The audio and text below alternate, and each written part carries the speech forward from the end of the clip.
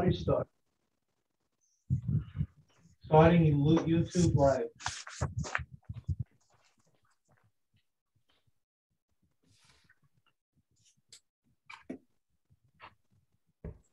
And sign off, any traffic going home? No, it was pretty quiet. That's nice. We're just waiting. One Sally, she only lives around the corner. Yeah, all I have to do is avoid the horse and buggies up here, Jerry. You know, I have they, terrible traffic. they, they just started paving roads here in the la- in the last ten years. Yeah, they're heating up oil and mixing it with dirt.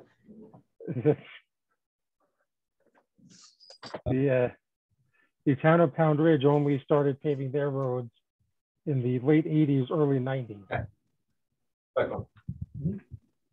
Good evening. Uh, We're ready to start, are we? One second.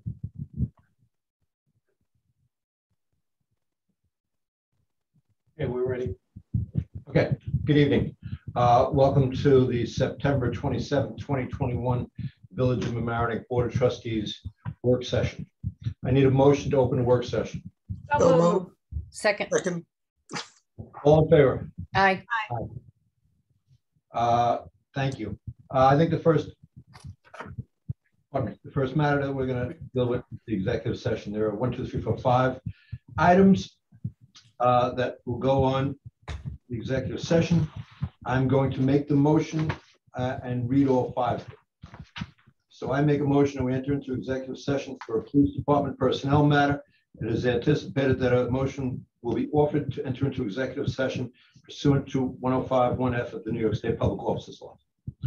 Uh, I also make a motion for appointments to Planning Board, HCZMC, Traffic Commission, and Flood Mitigation Advisory Commission.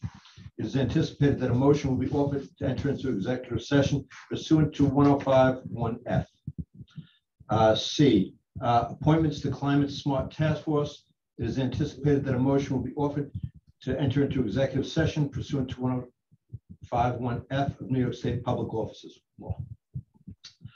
Uh, D, uh, Fed, Fedina versus HCZMC and the Village of Mamaroneck. It is anticipated that a motion will be offered to enter into executive session pursuant to 105-1D of the New York State Public Officers Law as it relates to proposed pending and current litigation. And the next one is Westchester Joint Waterworks Department of Justice EPA matter. It is anticipated that a motion will be entered, will be offered to enter into executive session pursuant to 105-1D of the New York State Public Officers Law as it relates to matters of proposed pending or current litigation. So I am making those motions. I need a second. Second, Mr. Fusco, please call the roll call. Trustees Winstrup, yes. Natchez, yes. Lucas, Yes. Tafur, Yes. Mayor Murphy. Aye. Okay, I will uh, meet you all uh, in executive session. The first item we're going to do in executive session is the police matter so that we could get uh, the chief out of the room. That doesn't sound very nice. Okay. If I could get out, I'd get out.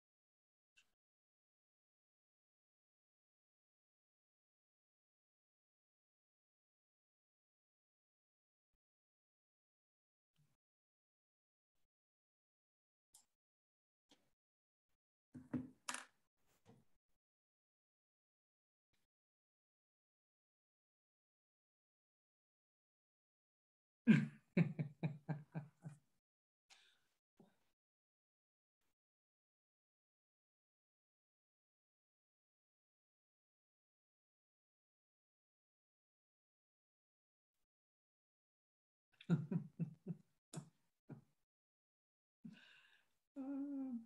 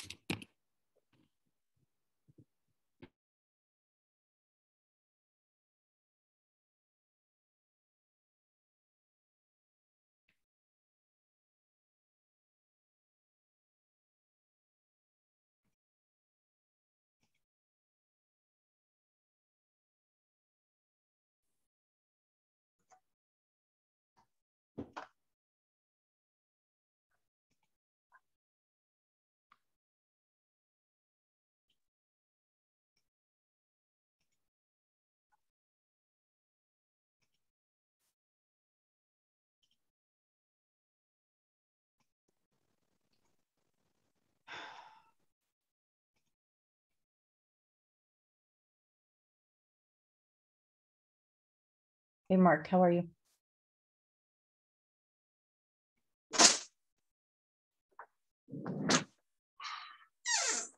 Good. How are you? I'm all right. Sorry. Sorry. I thought we were, the- I- for some reason, my screen's only showing you. It's not even showing me. Oh, really? Yeah. You can see. Um, it's just a click on view Or, in the uh, upper right hand corner. I've had that problem, Kelly, and there is no way of, ch- I, that I don't have the view to change it sometimes. It's idiosyncratic and it only happens in village meetings. Oh, gosh, I, It's frustrating, right? because I didn't change anything. Oh, all of a sudden, Got here it? we are. Oh, Oh, it was the shared, it was the uh, executive session banner. yeah. Yeah. oh, Okay, Am I on? Yes. Okay, good evening. Uh, We're coming out of executive session. In executive session, uh, there were three votes taken. The first vote was a vote to hire Whiteman Osterman uh, to represent uh, the village a- and the HCZMC in the uh, FEDNA versus uh, HCZMC in the Village of Mamaroneck lawsuit. That was a five to zero vote. And then there was another motion uh, to hire Bob Spolzino's firm uh, to represent the village as needed in uh, that uh, litigation. And that failed uh, by a vote of three to two. Uh, Kelly and I voted positively, and there was three negative votes. And then the next vote was to hire Bob Spolzino's firm, Mr. Ed Smith, represent the Westchester, the village in a matter of Westchester Joint Waterworks Department of Justice EPA matter. That passed uh, by a vote of three to two, myself, uh, Kelly and Nora uh, voting in favor. So those were the votes that were taken in uh, executive session that are now being reported out to the public. Okay, thank you. Uh, So, thank you, Augie, for preparing all this. The Tom, Oh, Tom, Yeah. I'm sorry, if you don't mind, if I can just clarify that in the um, EPA matter that we are sharing Mr. Spolzino's firm with the town of Mamaroneck. Yes, we are sharing costs with the town of Mamaroneck. So it'll be a fifty percent ours, fifty percent TOM. Uh, Okay. We're gonna go on to the regular agenda. We're gonna get through as much as we can. We have uh, stuff that has to get uh, on for tonight. So it's now six o'clock, uh, six fifteen. We'll go to seven fifteen uh, and then do the stuff that has to go on for tonight. And then we'll break at six forty-five to give, uh, seven, seven forty-five, I'm sorry, to give folks a chance to recoup before the regular meeting. Uh, Mayor, Item one A, old business. Mayor, Mayor, may I precisely there? uh, we- There's, there's item P, which was the adoption of the agenda, which, is one we've, we've been, we, we said at some time we'll pick up soon so that we can organize, at least adopt the agenda and at that point identify if something is missing. For example, I think there's something that is in the regular session that should be discussed quickly in, uh, in, um, work session because it- it's because it's our practice and because otherwise it may need to be tabled or something. And Well- that's one of the arguments to have uh, the adoption of the agenda, which is that I think that the the um, practice uh, every every board that I and that I, I know about and I think should be should be as easy as putting it as the third order in business after opening the meeting and roll call is adoption of the agenda that allows that brief uh, identification of what is missing and what got off of, because that's, so anyway, if you could do, we could do that first, I would appreciate it. Well, there's a lot of things that have working, waiting a long time, uh, a long time more than that, but I will move to that based upon your request. But, uh, you know, once again, jumping the line. Uh, Adoption of agenda, one P. Let's do that very quickly.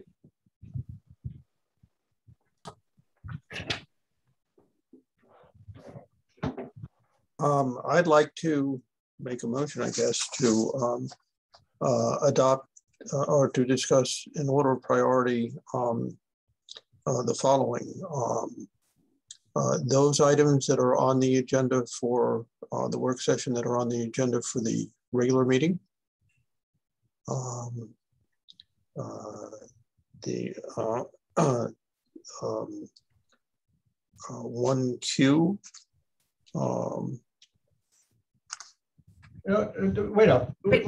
Uh, You're, you're heading ahead, No, no, no, no, no, stop, stop. you're getting ahead of the, What am I getting ahead of, sir? Be- Because we're, we're on one, we're doing one thing at a time. You're jumping to another agenda item. We're on an agenda item that Victor picked out. I'm sorry.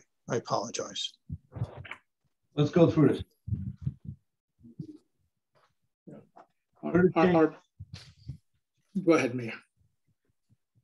Say it again. Go ahead, Mayor, if you wanted to just. No, I'm just- asking you, Victor, what are the Okay, changes? it, it's very simple. Uh, the order of business in our, in our, uh, um, procedures, uh, has order of business, call to order, roll call, and then adoption of the agenda is my proposal. And then everything continues. So it's just to insert after roll call, adoption of the agenda, so that at this stage, we, we just adopt the agenda. We know what we're going to go through. Uh, we can prioritize. You, you are you're the chair. Okay, No, no, no, Victor, let me just ask quickly. So you mean at the regular meeting? It, it is actually for both because we have the the the uh, the uh, the way the our procedures are structured has order of business for both the same. And minutes, everything is the same. We, we would only need to insert adoption of the agenda after roll call. That's all I'm asking for. Yeah, I, I don't see, we- we never do a roll call. Hey, um, can, can I just ask that, I don't think this is actually right to be adopted tonight and moved forward. The backup that I'm looking at has several um, mistakes in it. I think it should be changed to address the fact that we're meeting in Zoom. We should have procedures for that. It speaks to committees and imposes additional requirements on committees for minutes that I think we need to think about. Um, and I just don't think this is something that we can take up tonight and and adopt tonight and start following tonight. I think it requires a little more discussion. Um, and so putting it at right and discussing it now, I, I think if we take this up, we could use the rest of our work session. I, I have some issues that I would with with the with the backup on this. The, the, I mean, the backup, it's, it's only our, our, our, our current rules. So if you want to amend your rules in other areas, you're welcome to bring it, bring it on. uh, Kelly, trustee Winstrup, whenever you think, but at this point, uh, for, for over a year, I've been asking that we have the same procedures that's any board, private, public, international, national, even, even, even, um, you know, NGOs that have adoption of the agenda. It's, it's just a basic procedure of a democratic, uh, you know, Well, I, I, arrangement that, that it should be inserted so that we don't have, it really will facilitate that something that's not missing should be brought in or priorities uh, could be flipped. And that's where I think you, you, um, the mayor as chair can, can lead and, and, uh, and, and trustees will have a chance to say, maybe this is also for regular session or something like that. It would be expedited, but, but I think it, it's, that's a single, uh, a single line on the on, on our procedures will do that organization that I think it's vital. Well, in that case, I don't think what you're asking for is included in the backup. And so I'm not sure I'm clear on what you're asking. is, it is, and I'll just then make, make a motion to move that in order of business, we- we- after roll call, we include adoption of the agenda. That's my motion. But to Kelly's point, where is it on the backup? You're, you're, you're, you're, you're calling an audible now. I understand that. I've been talking about this and I, it was in my memo explaining it. And, and it's, you, you know what, what, but I've been talking about this for a while. No, Victor, honestly, I didn't know that that was what you were talking about. I'm not against it, but honestly, I didn't know that. Uh, and just as a point of uh, fact, I, I've served on the town of Mamaroneck board, I've served on the Westchester Joint Waterworks board, and none of them do this. I'm not saying we shouldn't do this, but to say that everybody else does it, I, I, that has not been my experience. I I have a motion. And I, I, I can, look- I can, let me look at those rules anyway, but I, I have a motion on the floor. I, I'll second it so we can go through this. I call a motion. Trustees Winstrup, No, because I don't understand what we're voting on. Natchez, Yes, Lucas? Yeah. Before, Yes, Mayor Murphy? There was no backup to this. Uh, As Kelly said, I don't understand what I'm voting first, and I don't understand what, what, what the, the problem that was solved by this. So I'm gonna vote no, but I would have, you know, probably have voted yes had this not, had there been some homework done on this. So, okay, it's the third there you time. have, it. that's done. Let me look at those rules of procedure. That starts at the next meeting, not this one. I'm not sure why it would start at the next meeting. Because we had no opportunity to prepare, Dan. Well, we have the agendas in front of us. Okay, item one A. Uh, Is Westchester I would like to make a motion then. the motion's out of order, Dan. We, we, we, we, we have an agenda before us. We- You know, i- i- Is this what it's gonna be? That we're only gonna deal with the items that three members of this board want to deal with? And we're not gonna go through, I mean, there's been stuff that's been waiting on here, for like years, literally years. And, you know, what, what have we done in the interim? You know, we, we passed laws to, uh, you know, have referendums and stuff like that, that doesn't really help people. And there's all this stuff on this agenda. There are lots of things on the agenda Yeah, so why don't we just start going through it? and Are you jumping around picking your things, which is what this is all not, about. not, It's picking your things. I'm trying to pick things that are, are very time sensitive and more so than others. And I think that, Based upon, based upon your view. I understand, and it's, it's my prerogative to make a motion to that. Somebody can second it or not, and we can go forward or not and do it another way. This is, this is a recipe for chaos. This isn't a recipe for running a meeting. Well, Tom, I, I would be careful because you pick and choose a lot as you're running the meeting. So don't, you know, don't Well, accuse, Uh, don't- honestly, Nora, No- Nora, that, that is my prerogative. I'm, I'm running the meeting. Oh, well, then, but I'm just saying what you're accusing Dan of is something that you do. So I think. Nora, Nora, I was elected to do that. Let's that. have a friendlier conversation. Nora, I was elected to do that. I don't think you were elected elected to run run the the meeting. agenda. Okay, uh, the, the problem here is you have a bunch of people, you know, who, who want to have a committee mayor. And that's not how it works. I don't know that I understand what you say by a committee mayor. We have, it- we have many things on the agenda. All are important. Start getting to them. And let's schedule another work session so we, That's fine. tonight, Let's do that at the end. I'm- So I, again, I would like to make a motion uh, to do the following. To take up one in the following order. Um, One Q. Two, uh, two C. Um, This is insane. This is, I cannot believe This this. is insane. One C. Let me just clarify. This is different from what, uh, I Yeah, I mean, this is different from, but the adoption of the agenda was you adopt the agenda, you move forward. This is different from Mr. Natchez is suggesting. That's what I'm going to clarify. I make, Please continue, Dan. I didn't want to interrupt further. Yeah, make your motion, to get it out. I, I, I stopped at one C. Um, uh, one J. um, six G. Uh, wha- uh, I'm sorry, um, sorry, one G, um, one F, and one B. In that order. Motion, is there a second?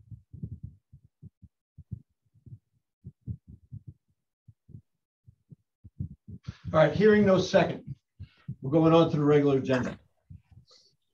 Item one A, Westchester County Project to resurface Mamaroneck Avenue, County Road eight, inclusion of complete streets concept. Uh, My understanding is this was discussed at the last Board of Trustees meeting, uh, work session. And there were a lot of uh, issues brought up with this. Uh, Does the board still wish to discuss this? I think we were waiting for two things. We were waiting for an answer as to whether or not what the county's deadline for making any changes is, because if we have to make changes, you know, in three weeks, it may not be an option. Or, and b input from our traffic consultant. Kelly, we'd asked Kelly to get in touch with Shannon Purdy, which she did. I'm happy to get in touch with the county through Catherine to find out what the drop dead deadline is. I think we all think all the general consensus was it was a good idea. We needed advice from the traffic consultant and we needed to understand what the drop dead deadline is to make any change that we might want to affect. Is that fair? That is fair. And Shannon did provide a, a, a lot of information for us. But suggest we were- get in touch with the, with the, with the, with Matt. Matt Carmody, yeah, yeah. And, and I did speak with Mr. Carmody. There, there was one question that I asked, that I asked, that, uh, that Sharon did not answer, and that, uh, I asked Dan to ask, uh, Carmody, and I have not heard an answer to that either, which was, uh, whether, a four-way stop light with the walk signs was considered and evaluated. So, a- and we, do we know what the deadline for any change would be? Well, as far as the signals, those are under our control. So there's no timeline as to what we could or would do with the signals. Uh, the roadway is, is a different matter. Is, is that the question you're asking, Nora? No, my question is, any changes that we make to the county's plan are gonna have to be incorporated by the county. Yeah. What is, what is the deadline to make suggestions and request them to make changes? I, I will call them tomorrow again, get answer. Okay, and I'm happy to follow up phone calls too. Just let's, let, we'll just, that's, I think, an important piece of information. Can I add, if it involves the um, alteration to resurface Mamaroneck Avenue, that has already been bid out and awarded. Mhm. We will be paved last uh, because we, they missed the time frame that I provided uh, for the school. And, and now, of course, exacerbated, um, um, the, the issue has been ex- exacerbated by the generators uh, because of our substation damage. Um, so we lucked out um, in a, uh, uh, in, in a matter of speaking.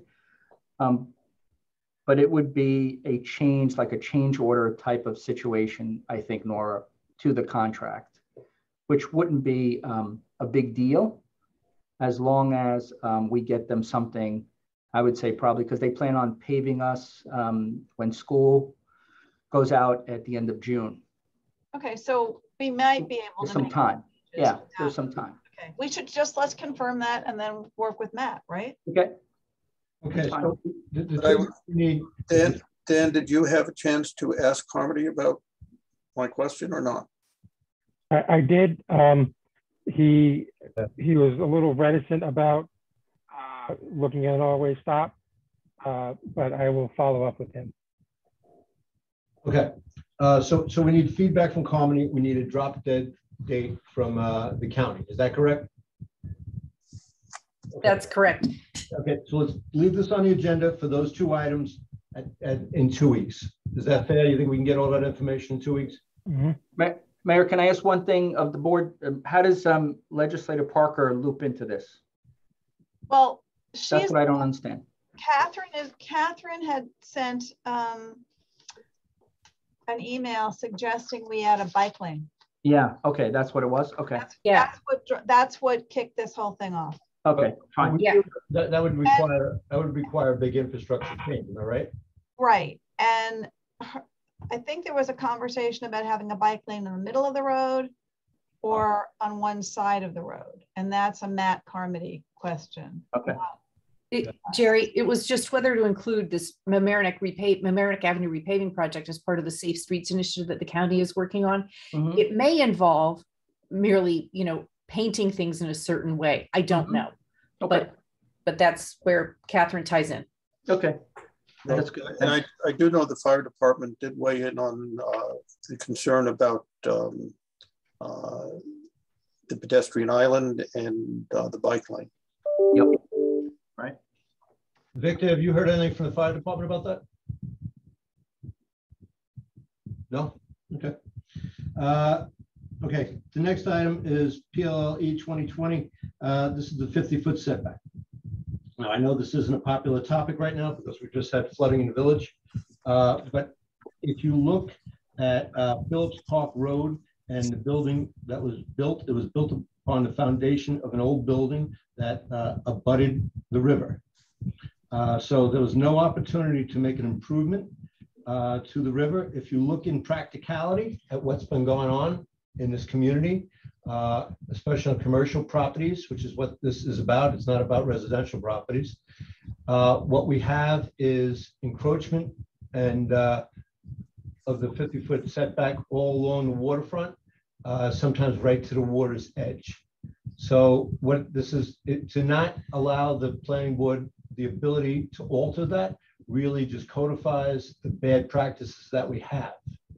Uh, We discussed this many times before, and, uh, you know, the, the decision was made to give this back to the planning board.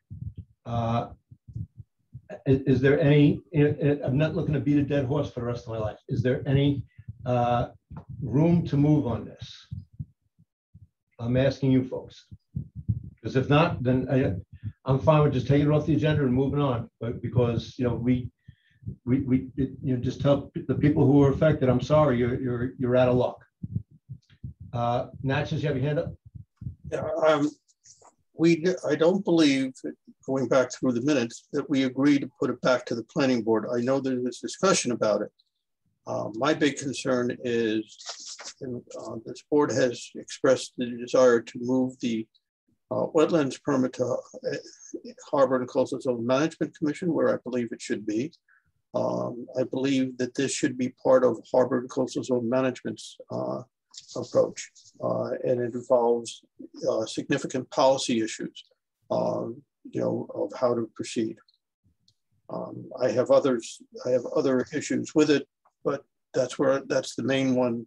Uh, and I think that there are issues of, you know, in the language that uh, I'm very concerned about that I expressed at the last meeting. Anybody else? I think we do need to provide property owners who were affected by PLLC um, with this late addition. I, I think we need to provide them a safety valve. I think it's important that we do that for particularly people with oddly shaped properties who feel like they can't improve them at all. I think it's important, you know, I, I've always thought it's important that it go to the planning board. I know the majority of this board thought then it should go to the zoning board. Now I'm hearing from Dan that it should go to HCZM, but I, I still think the planning board's the place for it to be, but I think it's important that we have a safety valve for applicants to have a poss, you know, a, a way to get, a way to do the right thing here and to develop their property responsibly. Victor Nora? Well, I think the key is developing the property responsibly and, and sometimes in the past, the way these variances have been used have not been responsible. Or, you know, and I think that's, that's on the village. Um, we were also asked by the flood mitigation committee to consider a moratorium on building in the flood zone until we figured out our flood laws and our stormwater laws. And, um, you know, I'm very sensitive to the fact that people are upset and scared and frightened. And um, I think there needs to be community conversation about this. Victor? He's muted. I think Mr. Natchez raised his hand, so go ahead, go ahead, Dan, I'll go after you. No, I just, uh, I agree, I agree, Kelly, that we do- should have a quote, safety valve. But I think we need to have a safety valve that is consistent with the policies of the LWRP uh, and a procedure to do that and a procedure to do it in terms of the wetlands law as well, uh, which is, you know, um, you know, been worked on and being worked on, I guess. Uh, and will be, um, an earlier version was sent to this um, board of, almost a year ago, but uh, I understand it's being revised again by HCZM. But I think it's important to do that. I think we need to be more, uh, more specific in terms of uh, setting forth the goals that are in the policies, you know, for the exceptions and how they need to be done. Uh, I'm happy to spend time going through it, but we have a lot on the agenda. Uh, I don't think it's going to make a difference whether we do it tonight or we do it in another two weeks or whatever. Victor, you had your hand up? Are you done, Mr. Natchez? Yeah. I think you're done, You're finished, okay. Then, then I, I, think the key is, is to have, the devil is in the details. Even if there, if it's one or the other, and I, I really come after studying this for a while, that, that it should be the planning board with the, with the act, with, with the right safeguards on the HCZM front. It's really an interplay, and that's what we heard the three, two or three times that we took it around to them. So that's why I, think the best is to have like a technical discussion with them and with the land use lawyers, in addition to our village attorney, that can, they, are, they will be the people doing this. I think we know what the objectives are, which are not to have large structures built in the wrong way on, on, on the buffer or in the floodplain. This is such a very a serious conversation. And, and it's not about where I want it or how, how it, it's required that, that technical expertise. So I, I recommend that we have a dedicated meeting on this issue in particular. So it's not just dragged, but it, we address it and also add to that meeting the larger issues of, of where all our laws converge or diverge on building on on the floodplain and are do are we are we do we have at least the laws on the books and then of course with because that's important or even more is to have the the uh, the administrative staff to to be able to do this. Now we know having as and with with all the procedures and the people being affected you know how how uh, we need to address details and well now we're even even and i thank uh, jerry for for even uh, you know waiving some fees. But it's not just waiving the fees but but having having what what requirements are, are we asking and and i know maybe maybe have some some waivers uh, for for anything that has to do with improvements. Uh, so i think this is a serious conversation. Of course i don't want to drag it but I think a dedicated discussion with the heads of the of the HCZM Planning Board and Land Use Council, we, we can we can certainly uh, dedicate one hour or two for that and get the conversation running to so that we get technical response, not just us crafting the law. It's not going to happen. We've been a year and a half on it, and it's very complicated. Even if I, I try to rely on the model code that, the Department of State has been drafting since they passed the resilience law, climate change. Many municipalities are working on this. So, I, but I, I think we need the right, the right uh, technical support and legal support to do this. Yeah, uh, you know I, I, I agree it should be for in, in the purview of the planning board. I've always thought it should be the purview of the planning board. I, I thought it was, you know, uh, way too complicated to uh, send it to H, to send it to uh, the zoning board. Uh, I'm glad that finally that we came back to the planning board uh, because you know that that is you know the, the, board that really has to make the design decision and uh, you know has to do the site plan and it really uh, they, they would be in the best position to affect positive change. Uh, I, I, don't want to. I mean, no matter what the planning board does, the, the project has to go to HCZMC. So I, I think that they'll always have their uh, their hand in it. Uh, I just, I'm fine with taking this off the agenda for right now and putting it on again next year when we have a meeting with uh, the planning board, I think, and Whiteman Osterman and uh, Bob Spolzino and uh, hashing it out just in a, in a meeting like you suggest. I think that's a good idea. Uh, But I think we have to do something eventually because what we've done now uh, just locks in stone the bad practices that have gone on for generations and for decades. You know, you can walk along the Mamaroneck and the Sheldrake River and uh, see, uh, you know, the, uh, the building right up until uh, the, the water line all throughout the community. Um, Listen, if, if, this was, you know, if we, if this was uh, 16, whatever, when John Richbell was buying it, uh, it would be a great idea to just say, you know, 100 feet from the river, you don't build anything. But we did, and we have. And, uh, you know, people own these properties.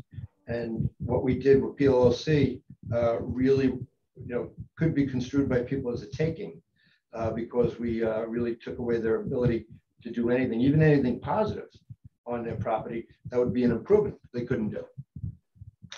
So I, I don't want to have this on the agenda ad nauseum until we have that meeting with the planning board. Uh, I would suggest, you know, we talk to the planning board about maybe the end of the year, beginning of next year, having a meeting with them and uh, working this out and just hashing it out in one meeting and not going back and forth forever. Uh, So that's where I am with this, but thank you for at least having some discussion about it tonight. Well, why, Why so far? Why so far out? Because Yeah, there's, so there's far there's out? a lot going on right now. There's, the village is still in a recovery mode. And, uh, you know, I, I don't think that, uh, you know, just throwing this to the planning board and saying, hey, let's read, you know, we're, we're pretty close to the end of the year as it is right now. We're, we're almost in October. And then things start happening and, uh, the holidays are here before you know it. So I'm just, I'm trying to be realistic. In any sense, I think it would make sense because it will be a substantive discussion to do it after the organizational meeting in December when the membership is set and the chairmanship is set. well, let's get it on the calendar now, because if we wait till after the organization meeting, that'll put it into late January or February. Let's, let's, let's make it a Christmas gift to ourselves. I, I, I don't have any problems meeting with the planning board uh, chair, uh, but I think we also should have the uh, Harbor Coastal Zone Management part of that uh, discussion and meeting. Yeah, but Dan, you're the only one that wants to send it to HCZMC. Regardless. But of what you, what you've suggested is not where you send it. Where you suggest working out what to do. And I'm suggesting that that be part of it. I think whatever we come up with is gonna have to be consistent with the LWRP, and I think there's, it's beneficial Okay, to get HCZM involved sooner than later, because they are going to be reviewing anything, so I let's think do, that let's do planning board chair and the CZM chair.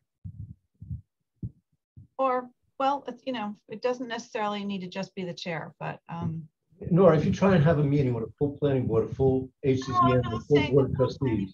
I'm not saying the full planning board, but, um, then, then it's the chair's job. Or, two want to bring members, somebody- or two members, or, or, or somebody that the, the planning board or HCZM so designates. Okay, that's fine. I'm, s- I- I'm, I'm sorry, but I do have to dissent. I, I think this is such a serious topic that it should be picked up uh, maybe late October, maybe in a month. We, we, we're gonna have a dedicated meeting for it, but di- discussing how, how we should move forward on, on building on the floodplain is, is such a critical decision. I, I, I would be in favor of having the discussion before, before, uh, before November, before November is gone. You know, I, I, I, it, it- it's, it's, that, that's striking to me because, you know, this has been on the agenda since, uh, September 2020. And, uh, we screwed up, uh, on PLLC a year before that. So that this has to be done in the next month, it doesn't make sense to me. have a conversation. Okay, well, that, that was my, that, Well, that's my know what? voice. That's one single voice. Let me, how about if I try and circulate some dates and see when we can get the earliest date that this could happen, Fine. okay? I'll find some dates and I'll work, and I'll figure out how to do the, the, the village has a doodle poll, so maybe we can get an earlier date. Okay. Uh, Marijuana regulation and taxation. Uh, Okay, so let me turn to that in my folder here. Okay, uh, the question before us is whether to pass a law opting out of, uh, uh, to be a community that opts out of A, having, pardon me, of A, having uh, dispensaries and uh, smoking lounge, did I call it lounges? I forget the terminology. I think On-site consumption licenses. Consumption licenses and uh, a dispensary. Or consumption establishments. Right, which, which, let- let's just call it a- a smoking lounge, because that that sounded right. Uh, You know, I, I, I could see opting out of the lounges, because to me, that's just another place uh, where people can get intoxicated. Uh, But, you know, to opt out, and this is my view, to opt out of the dispensaries is uh, opting out of an economic opportunity that this community and every community could use. Uh, It, it, it has a direct sales tax uh, benefit, which is something that we have, we, we don't have in any other sales. No other sales tax uh, is a direct benefit to the community. So there's one aspect of that.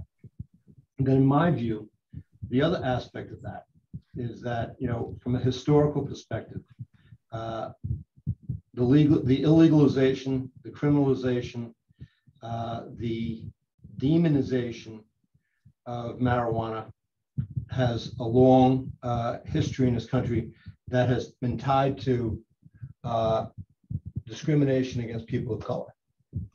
Uh, That started uh, at the turn of the last century and uh, continued through the war on drugs. Uh, And the penalty, in my view, never fit the crime. Marijuana is not heroin, marijuana is not cocaine. Uh, While I would not suggest that anybody smoke marijuana, you know, from my point of view, no one, you know, uh, I, I see no benefit to drinking alcohol. Uh, So it's not like I'm recommending the use of marijuana, but I'm, I'm, I'm, uh, I think, recognizing the facts that people do use marijuana. Many people use marijuana very safely. Uh, This dispensaries, from what I've witnessed firsthand and what I've read about, are usually very well run and uh, very, uh, you know, uh, well maintained. And you have to show an ID before they will open the door for you, unlike a liquor store. And, you know, they, that there's been much success in uh, a lot of communities having these. Uh, What we're going to be doing is we're going to be creating a black market for marijuana in marijuana, in Mamaroneck, if we're saying that you can't buy marijuana legally in Mamaroneck. And so we'll just be doing the same situation uh, that, that's happening now. Uh, And you know what? Part of the passage of this law uh, was to try and right historical wrongs and the, uh, the use of marijuana criminalization against people of color, giving people of color uh, a- a- an opportunity to get into this business and, uh, you know, re- recoup uh, something from what they lost over the years. Uh, So I'm not in favor of opting out for, for dispensaries. I can see opting out for lounges. Uh, You know, it- I, I think that this was something that many people worked decades uh, trying to, you know, stop the uh, criminalization of marijuana, to stop the jails being full of uh, young uh, people of color uh, for basically the same crime that a lot of white kids were doing, especially this white kid was doing it. And uh, we didn't have the same repercussions that other folks had. And uh, I think that part of this bill that the, the New York State passed was to redress that. And, uh, you know, we have to be cognizant of that. And to opt out of it is to say that, you know, we're not willing to do our share to uh, make that whole. And I, I, I don't believe that uh, if we opt out, I, I, I don't have faith that we'll opt back in today. Uh, because I think that it would just be too hard politically. But uh, that's where I am on this. I, I know that there's other opinions, but I just, I wasn't here for the last meeting, so I wanted to get that out.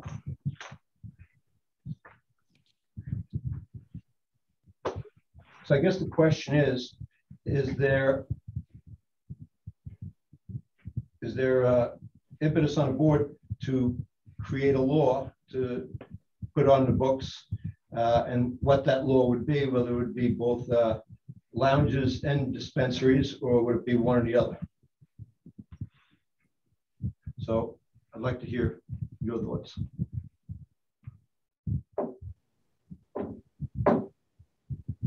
Kelly, you have your hand up? Um, I do. Dan, Dan had his hand up as Oh, well. I didn't see Dan. Dan, go ahead. Oh, go ahead, Kelly. I'll let you talk, then I'll go. Okay, I'll, I'll try to keep it brief because I've made my views um, pretty clear in the past.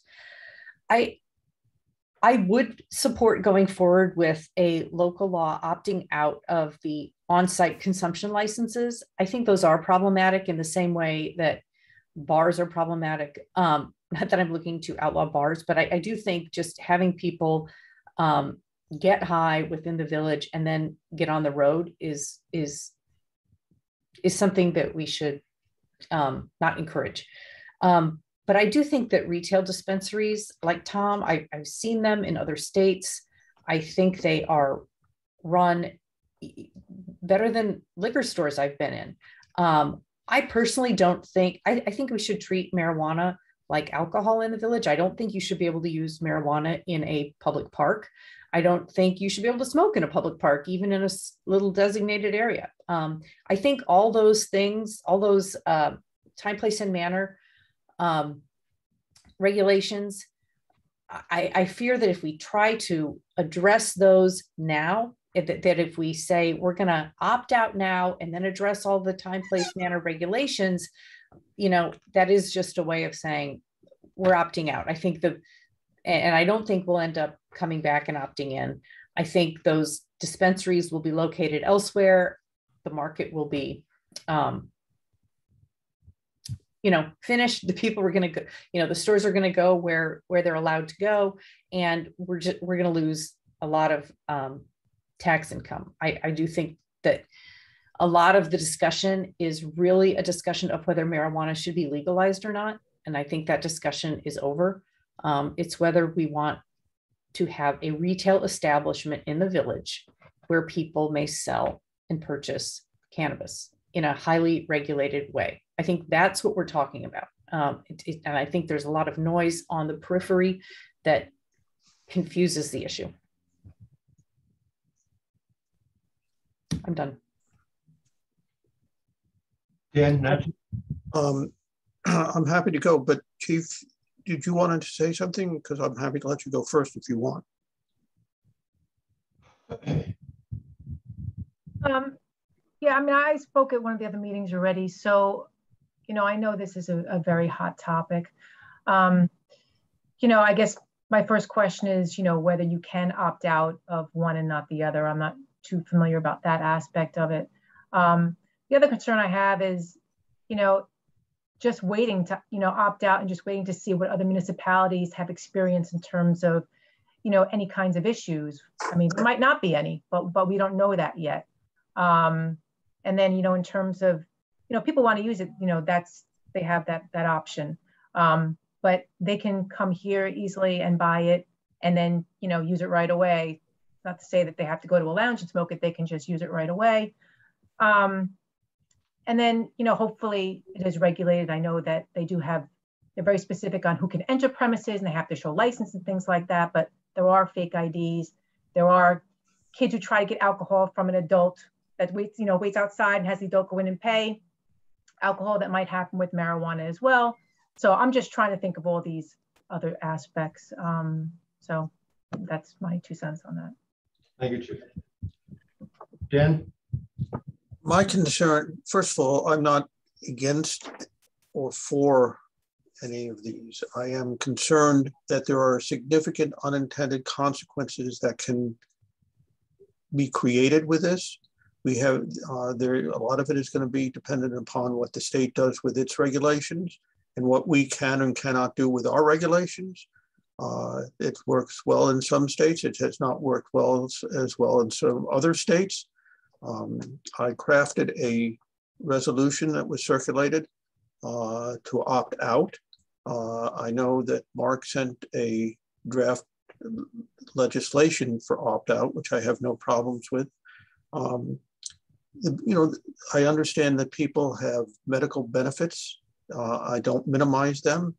Uh, uh, everybody has, uh, talks about, uh, or 90% of all the comments talk about uh, the financial benefits the village will get. Um, my research has shown that the average purchase at the retail stores is approximately somewhere between 100 and 200 dollars, but more towards the lower end than the higher end in most states. At least that's what I am told by uh, people who um, have done this. Uh, you know, you know, who are running these stores or own these stores. Uh, you translate that into what the village gets.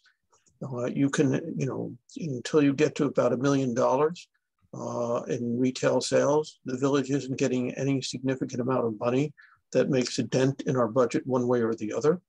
Uh, that you know would uh, at a million dollars we would get thirty thousand uh, dollars, but that also translates to if you take do the math, a significant amount of traffic uh, of people, whether it's automobiles or uh, not, and that's going to create that that those are issues that need to be anticipated and uh, guarded against so that we don't have significant problems.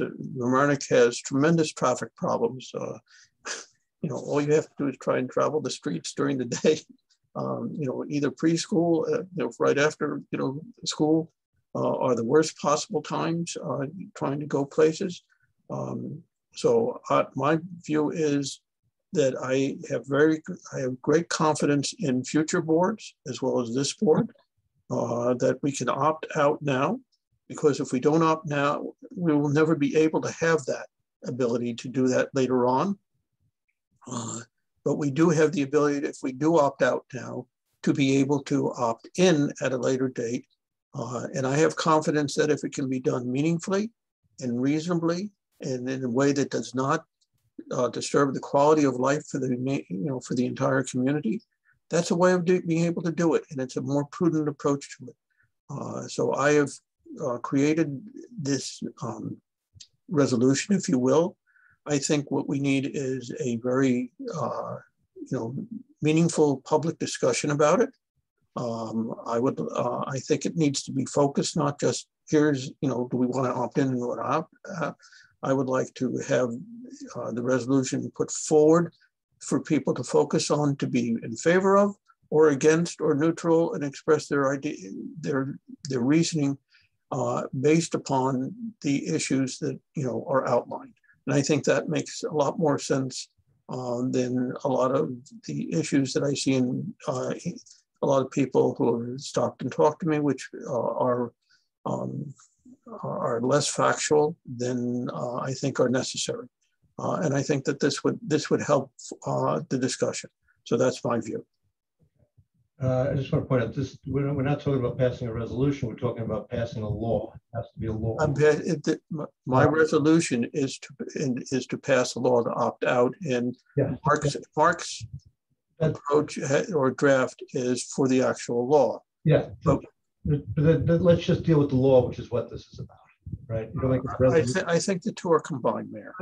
I don't, and you had your chance, and I'm just, you know, so we're talking about passing a law, not passing a resolution. Uh, and to say that a retail establishment, any retail business, uh, we wouldn't want it because it causes traffic. Uh, I, I, don't know what kind of retail business, in some sense, doesn't cause traffic. Uh, if you're selling ice cream cones, that's going to cause a heck of a lot more traffic than if you're selling weed. Uh, so I, I, don't see using traffic uh, as a uh, as a solid argument against this. Uh, you know, because anything what we're talking about is renting storefronts, right?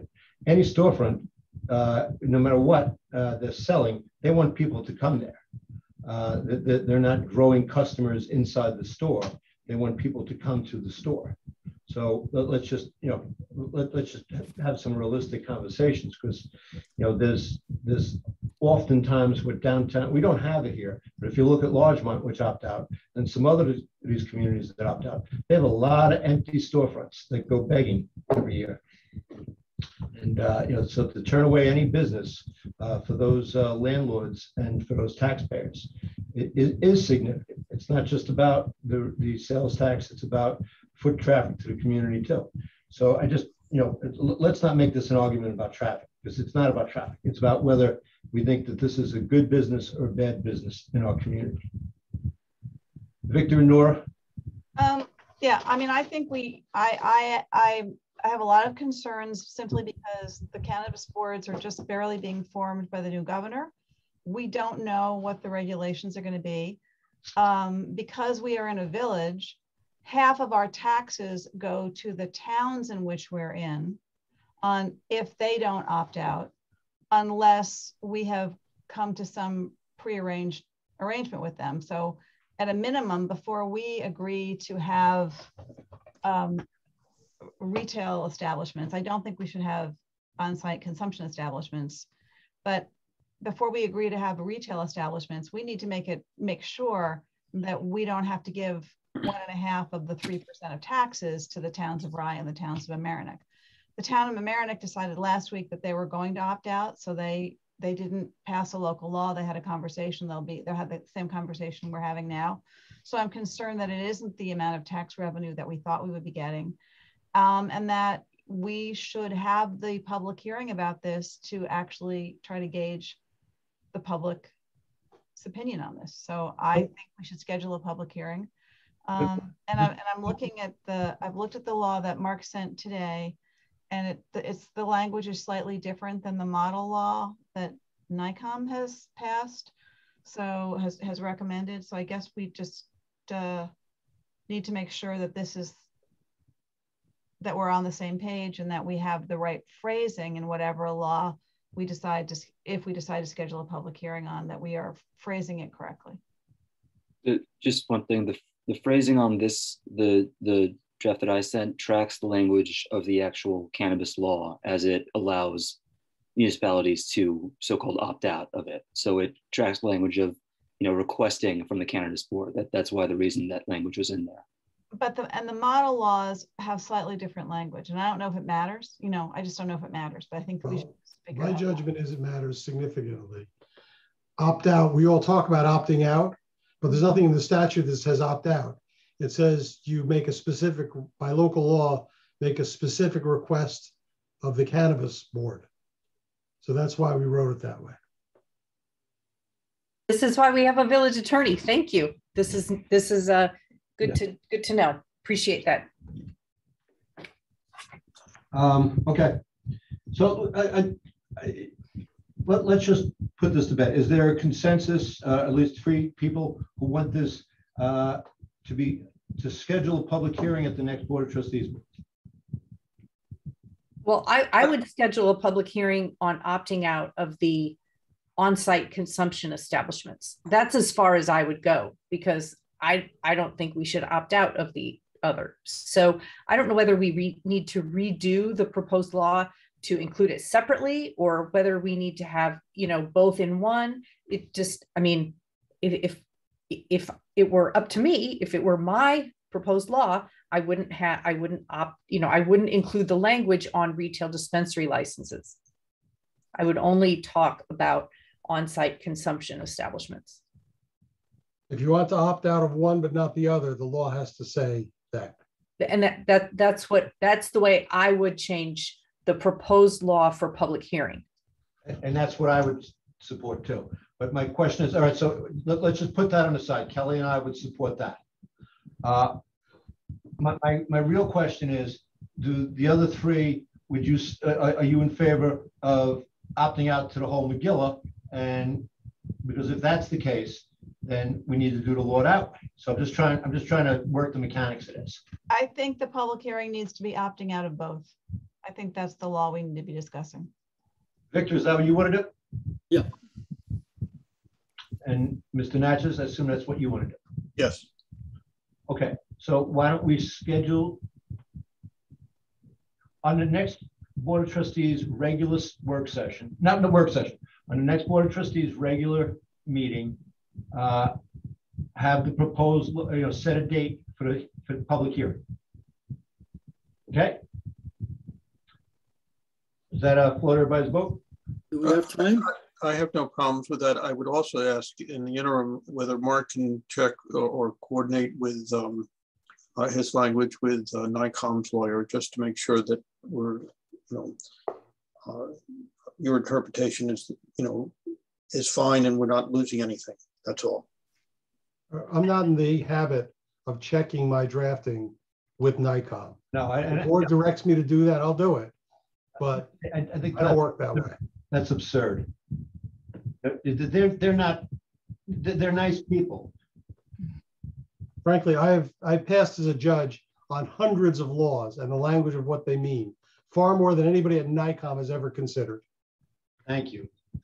Um, and on the same vein, I think we need to think about parks. And not allowing cannabis products to be smoked.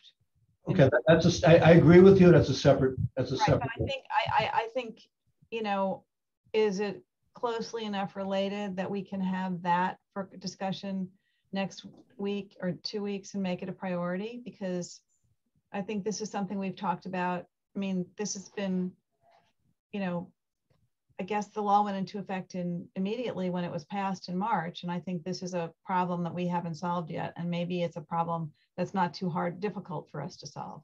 Let, let, let's put it on a work session because we haven't really discussed it. Well, we'd have, we would need a new law for that, right? We would need a new proposed law. No, no, no, we would need to amend our current law about smoking in parks. Right. Yes, yes, Saying, Nora, that, it's a separate law. Yes. I know, I'm just, it's, it's related to this and it seems like it's something else we should have addressed as part of this topic. But, but, but this is time sensitive. If you, if, and listen, I don't want to do it, but I'm being honest. If you want to do it, we got to start doing it. Yep.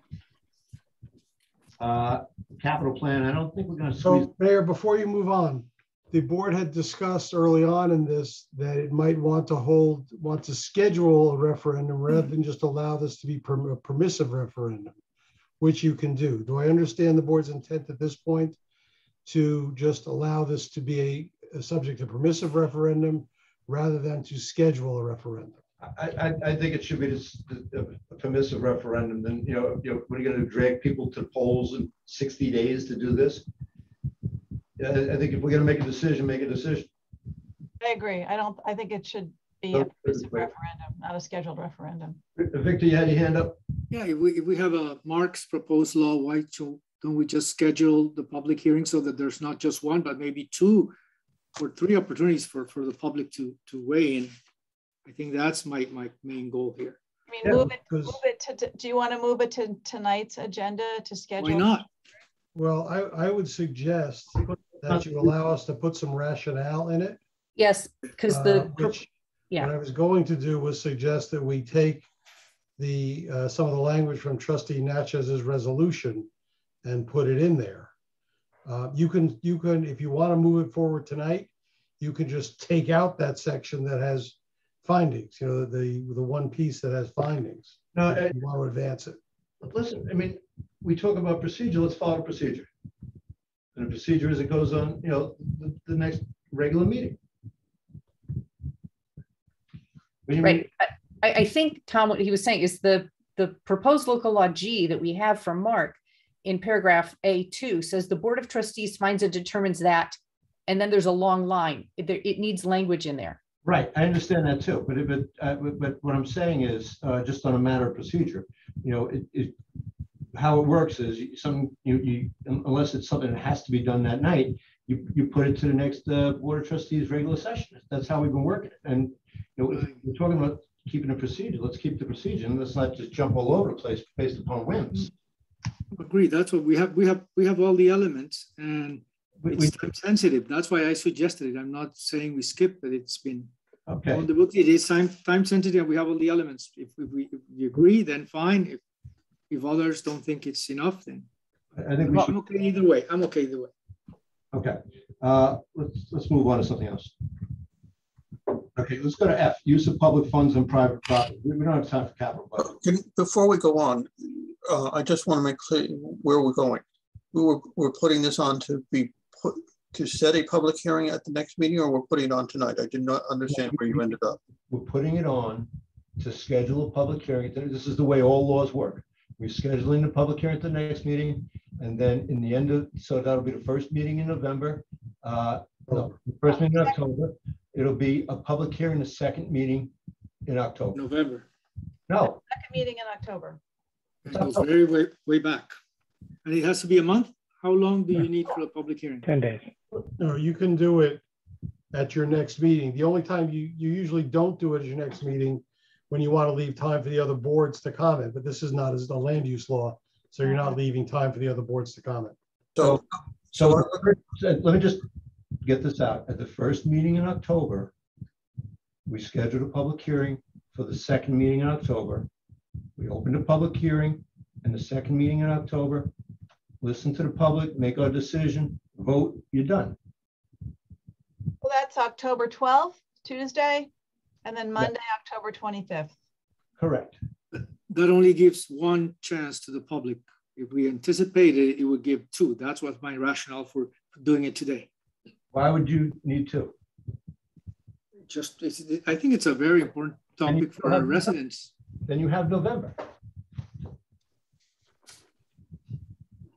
I mean, people might want to come out and talk about uh, the scheduling of a public hearing. And if, we- if, we- hold on. You do it tonight, you, you haven't given us an opportunity to notice that that was going to happen. People might want to, you know, talk positively or negatively about the scheduling of a public hearing. If we sneak it on the agenda tonight, we don't have that opportunity. Cuts both ways. And, and we don't have the law Yeah. drafted the way it needs to be heard. I mean, we've, we've made changes to it in this work session. Okay. so I think it, um, if we're going to schedule it at our next meeting, that Bob can, and uh, Mark can finish, you know, put the language that is necessary in and uh, put the preamble in as well and the findings. I Yes. think That would- would be a more solid uh, thing for people to focus on. Yes, we can do that. All right. And it's an and and not an and or. Correct.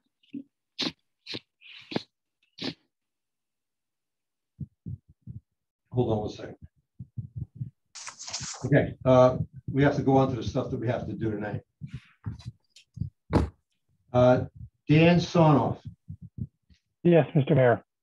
uh, the only things that we have to do tonight under new, are, are under new business, or I'm missing something under old business? Uh, we have Municity five, uh, under old business. Um, Park citation management, I, I left that on by accident, so we discussed that at the last meeting. That's on for action tonight. Uh, I think, uh, we have the water, the joint waterworks items, uh, and I believe uh, the. I'm asking. Dan, listen to me. I'm asking under old business, oh, anything else besides Municity Five? oh, no, I'm sorry. Okay, let's go to Municity Five, uh, one J. Uh, Dan, you want to give us a quick? Yeah, we, we, we got the, uh, the quote for the Municity Five package. Uh, trustee Natchez had asked whether we were comfortable that we we're getting all the modules that we needed. The answer is yes. Uh, we have checked our references. Uh, I believe the quote was something in the order of, was it ninety-one thousand and change, Augie? 90 and change. 90 and change. So uh, that was the uh, uh, the quote that we received from General Code for the Municity 5 product. And we, we'd very much like to move forward so we can begin the implementation and schedule out uh, the all implementing all the modules in a uh, orderly fashion. Okay, anybody have any questions or concerns? Yeah, I have two questions. Um, one is, does the amount in there include training or not? And the training is included. Uh, it was, uh, the it is included. The second question. Is it uh, their normal three months or is it a longer, do we, if we bought a longer or proposing a longer period? Uh, I have to take a look at the uh, proposal. Give me a moment.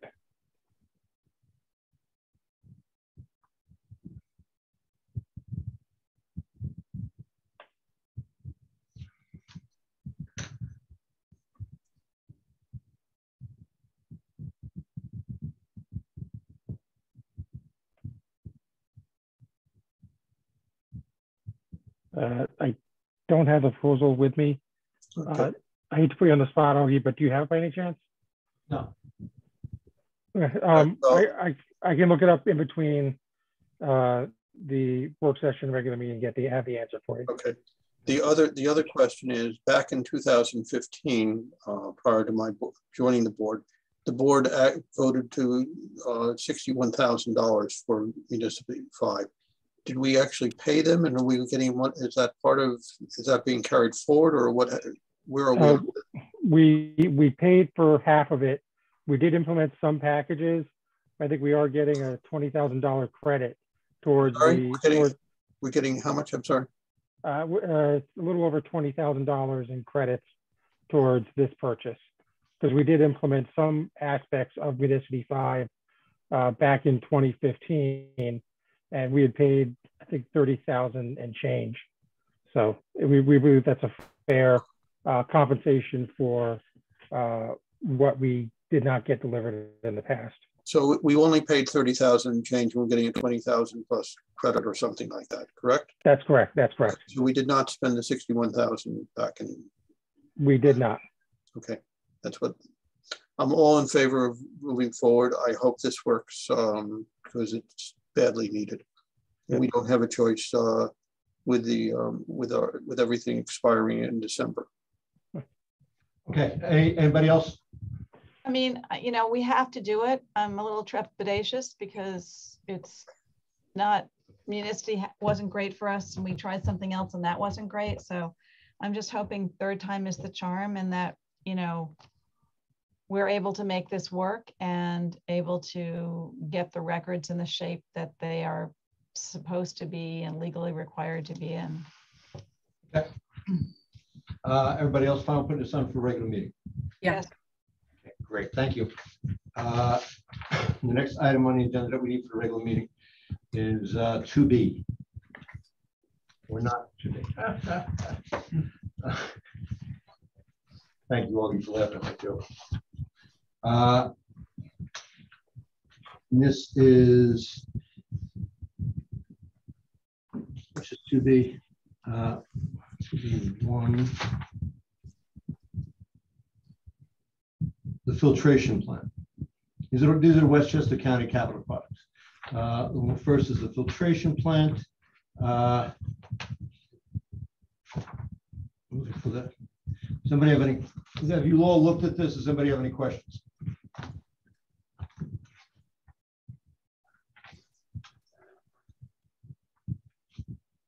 The next step in funding the filtration plant, the, uh, But we need to approve all of them tonight, not just the filtration plant. Yes, all of them. I'm just, I'm going one at a time. I mean, it's- So it's the filtration plant, uh, the chlorination system, uh, Anderson Road pressure relief. Chlorination system, shaft 22, New York City is reducing the amount of chlorine in the water. By the time it gets to us, it needs to be rechlorinated. Uh, We, at one point, had a chlorination facility in Yonkers uh, that we shared with the city of Yonkers. Uh, We are, we are going to reactivate that chlorination system uh, because it, it- with- with the city's reduction in the chlorination system, by the time the water got down to us, uh, it, it- it needed to be rechlorinated. Uh, Pressure relief valves, uh, pressure regulator valves, uh, that is uh, our connections between the Westchester Joint Waterworks. We sell water to the Suez Water Company. Uh, And what will happen is in times of high demand, uh, the Suez Water Company uh, is, is pulling on us and this, th- these valves will allow us to reduce pressure to uh, Suez to make sure that the folks in, that we serve uh, have enough pressure uh, for uh, firefighting, mostly for firefighting. You know, this, this has happened before where, you know, during high demand in the summer, people watering their lawns, the pressure gets to a dangerous point, and we don't want it at a dangerous point where it would put anybody in jeopardy. It hadn't happened, but, you know, in uh, the idea of uh, making sure it doesn't, uh, this is what they've proposed. Uh, The other ones, anybody have any questions on Weaver Street Pump Station modifications? Well, what, wait a minute, there's the one, at there's the one before, whole customer meter and PRV va- vault at Osborne Road. Yeah, I think that's the same thing. It- it's to connect with uh, Suez. Okay, There- There are two different connect with Suez projects. Okay. The the PRVs, there's the pre- pressure regulator valve. and so the Weaver Street's the same thing. Yes, Weaver Street, same thing. Uh, The Weaver Street, as I'm sure you know, Nora, is in the, uh, the- the Oh, uh, yeah, nature center over there.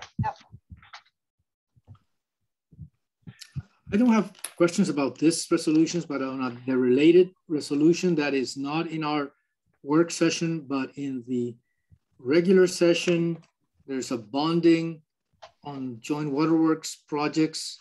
All the others I understand, but I, I asked a question I haven't had a chance to review. Uh, Typically, we do have those resolutions re- revised here in, in work session. And I, I don't think we did. I was not I, I don't think you did it last time, and I, I, so that resolutions on bonding, um, I think should be cleared now. I don't have any questions on, Let's talk about that. on vehicles, Accela, dump trucks, because I know, I remember the street surfacing, docks and pilings, I remember Stanley Avenue roof, I remember, and sewer and water mains is four point eight million. And I asked for a breakdown, can you go through it and can we clear that now before we go to regular session? Okay, this is on the bonding. Bond resolution. I think Augie sent out, Augie sent out a little primer here. Did anybody get a chance to see this? I'm just opening it. It goes through each of them. Augie, you want to go through them? It's up to Victor, what he wants us to do. Or what he, I, I'm just opening. So what, what is in that resolution? What, what is, what are we paying? Are we bonding in there? Okay, why why don't we talk about, it's, it's a bond resolution for six million, four hundred thirty-seven thousand, six hundred and four dollars. Mhm. It goes through many different projects, not, Mhm. Okay, well, why don't we just go through each of them quickly? so these- this is is, that an email that came at four thirty-four? Okay, yes. okay. So we're done with the, the resolutions on the Westchester Joint Waterworks. We're now doing, right? No, we're going on, they they go on the regular meeting. Yep, good. This is about, Yeah, I, I got it. I've got Augie's email open. Yep. or no, you go through it. So these bond resolutions are for projects that are already previously approved by the board. They're at their completion and we're gonna go out to fund them. We'll start off with the five-year projects. The five-year projects are sanitation, U Ford pickup truck F-150. Uh, second, Are you, are you working from the memo you sent us? I'm, I'm trying to follow you. I sent you an email with the projects by five years. You asked me what makes up and I listed them all out for you. So it starts with a sewer system capital. Is that the one? Sanitary sewer system capital, yes. Sanitary Sewer capital. Okay, go ahead. I list out the, I list out the when it was approved, June 13, 2006. Okay, got it. Hydraulic cleaning and TV inspection, heavy hydraulic cleaning, Okay, treatment and mobilization and demobilization. That was 74,673. Uh, The next one is the A, is a water project, which is A 1316 Flagler Drive Water Main uh, Treatment. On August 14th, uh, 2017, the resolution authorized the village to participate in the Westchester Joint Work Project A 13-16 uh, Flagler Drive Water Main Replacement Improvement, replacing improving water mains on Flagler Drive. Uh, the Total project approved was 2.7 million. Uh, The next item. It's two point two one seven. No, but he- he's saying what was approved Total in the project that was resolution. approved was 2.7. What we're actually issuing money for is two point two one seven. It came in five hundred thousand dollars under budget. Go ahead, Augie. The next item is the Accela Asset Management Software for one hundred ninety-three thousand eight fifteen. That was approved on October twenty-second, two thousand eighteen. Um, Stanley Avenue roof, we have, Can we, can we stop at Accela for a minute? sure. Um, I don't know why we're bonding. We're in court on this, are we not? To get the money back? we've already paid for it. Yes, I mean, we, we're borrowing the money because we took a loan from general fund to fund this project. I, I, I understand that, but we, uh, where are we on, uh, in the status of the court on, uh, court procedures on this? That's why we don't get things done. On the seller, the California, the California debacle. Yeah, we have, uh, we have not initiated a lawsuit. They have not initiated a lawsuit. Okay, where, what, do- I thought we would, we had authorized proceeding on that, did we not? We had engaged in some negotiation. We had done some study, but we did not authorize, I, I don't recall you authorizing it. but We have not issued, we have not commenced a lawsuit. Okay, and where are we in negotiations? Nowhere, Say again? nowhere. They, they want us to pay. We don't want to pay. We haven't, there's been no coming to a resolution at all. So we, we, we have paid them or we have not paid them? We've paid in part. We have not paid everything they claim we owe them. Okay, so right now, what's before us is what we have paid. We are bonding what we have paid. This is what we, we paid hundred ninety-three thousand? Yes. So can we move on? Um, Uh, two thirty-four Stanley Avenue roof, roof rehabilitation for four hundred thirty-eight thousand three fourteen. That was authorized on October 15, 2019, and on November twenty-third, twenty twenty. Um, The roof for two thirty-four Stanley Avenue was in poor condition and had reached the end of its useful life, and the village authorized repairs to be made. Next item is Arcadis sewers uh, specs repair and sanit- sanitary for thirty-four thousand six oh one. Uh, this was authorized on May 13, thousand nineteen. Um, it's a professional service agreement with Arcadis creating specific specifications for contract documents for the repair and rehabilitation of the village sanitary sewers. Uh, Sanitation uniform pickup 150, 25,475. Uh, this was authorized on November 12, two thousand nineteen uh, one truck for the sanitation division of the Department of Public Works. Uh, basically, uh, the resolution states that it was a 13-year-old Chevy pickup truck assigned to lead maintenance mechanic and sanitation division, which is approaching the useful life, its useful life and by rust and rot and needs to be replaced. Uh, the next project is for a non-functional water for 335,146 on April 8, 2019, authorization of the village participation in Westchester Waterworks, uh, local capital project for replacements in a non-functional vulnerable water infrastructure related to planned paving in the village of Mamaroneck. Uh, the next item is a Westchester General Waterworks project for 815109 Uh, it's Barrymore Water Main Replacement.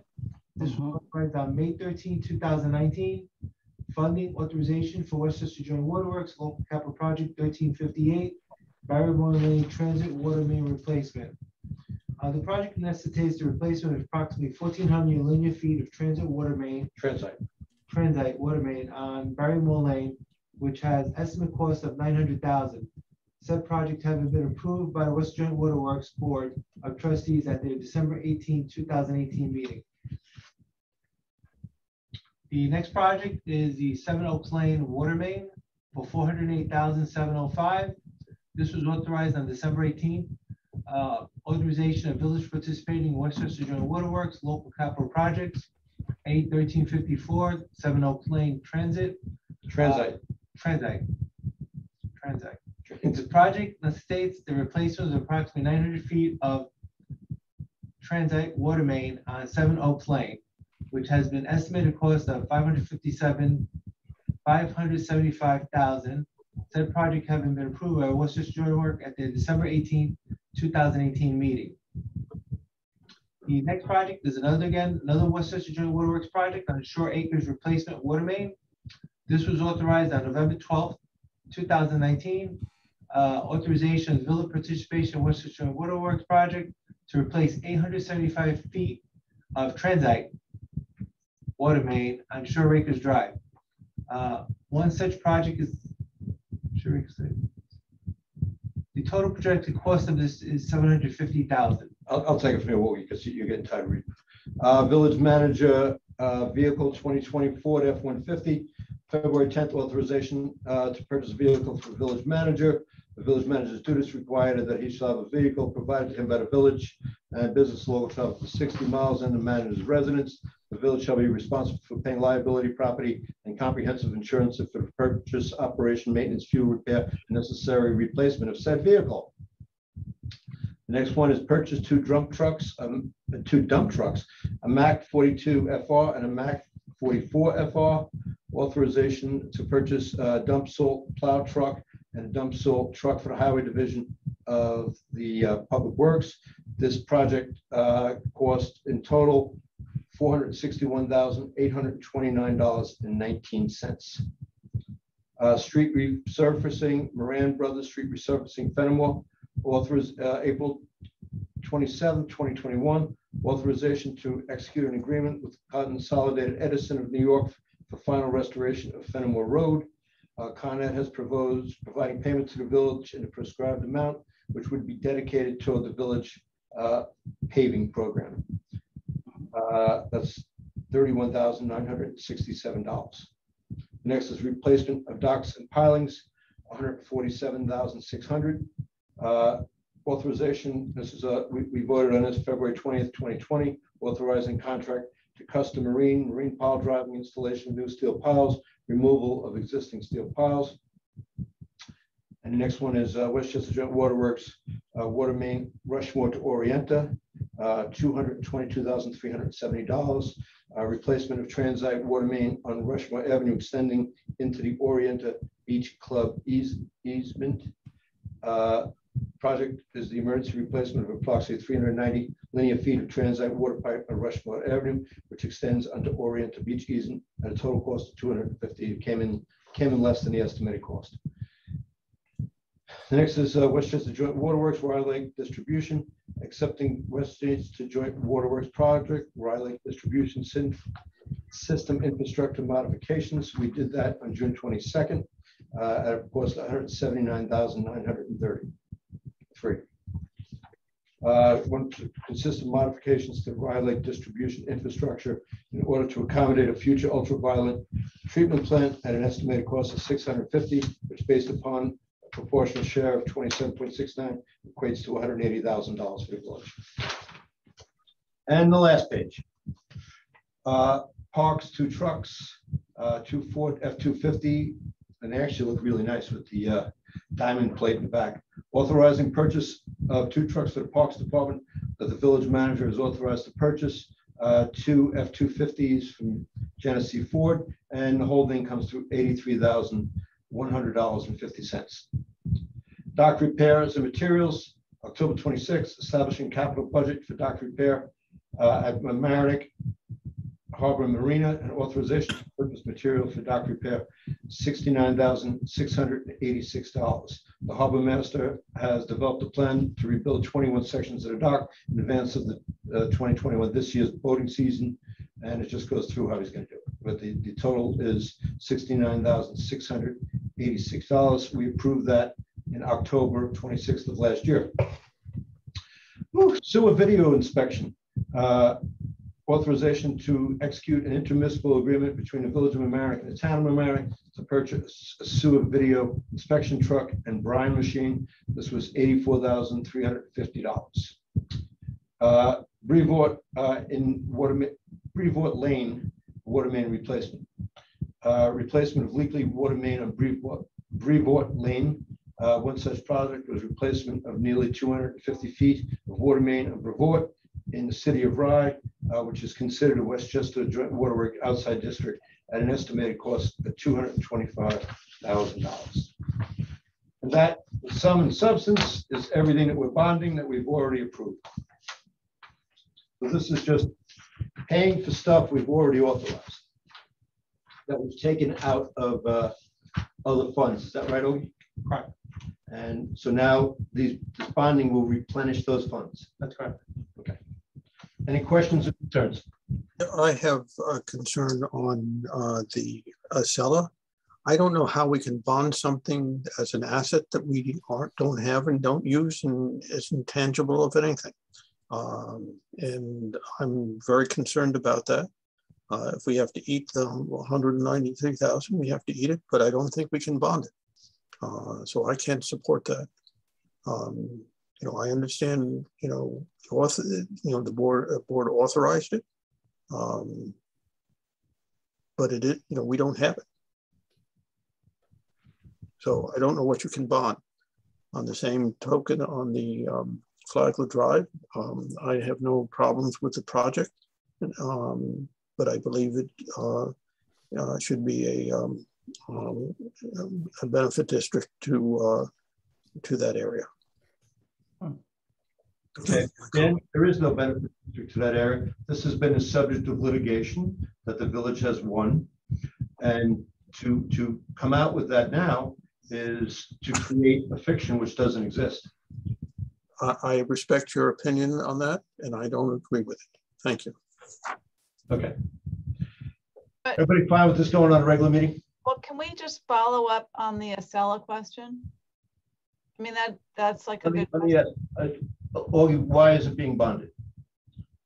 We spent the money and the money spent was- came out of general fund. The options are either to borrow, borrow the money and replenish general fund or appropriate from fund balance. I I mean, but just Dan's technical question. Well, we, we did receive uh, stuff from Accela, it just didn't work. Is that correct? They built- Go. No, you go, oh, Augie, I asked you. They built out, they built out software, but the database, our database was never converted to go into that software. And basically, they, they don't have the know-how how to convert our database. But was there deliverable from that? The software was a deliverable, but without, a- with a blank database. Right, it didn't work. database. It didn't work. I don't, I don't think. Is it like, is it akin to buying a car that's a lemon? We bought the car, we have the car, the car doesn't work. Well, I mean, it's akin to it in that we bought it and it doesn't work for our purposes, but there isn't like a lemon law for this No, I'm just saying, like, you know, or we bought a car that, Yeah, we bought it. It doesn't work for us. We don't like it. We're buying something else. Couldn't transfer the engine from one car to another. Right. I mean, just Dan asked a question and I'm just trying to figure out, wrap my head around. I mean, isn't that, isn't that the question? Like, well, if we, do we, can we bond a purchase that we're not satisfied with? Is that the question? Yeah, I mean, we, we, we had a purchase. Uh, Bob, this is to you. Uh, The answer is you have to ask bond counsel. I'm not Hmm. an expert in what you can bond and what you can't bond.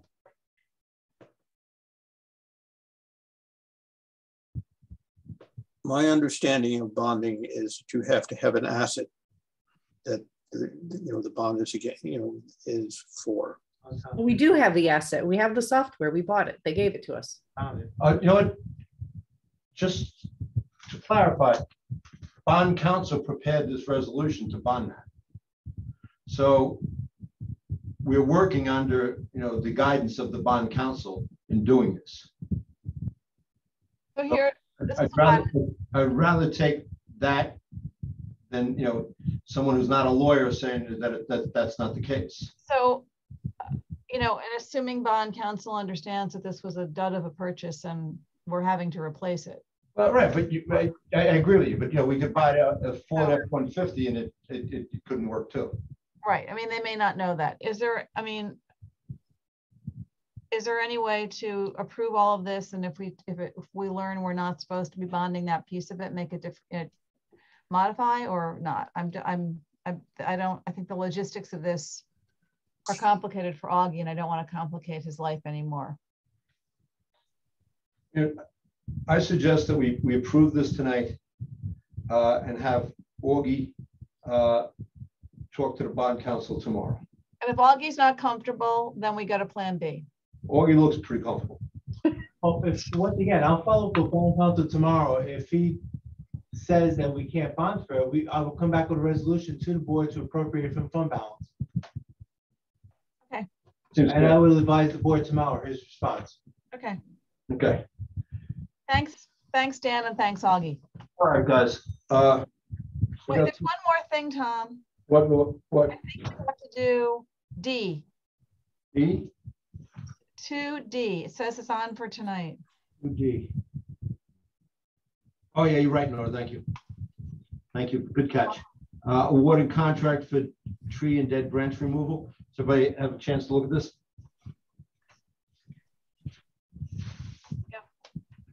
Any questions? please? Nope. Any hands up? Fine with me if it's on for the regular meeting. Then it'll be on for the regular meeting. Okay. Thank you. Thank you for catching that. You're welcome. All right, uh, I make a motion, we end the work session. Second, All in favor? aye. I'll see you at eight o'clock.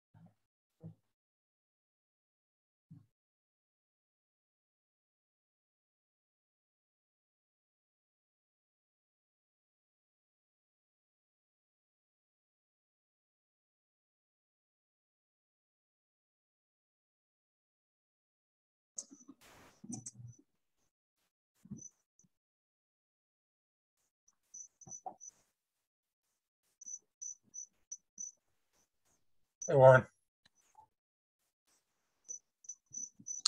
Good evening. Hey, Danny.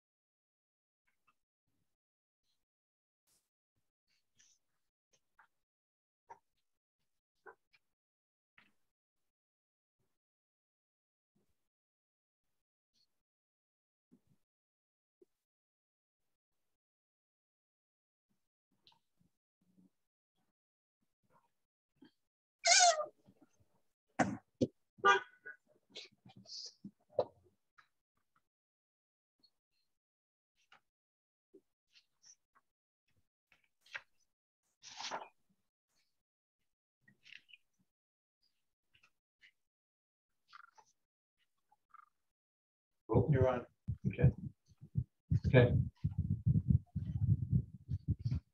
Good evening. Welcome to the Village of Mamaroneck Water Trustees meeting for September 27, 2021. Uh, Please join me in the pledge of allegiance.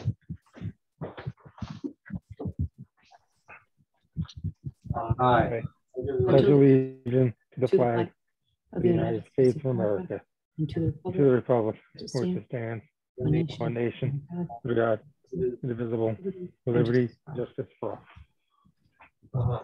Uh, oh, Before I get started, uh, promote Teresa uh, Collier to uh, participant on the bottom. Okay, uh, good evening. I need a motion to open this meeting. So So move. move. Second. All in favor? Aye. Uh, Okay, there's a couple of things tonight before we get started.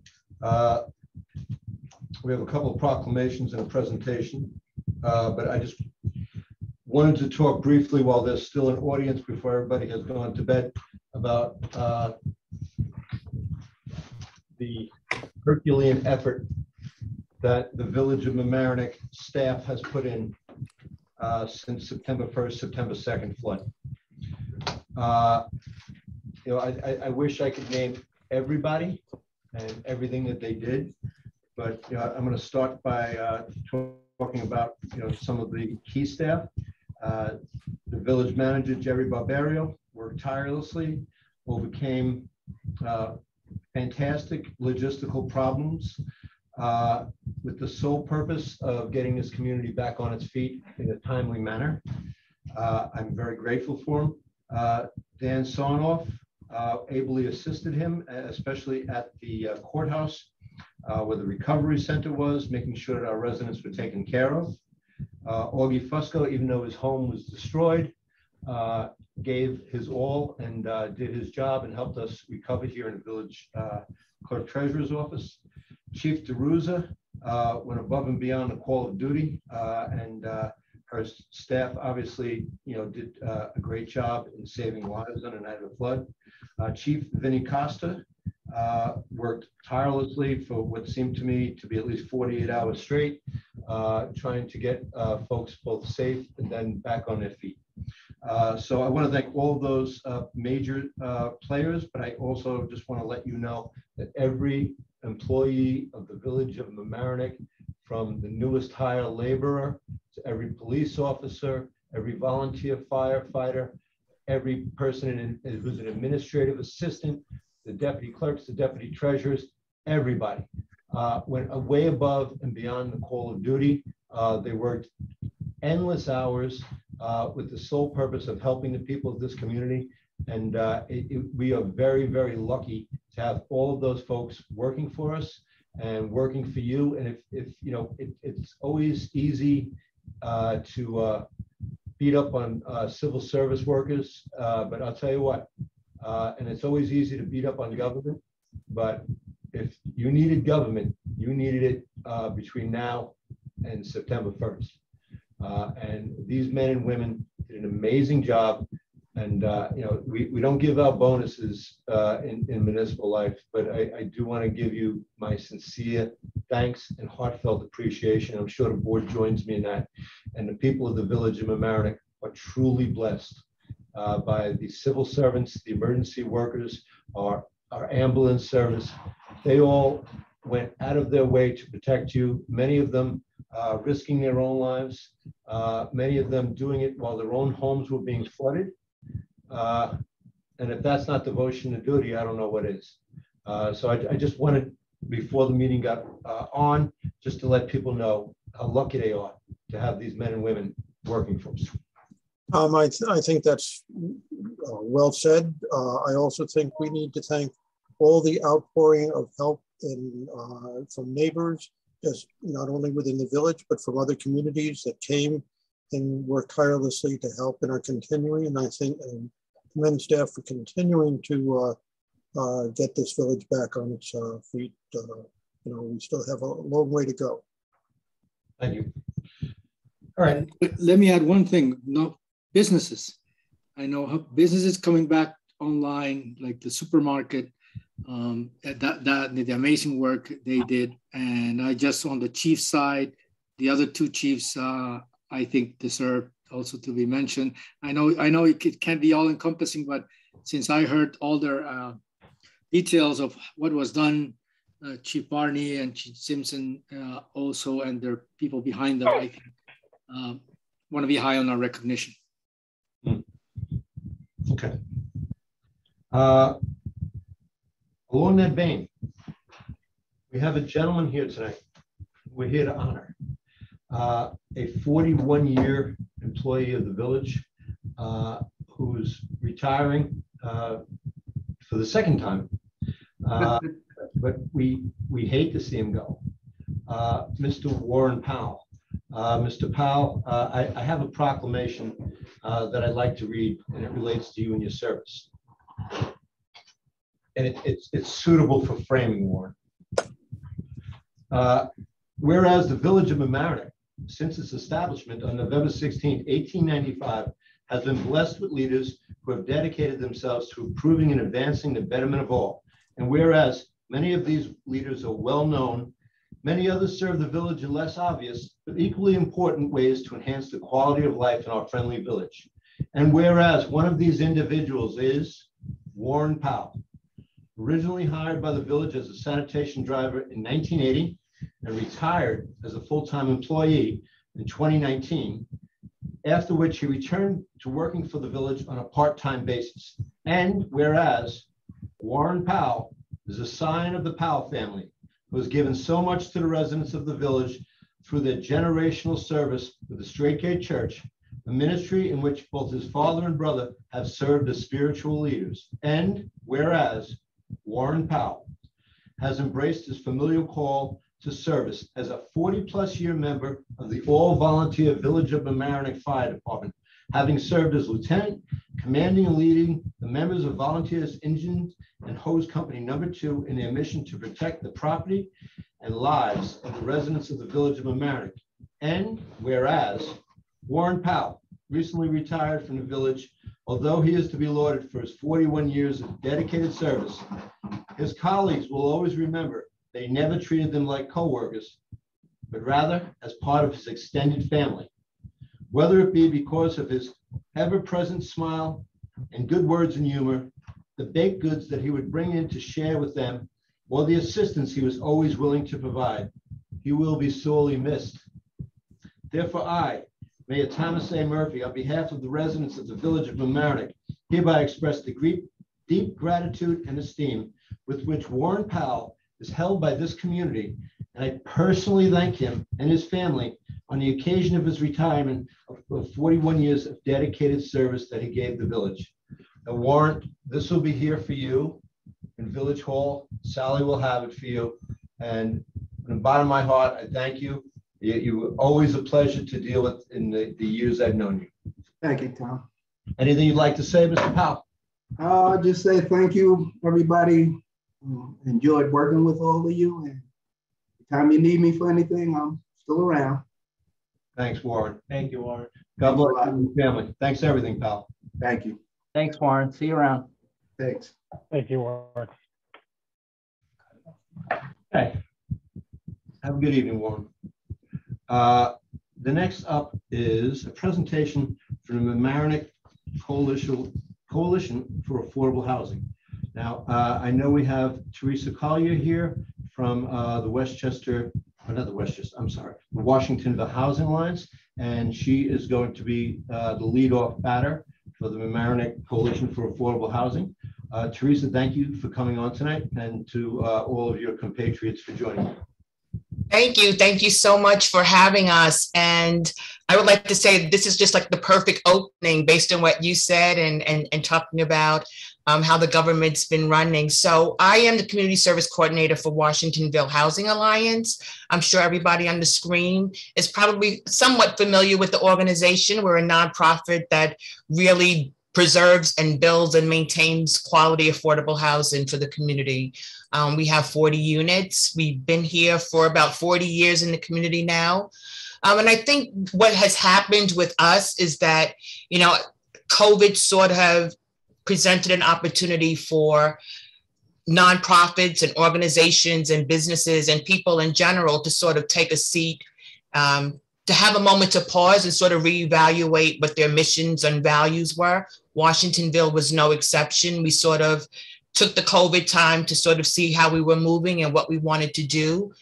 Knowing that we've been trying to really get a development project going, we know firsthand the need for affordable housing. Um, I think Westchester County did a, a, a housing assessment needs. I think the data is there. It shows the need for more affordable housing. I don't think there's any one municipality that could say that they've done their fair share. Um, so with that being said, last year we sort of formed and started talking about all the nonprofits that had gotten together to sort of address the needs of the COVID challenges, um, about really where some really significant, where we needed to sort of put our energies and our thoughts and our energy together collectively and address an issue. And housing, of course, was a main sort of issue for all of us. So hence the Mamaroneck Coalition for Affordable Housing was created and birthed. And it's really just an opportunity for us to come together. We're thankful to be here tonight to sort of start the conversations with the local officials on how communities can work best with government officials um, and get things done. Um, the flooding, unfortunately, sort of amplified the need for more affordable housing.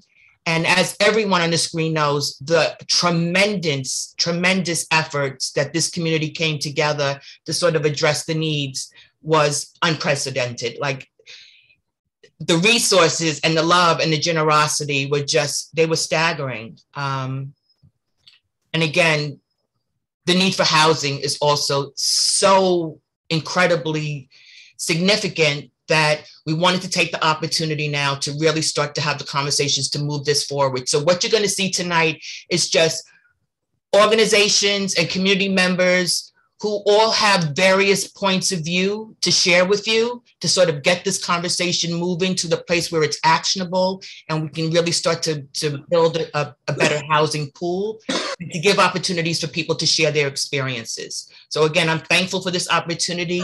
You will hear many, many different stories. Um, I don't know all the legalese on zoning and variances. There are people with the expertise who can address those issues but for, as a community service advocate for, for coordinator for Washingtonville, I can tell you I get at least 90% of the calls that we get are housing related.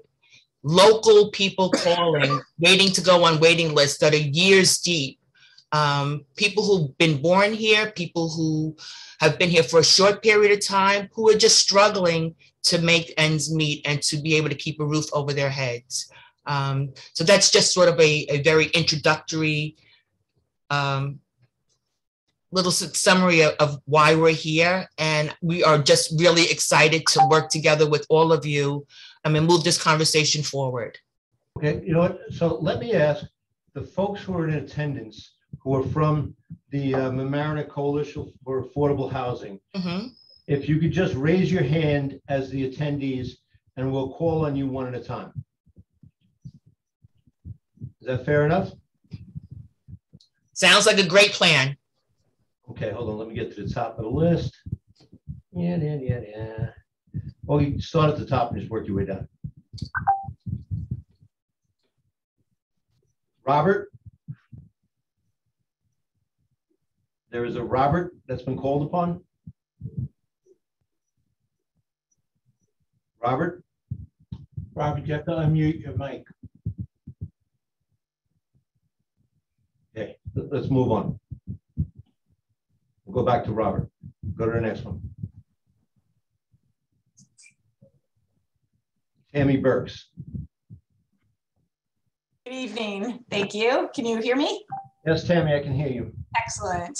Good evening. I'm the Reverend Tammy Burks, currently the interim rector of St. Thomas Episcopal Church and also a resident of the community for the past 23 years.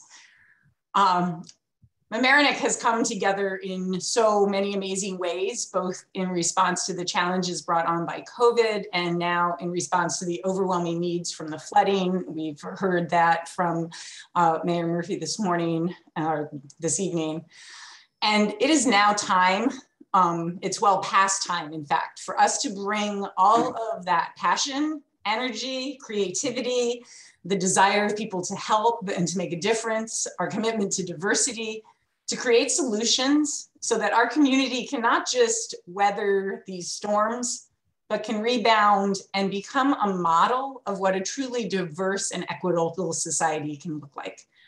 And at the base of that, I think has to be access to affordable housing. Um, as Teresa said, there are going to be many people here tonight who can and will speak to this issue with a far better understanding of the complexities and the challenges and the possibilities than I have. But as a faith leader in this community, I want to implore you to do whatever it takes to keep this issue front and center and to not rest until we have practical and implementable solutions. Teachers, business owners, healthcare workers, public service workers, laborers, seniors, young families, people who grow up in this community, everyone who makes up the amazing and diverse community that is Mamaroneck should be able to have options for safe, affordable housing to live in the community in which they work. And that means dedicating resources and time and energy towards long-term affordable housing solutions.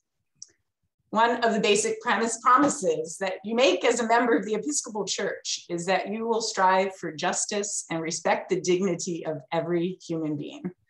We repeat that vow every time we baptize a baby or confirm a young adult, and I take it very seriously, not just as a priest, but as a member of this community.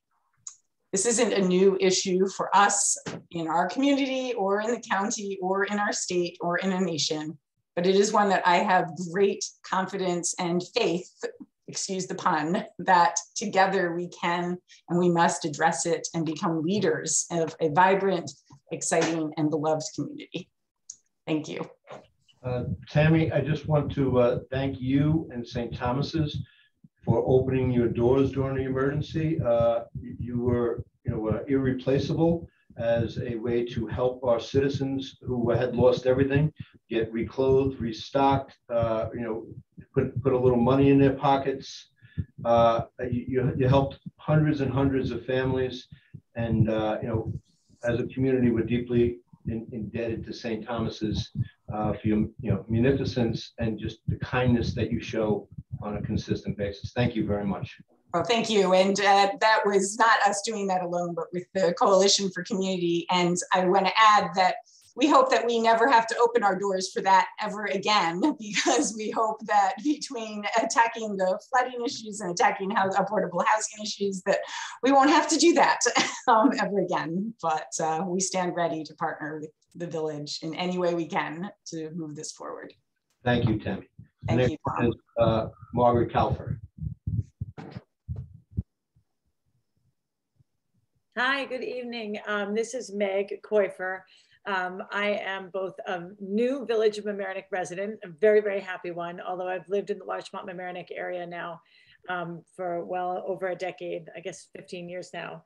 Um, I am really happy to speak to you tonight about um, my role I, I, have many hats in the community, but tonight I'm speaking also from the perspective of the Coalition for Understanding Racism Through Education, one of the members of the Coalition for Community, as well as um, representatives on um, Teresa's coalition. Um, I really wanted to speak to you passionately, as uh, Tammy has, to make sure that you consider all options available for supporting the creation of safe and affordable housing in our community. I think that we are obviously we have seen as already been said numerous times the absolute unprecedented outpouring of care in wake of this crisis and the question is can we lead with the same level of excellence to create a path of affordable housing for the very people who have um, suffered disproportionately um, in this crisis. And that's really what we are hoping for and what we're asking of the Village of Mamaroneck in your leadership is for us to have that same level of excellence around affordable housing that we've had in reacting to the crisis at hand. I think um, a term that is really, really important to understand is a term called ALICE. It's an acronym and it stands for Asset Limited, Income Constrained, but Employed. And we have this Alice resident, which is a United Way term. We have lots of Alice residents in our Village of Mamaroneck community. As Tammy had mentioned, these can be teaching assistants. They might be nonprofit workers, elder care workers, landscapers, the people who are stocking our food shelves or serving us in restaurants. Um, all services that we depend on and that we enjoy who simply want to be able to have safe and affordable housing here in our community. There is absolutely no doubt that the Village of Mamaroneck has the capacity to lead on this. Um, as has been mentioned, there are experts from um, the various coalitions, in particular from WestHab, who can, uh, you know, they know how to do this work. And they've been very, very clear that our village would be very positively looked upon for funding for this work because of the strength of our schools, because of the strength of our village leadership, because of the strength of our nonprofit support that we have. We really have the ability to lead and to make sure that all residents who are working, active community members have a way to stay in this community. Personally, I've had the tremendous privilege to work alongside Emmanuel Rawlings. He's also a volunteer here in the community. His family has been here for generations. This is a history that is going to be lost um, because people like Manny who work in the nonprofit sector are not going to be able to afford to live here. Gerandi Martinez, herself head of Community Resource Center, has had to make the difficult decision to move her home outside of this community. There, there simply are not enough options. And if we have the, the ability and the power right now to lead with excellence, to ensure the diversity and the beauty of this community now going into the future, but our decisions now will determine that. There's simply no doubt. And so I just implore upon the village to be incredibly innovative, as you already have, not just in reaction, but in planning in order to provide the best for all residents and to maintain a diversity that brings all children into a better world in the future. Thank, thank you, Meg. Meg, uh, I, you know, I, I want to thank you and uh, as Tammy pointed out, the whole coalition for community. But I, especially, uh, I want to thank you for organizing, uh, the courthouse. Uh, you and Manny, uh, take, took a first day, of chaos and turned it into progress the second day. And, and I want to thank you on a personal level for many, many times I saw you, uh, during the first 10, 11 days of the flood. And, uh, you were a comfort to me and it was nice to see your friendly face. And uh, it, it, it meant a lot to me that you were, you were omnipresent and, uh, and, and such a vigorous advocate for the people who had no other advocate. They had you and Manny. And, uh, you know, thank you all for jumping in there. God bless you. Uh, The next up is Ms. Short. No, I'm sorry, I went out of order. Uh, Helen Rosenberg is well known in this community for her uh, advocacy of affordable housing. Hey, Helen, you're up.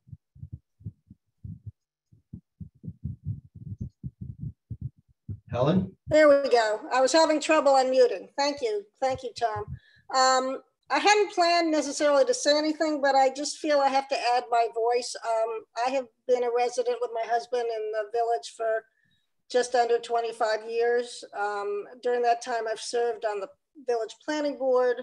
I've been on other nonprofit boards such as Washingtonville Housing Alliance and the Friends of Mamaroneck Library, and I've met a wide range of people in this wonderful jewel of a community, um, which is a jewel in part due to its diversity. And by diversity, I don't just mean um, racial diversity or ethnic diversity, but diversity of uh, income as well.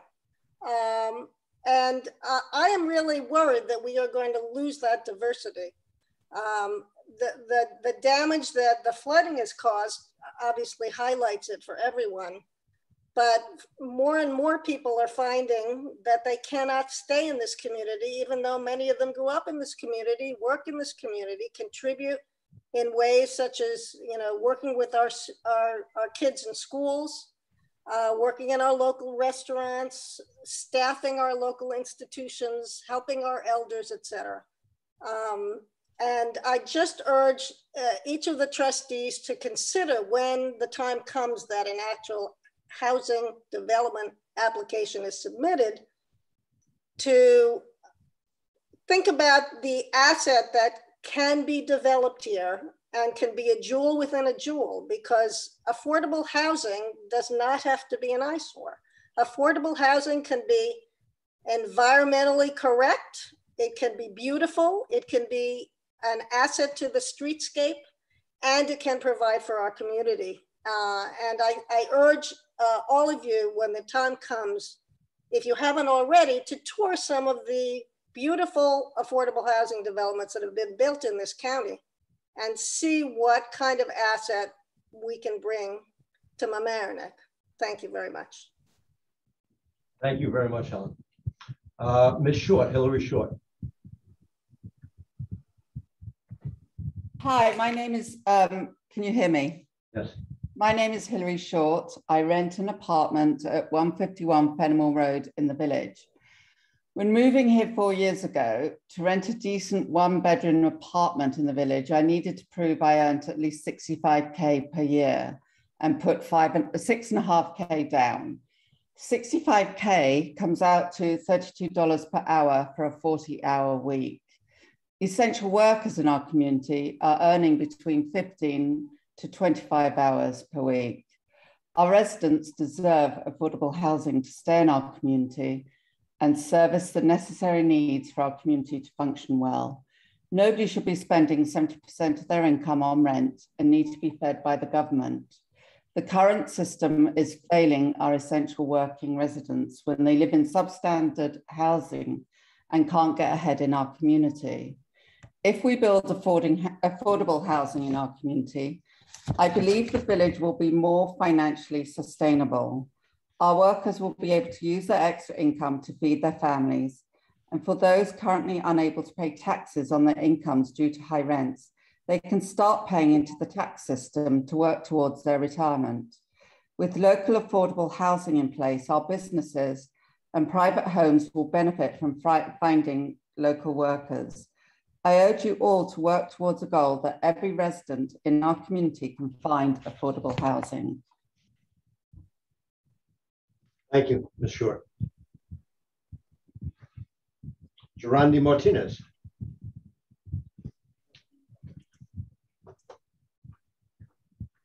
Good evening, everyone. Uh, I'm Gerandi Martinez. I have the honor of leading the Community Resource Center with my team, and I know uh, Janet Rolon Fry, who's also on this call, is supporting us. We're a local nonprofit organization that works to empower and advocate for our local immigrant and low income community. We do this by helping them to become self sufficient and active members of Mamaroneck and the larger community. We're also members of Mamaroneck Coalition for Affordable Housing and the Coalition for Community. And we work with your local municipality to build the diverse social fabric that we're all proud to call the Village of Mamaroneck. In this village and county, the lack of accessible um, and affordable housing has led to low income workers and families having to live in basement apartments. We all saw that during the flood, people living in basement apartments and first floors that lost everything because they couldn't afford to live anywhere else. Even if they evacuated safely and it was a really close call, they now will, the affordability crisis and gentrification will mean that they'll probably have to move to another community and another basement apartment because they're, it's just unaffordable anywhere else. And so they'll be equally vulnerable to flooding um, and or another uh, natural disaster. Just because we all know this, but I have to say it, these are communities that work our economy. They raise families, they start businesses, they become young professionals, they shop locally, eat locally, use our public transportation, and yet they have to either if it's a generational family, they have to own homes in an unsafe and flood prone area, or they have to spend more than 50% of their take home pay on rent and housing. And Meg said, I, I am someone who grew up in Mamaroneck. I've been so proud to be a Mamaroneck resident for years. My mom came here when she was very young, pregnant with me, and had her family here. She raised her family. She bought a home in the Flats community and raised me. And I became a contributing member of this society. Up until last year, I had to move because I couldn't afford to live in Mamaroneck or to build a family here. And so, if for nothing else, if we're not going to think about the community that's working our economy, that's raising families, that's building homes here, and just you know, making our community more diverse and better for it, then, then I mean, this is terrible, but then think about the money we're losing, the talent we're losing when we can't keep Mamaroneck affordable. It's killing me that I have to come to another place and spend my money somewhere else. And then I can't give that to a community where I grew up in for over 30 years. So Meg mentioned this. We we have we have to invest in our community. We have to make it affordable and safe and a place where people want to grow up and raise their families. Now is the time to put our foot down together, make this a, an, a collective issue for everyone, for the severely rent burden, for the for the young professionals, for the teachers, for the police, um, for nonprofit workers, and you know Manny too. Like every we need everyone to stay in Mamaroneck, but we can only do that if we fix the flood issue and we make um, Mamaroneck affordable. Thank you. Thank you, Joanna, and thank you for everything you've done and will do and have done. Uh, Gloria, welcome.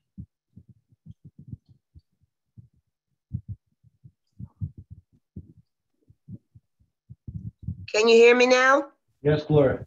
Oh, hello. Good evening, Mr. Mayor and the trustees, as well as Teresa. Um, I am a member of the Washingtonville Housing Alliance and also have been involved with the Mamaroneck Coalition uh, for Affordable Housing.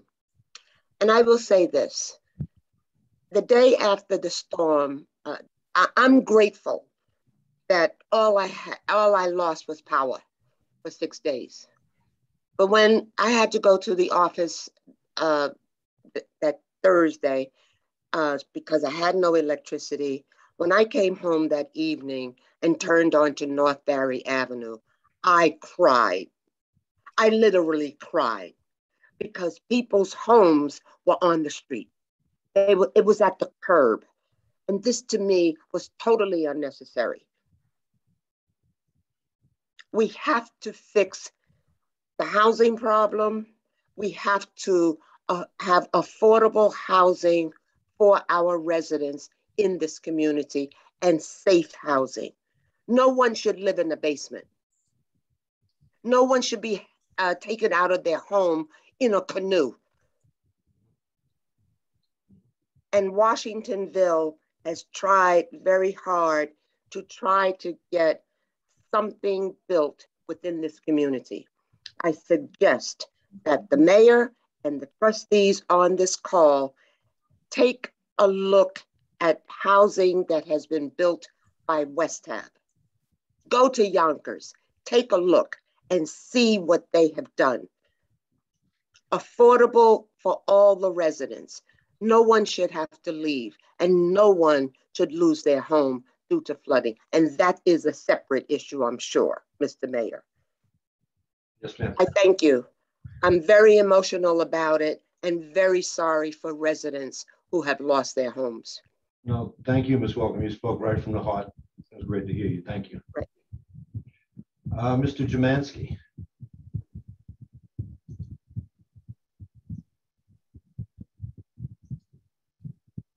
Hello?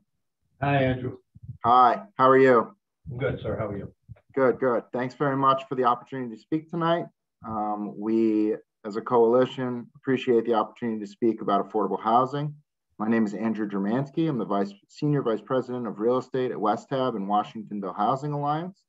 Um, specifically here to discuss Washingtonville tonight.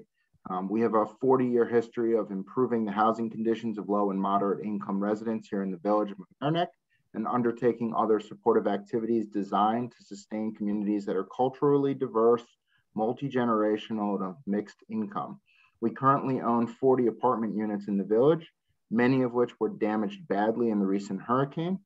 Um, the one that wasn't was the closest to the village court on Library Lane.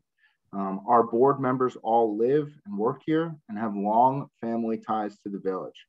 Um, I had an opportunity a couple years ago to speak before the board during the development moratorium.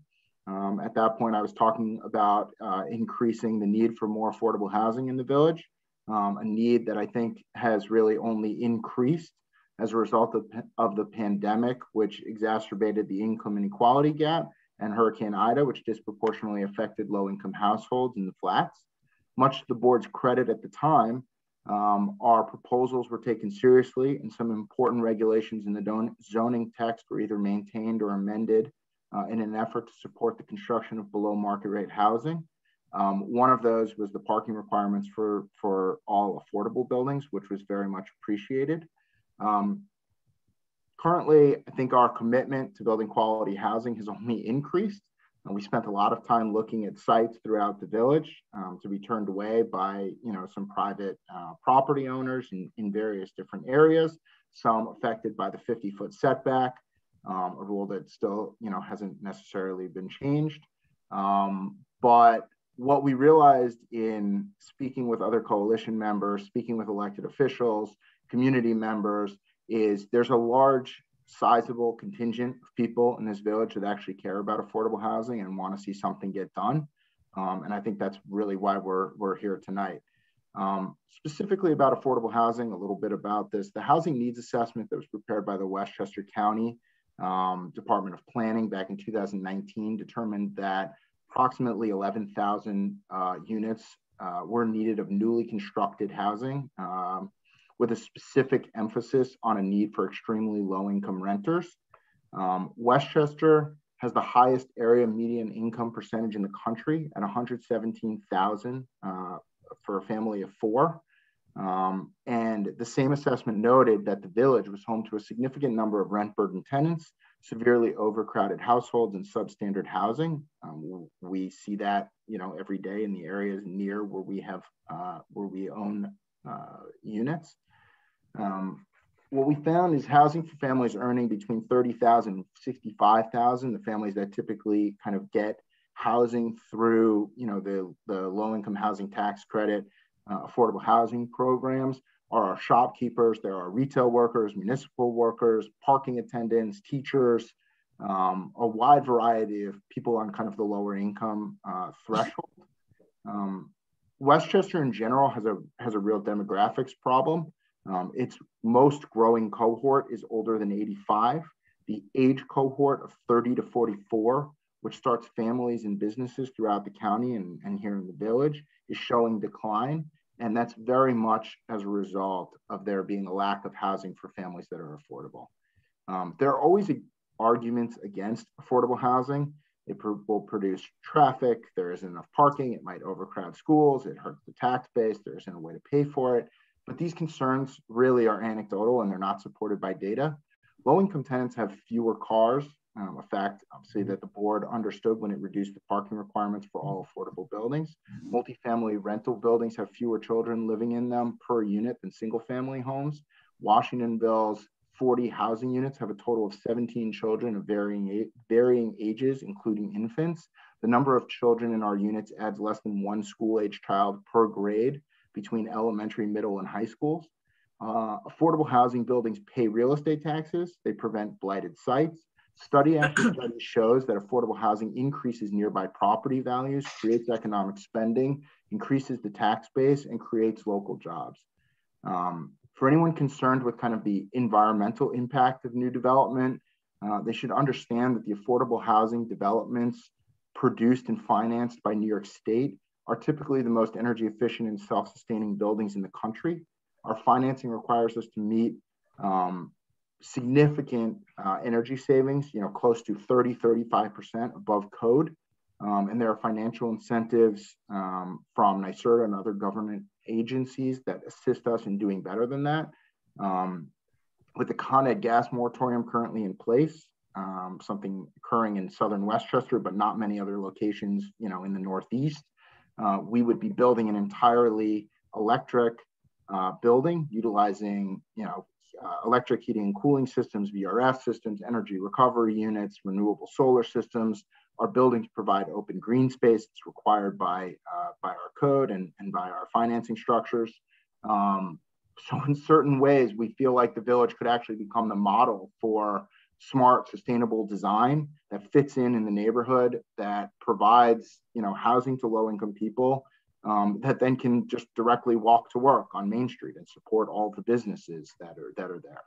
Um, you know, as someone else said, I think Teresa said, every day we turn away members of the Village of Mamaroneck community that come into our office hoping for new housing opportunities. Um, we're at capacity. We have very little turnover um, and a very long waiting list. There's a real need for um, for affordable housing in the village. And clearly there's a contingent of people here who care about it enough to show up here tonight and talk about it, you know, passionately. And, um, you know, the virtues of providing our lowest income residents with housing stability is important. Um, and we just hope that the Board of Trustees will take the lead on this issue and support the lowest income people in our community, provide housing for them. Thank you. Thank you, Andrew. Uh, Phil and Diane Oldman.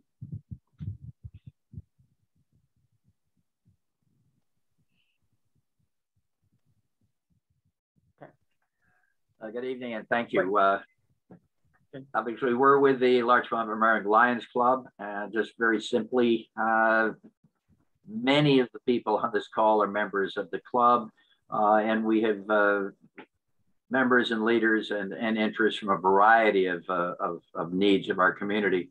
And just very simply, I'm here to indicate that the housing problem is our club's number one focus and concern of all the various interests that I know the community has, and obviously, uh, Mayor Murphy, you have, uh, this housing we have put at the top of our agenda, just to establish that point. And it's a matter of bringing resources and determining what they are. Thank you, Phil. Adrienne Smith. Good evening, everyone. My name is Andreen Smith. I'm a resident of the village, and I just wanted to echo my support for proposals to create more affordable housing in the village. Um, it, it, was always something that I supported, um, although I, I, I must admit it was always on a theoretical basis, something that I felt was needed and necessary for our community. I personally was impacted by the flooding in the village. I live on Howard Avenue one of the streets that was most impacted by the flooding and I've been displaced by it. And just having to to figure out next steps, it just adds an entirely different layer of stress for families like mine um, who have been living. I've lived there for six years in my home, and now I'm looking at having to replace the whole thing basically and rebuild it, and looking for a, a short-term rental while that happens and it's just simply unaffordable just to be frank um, which just means that while my home is being renovated i won't be able to live where I'd like to live. I'm going to have to find somewhere else in the meantime, um, whether or not that takes six months or a year to repair the home. So I just wanted to echo and add my voice of support that this is something that's really important to the community. And I would be fully behind efforts to add additional affordable housing where people can um, get to their jobs, get to school, get to where they need to be without extending their commute. Thank you. Thank you, Ms. Smith, and I'm very sorry for your loss. Uh, I remember seeing you at the courthouse uh, a couple of days after, and uh, I, you know, you, you, your your bravery uh, was shining through. Uh, I wish you the best of luck, and whatever we can do for you, we'll do. Thank you.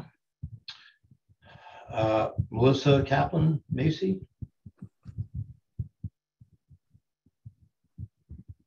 Hi, can you hear me? Yes, ma'am. Okay, great. Thank you. Um, my name is Melissa Kaplan Macy, and I'm Vice President for State Programs for Regional Plan Association. Regional Plan Association is a research, planning, and advocacy organization that for nearly 100 years has been dedicated to developing and promoting ideas to improve the economic health, environmental resiliency, and quality of life of the tri state metropolitan area. We have developed four once in a generation long range plans for the region, each addressing major issues of its time, our fourth regional plan released in 2017 identified the housing affordability crisis as one of the central challenges facing our region today. But I'm not only a planner, I'm also a resident of the town of Mamaroneck and an active member of the Mamaroneck Coalition for Affordable Housing. Planning for the future of communities in Westchester and the region isn't just a day job for me, it's very personal. Like many of you, I'm fortunate enough to live in a single family home in a high opportunity school district where my kids have the quality of life that I think every parent wants for their children great schools with terrific teachers, good friends, safe, walkable neighborhood, and a strong sense of community that we love. I'm also a divorced mom with two young boys, and I have to tell you that staying in the home that my ex husband and I bought before our divorce isn't easy. Making the mortgage payment is nearly impossible, and without getting into the details, I can tell you it's not sustainable. But there aren't a lot of other options in the town or in the villages. Staying in the school district means that my kids not only can continue to get a great education, but it also means social and emotional stability amid all the disruptions they've had in their lives over the past several years and the emotional challenges that continue to struggle with as divorced kids. And I know I'm one of the lucky ones. I have a professional job with health insurance, and if I can't make it work to Mamaroneck, I know I'll land safely somewhere else. So many of our people in our community aren't so lucky. A few numbers from the recent Westchester County Housing Needs Assessment that I know many of you are familiar with, but I think are worth repeating. In the village of Mamaroneck, 54% of renters and 33% of owners are cost burdened. That means that they are now spending more than a third of their income on their housing. And a full third of renters in the village are severely cost burdened, meaning that they spend more than 50% of their income on rent. We're all in this together has been an oft repeated refrain throughout the COVID 19 pandemic, but it's really just an empty phrase when the grocery store workers, teachers, home health aides, delivery people, and other essential people to the well being of our community do not have access to affordable homes in the community they serve. When we don't invest in homes for people of all incomes, we perpetuate the habit of excluding the local workforce, losing our young people, and forcing our seniors to move away from the community where they've spent their lives. Mamaroneck needs more homes for more people, not just for some. We need to recognize that it's not a zero sum game, it's both and. Our community can be a great place to live and can also be more affordable. So, what can we do? There's no silver bullet to addressing our housing affordability crisis. We need more housing in more places throughout the villages and the town but here are the two specific things we can do that are easier than you might think. Zone to allow multifamily apartments, particularly near transit, and also allow accessory units on single family lots. If we can do these things, we can create more affordable homes for more people in our community. Transit accessible apartments on surface parking lots designed to accommodate climate change is a real and real, realistic opportunity. And accessory dwelling units on single family lots is an easy way to create more relatively affordable homes in the single family neighborhoods that comprise the majority of land in our community. This hidden housing is a very easy way to create more of what is often referred to as hidden housing within the context of our single family land use patterns. These ideas aren't radical. They're a baseline of best practices in planning that we should be adopting in our communities. As we continue to weather the pandemic, I applaud the Village of Mamaroneck Board of Trustees for having this conversation with the community and working to address the housing affordability crisis, highlighted by the pandemic and highlighted again just weeks ago by the devastation of Hurricane Ida. Along with the other members of the Mamaroneck Coalition for Affordable Housing, I look forward to the opportunity to continue this conversation and work together to make our community accessible to all the people who make it the great place that it is today and the place that I'm very lucky to call home. Thank you. Thank you, Melissa. Uh, you know what? We're not going to call Glenn because this is just for, this is a presentation of the Mamaroneck Coalition for Affordable Housing. So we'll get Glenn in- the, in the uh, communication to the board. Uh, Go to J, JJ Jacobs.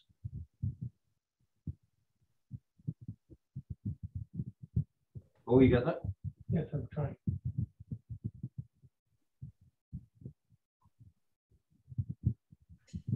I think I did it. Mr. Jacobs? Oh, Miss Jacobs. Oh, hi. Uh, You're on mute. You're on mute. Yeah.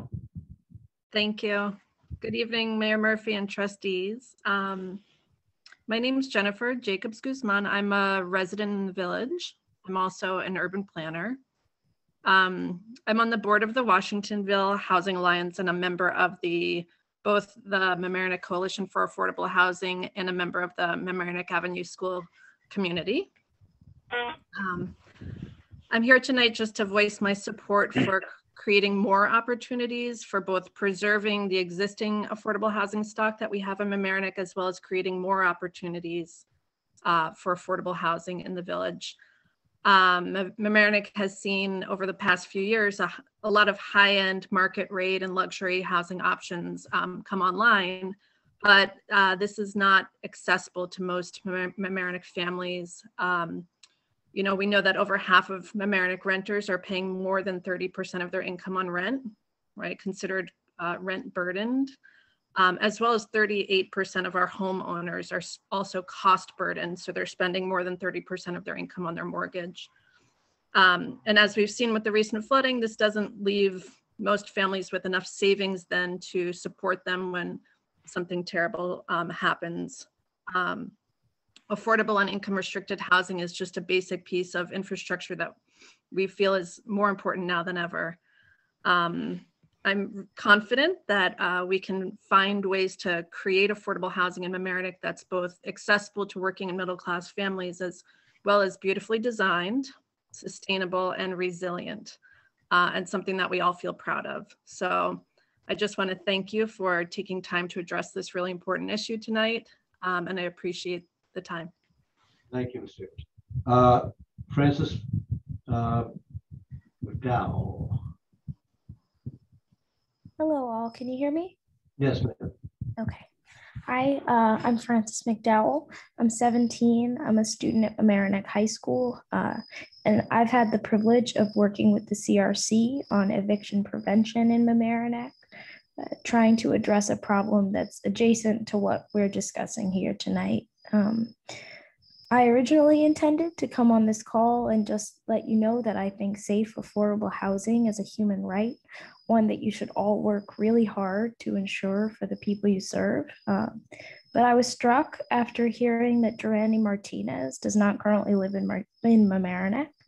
Uh, it's devastating for me to know that the same people that have provided me and my classmates a real window into this community are the ones being shut out of it uh, our community people like the staff at the CRC and our community should be accessible to people like the staff at the CRC. Uh, and the same goes for our community members that utilize the CRC's services.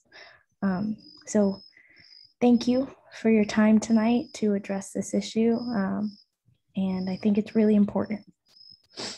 Okay, the uh, last that we'll have is PGRC.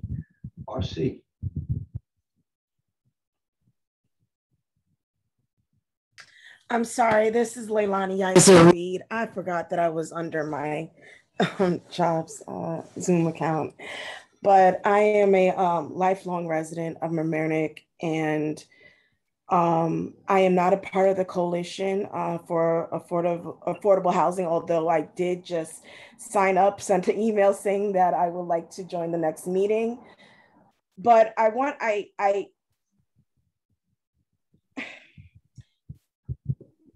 it is very sad that even myself, I'm closer to 40 now, that I had to live outside of Mamaroneck, although I've always wanted to be in Mamaroneck. My family's been in Mamaroneck for generations, and that I had to live outside of Mamaroneck just to be able to afford um, afford to live somewhere. But thank God that my uh, my husband and I are able to live in the village of Mamaroneck present day.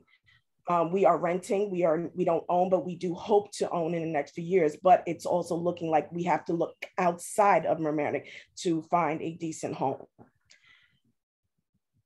I am, I mean, the flooding issue is a, a totally different beast um, that I won't go into today. But the, my question to our local officials those who have been serving for years, those who are new to this term. My question to you when it comes down to zoning is who are you who are you serving and who do you want in Mamaroneck? Because everybody's comments about needing affordable housing, this is not a new issue. It's been around for ages along with, I mean, we can go into um, the cost of living, but affordable housing has been an issue for a while. So when you're allowing these high these high end apartments or high end condos or houses to be built in Mamaroneck, who are you serving? It's just point blank. You have to answer to the people at some point. Who are you serving? And that goes for all municipalities. When we when we are creating programs, when we're creating things within our village, within our town, what our whole school district, because there is three municipalities in one school district, or two technically. Who are you serving? So think about that when you when you start creating and you start putting things into place. And that's all I have to say. Y'all have a blessed evening. Thank you very much. All right, let's go to Glenn because uh, where we go. Okay. Glenn. Good evening, board. Uh, I spoke to you about this when you were originally putting in your zoning laws. The uh, comments are very nice, but let's get down to the nitty gritty. Mamaroneck has to lift its restrictions on where you can build. You can't have a moratorium on Boston Post Road and restrict building in the village to Mamaroneck Avenue, the flats and Halstead Avenue. You have two a fam uh, you have two family houses in one family zones that at this point the zoning laws do not let them modify their houses in any way, shape, or form to fit the people. You don't, you're not allowed to have accessory housing. We have limits with the type of um, renting uh, your uh, third uh, floor apartment in single families. Have to modify and make it easier for tenants to rent those houses. You put in height limits on buildings in the um, in the uh, Washingtonville area, and you have uh, additional setbacks you put in. If you want people to raise the homes out of the flood zone, you're going to have to greatly modify height restrictions and setbacks in order to let people lift their homes out of the flood zone so you don't have any basement apartments. The apartments start at the second floor. But if you're not allowed to raise your house and you still have the same height restrictions, what you're going to cause people is you raise the house, but you lose a third of your living space. That limits the size of the family that can live in these types of homes. Uh, density, many many apartments. That way, you have um, uh, some apartments that are smaller one bedroom apartments for people just starting out that can be less expensive units. And then you can uh, build up with uh, more height and you can have market at the top and affordable towards the bottom. But right now, the way that you have everything zoned, none of this can happen. You're going to have to get together with the coalition and seriously go over how all the zoning laws that have you put in. I says, I understand you were trying to restrict overdevelopment, but at the same time, you threw the baby out with the bathwater, and now nobody can come in and buy multi build multifamily affordable units because the restrictions that you put in make it prohibitive financially. Thank you. Thank you. Uh, the next up is uh, Diana Lovett. And then Jim, and then we'll, we'll, we'll end this. Hi, Diana. Hi, Mayor Murphy. Can you hear me? Yes, Dan, I can. Okay. Well, thank you so much for this opportunity and a big thank you to you and all of the trustees for all of the late nights and early mornings and um, hard work that went into um, really rolling up your sleeves and serving, um, you know, residents. I'm a member of the, the Mamaroneck Coalition for Affordable Housing, and I've seen, you know, all of you work so hard in the past um, weeks um, to serve residents. And I just wanted to paint a vision for you guys um, to imagine what it would look like to not have Tom on the news talking about flooding, but to have all of you, Dan and Nora, Kelly, Tom and Victor standing up there in front of a beautiful new construction with your giant scissors and cutting a ribbon in a state of the art, modern, environmentally friendly facility that supports diverse members of our community to stay within our community. So as Leilani talked about, as Durandi talked about, we're so privileged. We have these amazing people all coming together to form this coalition. We have Westhab and their excellence in building. We have Jen and Melissa, who are urban planners, Teresa, Durandi, all these people who serve the community. We're ready to do this and really, really just need your approval. And let's make it your vision. Let's have that glorious moment for you and for the community. And let's make it, a, let's get it on the news for something amazing. And we have all of the capability and resources to do that. Thank you so much for your time this evening. Diana. Uh, Jim, you're the last speaker. Could you, let's just, you know, hit the high notes, Jim, hit the high notes. Hi, everybody. Jim Kaloran um, with the Fuller Center for Housing. And if anyone needs help, 406-3357. Um, I take a little different viewpoint and I'm honored to be with everybody. First of all, thank you all for working with me. Some of the speakers I've been in the house helping to rehab. Um, this is a critical, catastrophic time. And I, I uh, think anytime I, I am with you guys, it's an honor. Uh, and the, the flooding is a historic issue that goes way, way, way, way back before all of you were born. Um, I'm not a big one for high rises. Uh, I'm looking at 44 of them outside my office right now.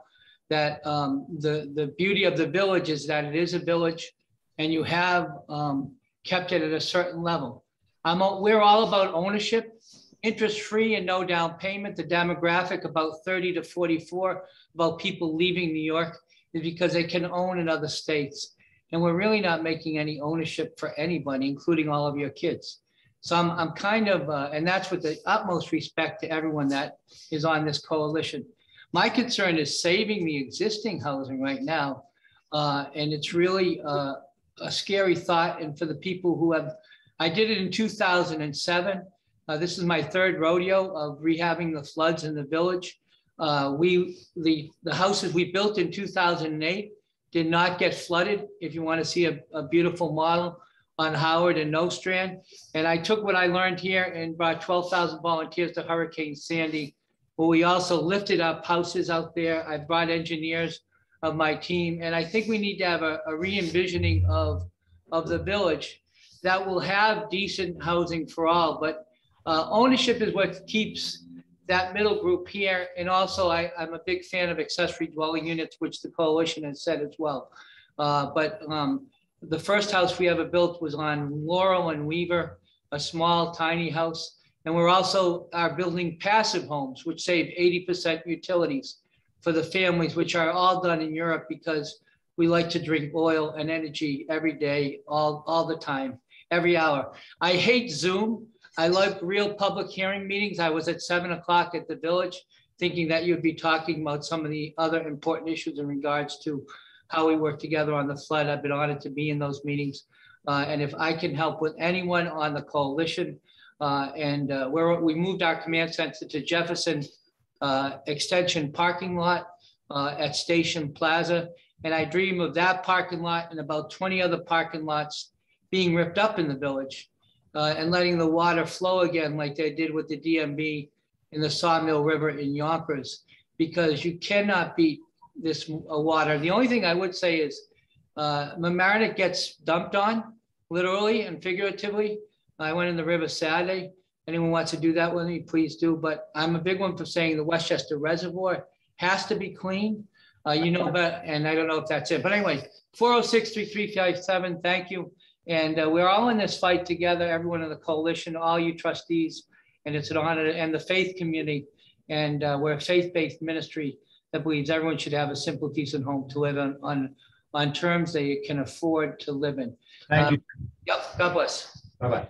Uh, Thank you to everybody from the American Coalition uh, for Affordable Housing for bringing this vital issue uh, to the future of the village uh, to the forefront. Uh, I, I just really quickly, I grew up in affordable housing. I grew up in a mutual redevelopment houses uh, on in Chelsea. Uh, if you go to look at those houses now, I, I moved into there when I, well, my parents moved into there when I was one year old. Uh, 59 years later, if you look at those buildings, they're, they're truly better kept and better in appearance than when we moved in. Uh, it has grown into a beautiful community. It, it's, it's a Mitchell-Lama cooperative uh, that's uh, income-based. Uh, so it's, it's, a, it's a definitely a model on what this community can do. Uh, you know, I think we have to not put uh, you know, to be blunt, we have to stop the practice of putting poor people in the flood zone. Uh, we, we need to start building these uh, affordable housing units outside of the flood zone. Uh, you know, I mean, that where I grew up was a, a way that a sanitation worker could raise four kids uh, in a two bedroom apartment. It was a little cramped, but you know, three of those kids went on to get PhDs, and one of them went on to be a mayor. Uh, so not bad for a sanitation worker, but he, he, was able to do it because he had safe, affordable housing. Uh, so I, am in this uh, to the end. Uh, this is something that's near and dear to my heart. When we were doing PLLC, uh, my, my goal was constantly to protect the ability to build all affordable units. I think that this is what the future uh, of uh, this community will be. We can't just talk about diversity. We always talk about honoring our diversity. And uh, it's nice to honor our diversity, but if you don't take tangible steps to make sure it survives, then it's just lip service. So I'm really grateful to the coalition. I expect good things to come out of this. Uh, the, the volunteer uh, energy in this community is just incredible. It's, it's life-saving, it's life-affirming, and it's incredible. And uh, I just want to thank them for everything they did for us during the storm and everything they did tonight.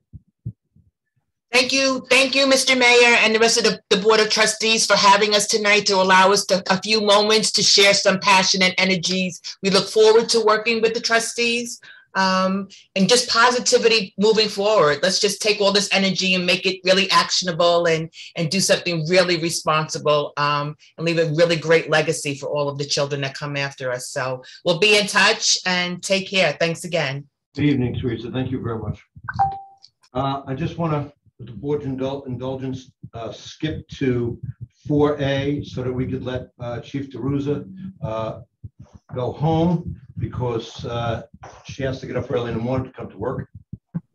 Uh, so, so 4A is new business resolution by the Board of Police Commissioners appointing a chief to the Village of Mamaroneck Police Department. So the first thing I'd like to do is I'd like to make a motion that we, we convene as a Board of Police Commissioners. I'll second. All in favor? Aye. Okay, now let me go to resolution for A.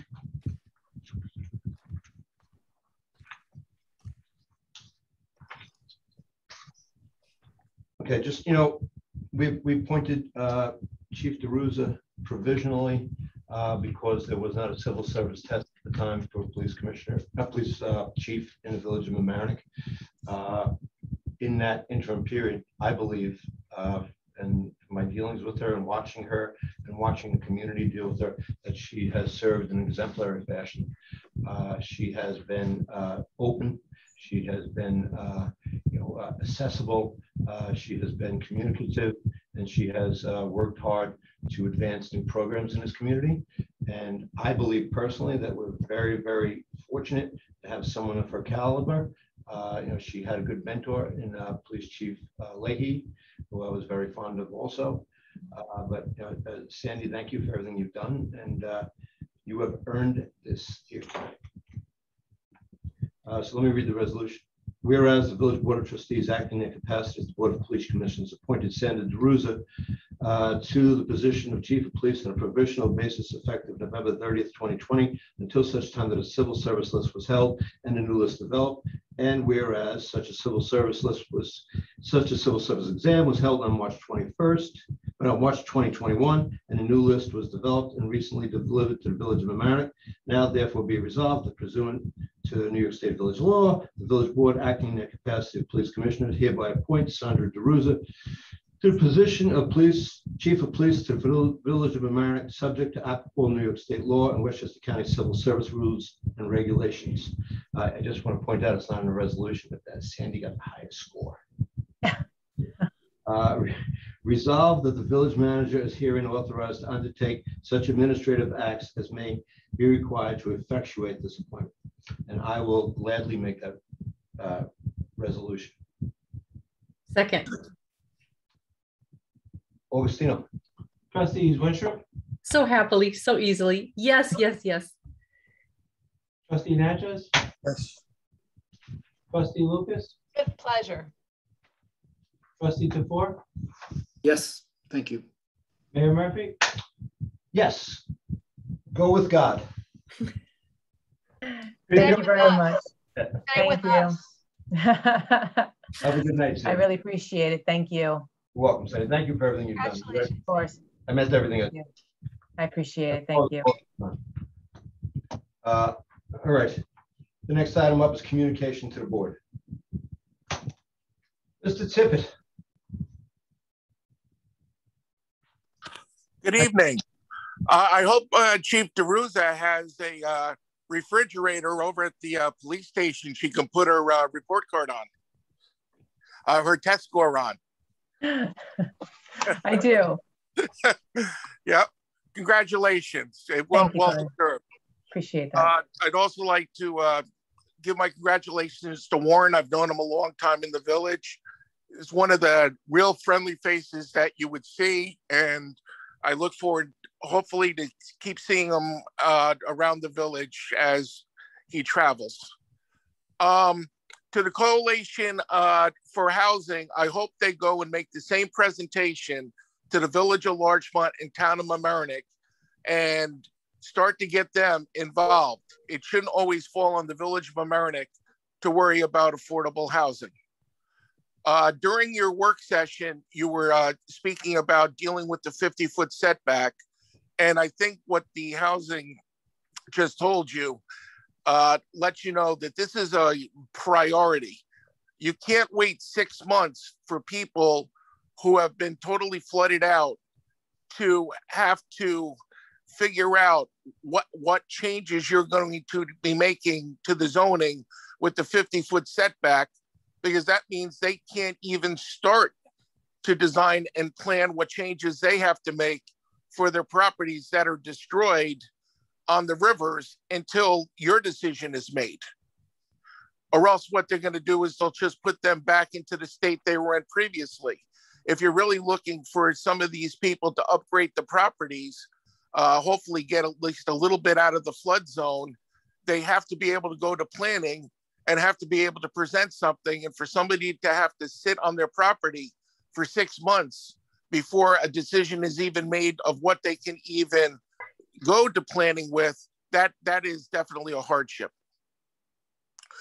I do want to thank uh, everybody with their outstanding hard work. You guys were out there morning, noon, and night. It says absolutely terrific. And then I did see that the Hillside Bridge started. I asked if they were going to name the bridge after the governor. And one of the people over there said, no, I think we're going to name it after Dan Sarnoff because he did all the work. So with that, I will speak to you later. Bye. Thank you, Glenn. Have a good evening. All right. I don't see anybody else's hand up. Uh, The next up is public hearing. Uh, Resolution scheduling public hearing. After the village tree law. Okay, uh, let me get this. One A. All right, I need a motion to open the public hearing on PLF. 2020. I'll second. Or, or you call roll, please? Trustees Winstrup, Yes. Agile, Yes. Lucas, Yes. Tafur, Yes. Mayor Murphy. Aye. Uh, Okay, Uh, just to begin, uh, Mr. Spolzino? I don't see him. Oh, there he comes.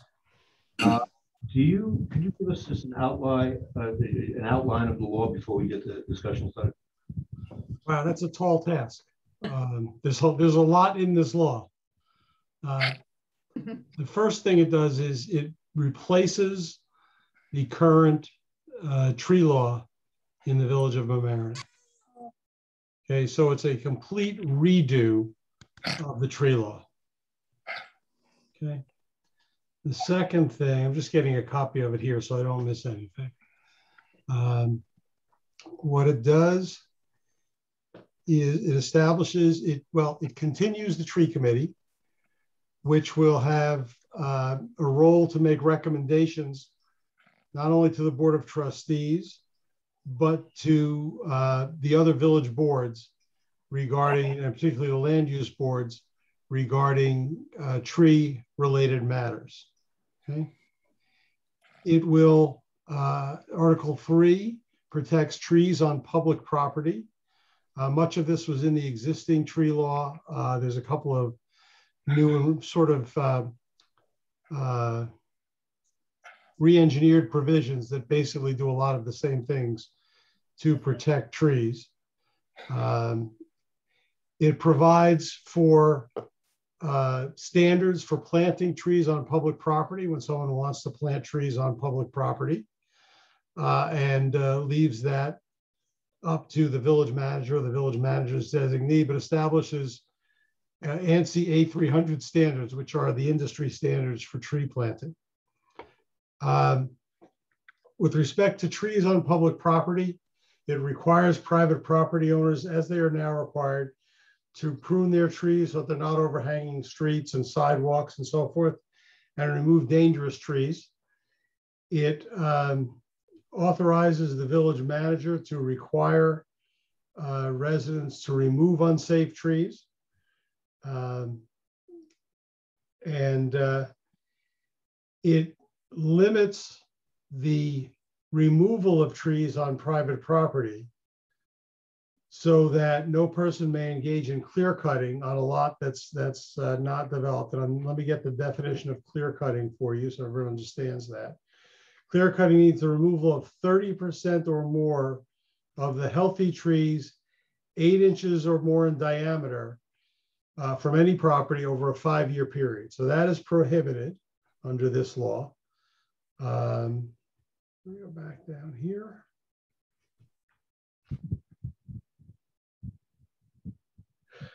It prohibits the removal of protected trees and a protected tree, because a lot of this is in the definitions.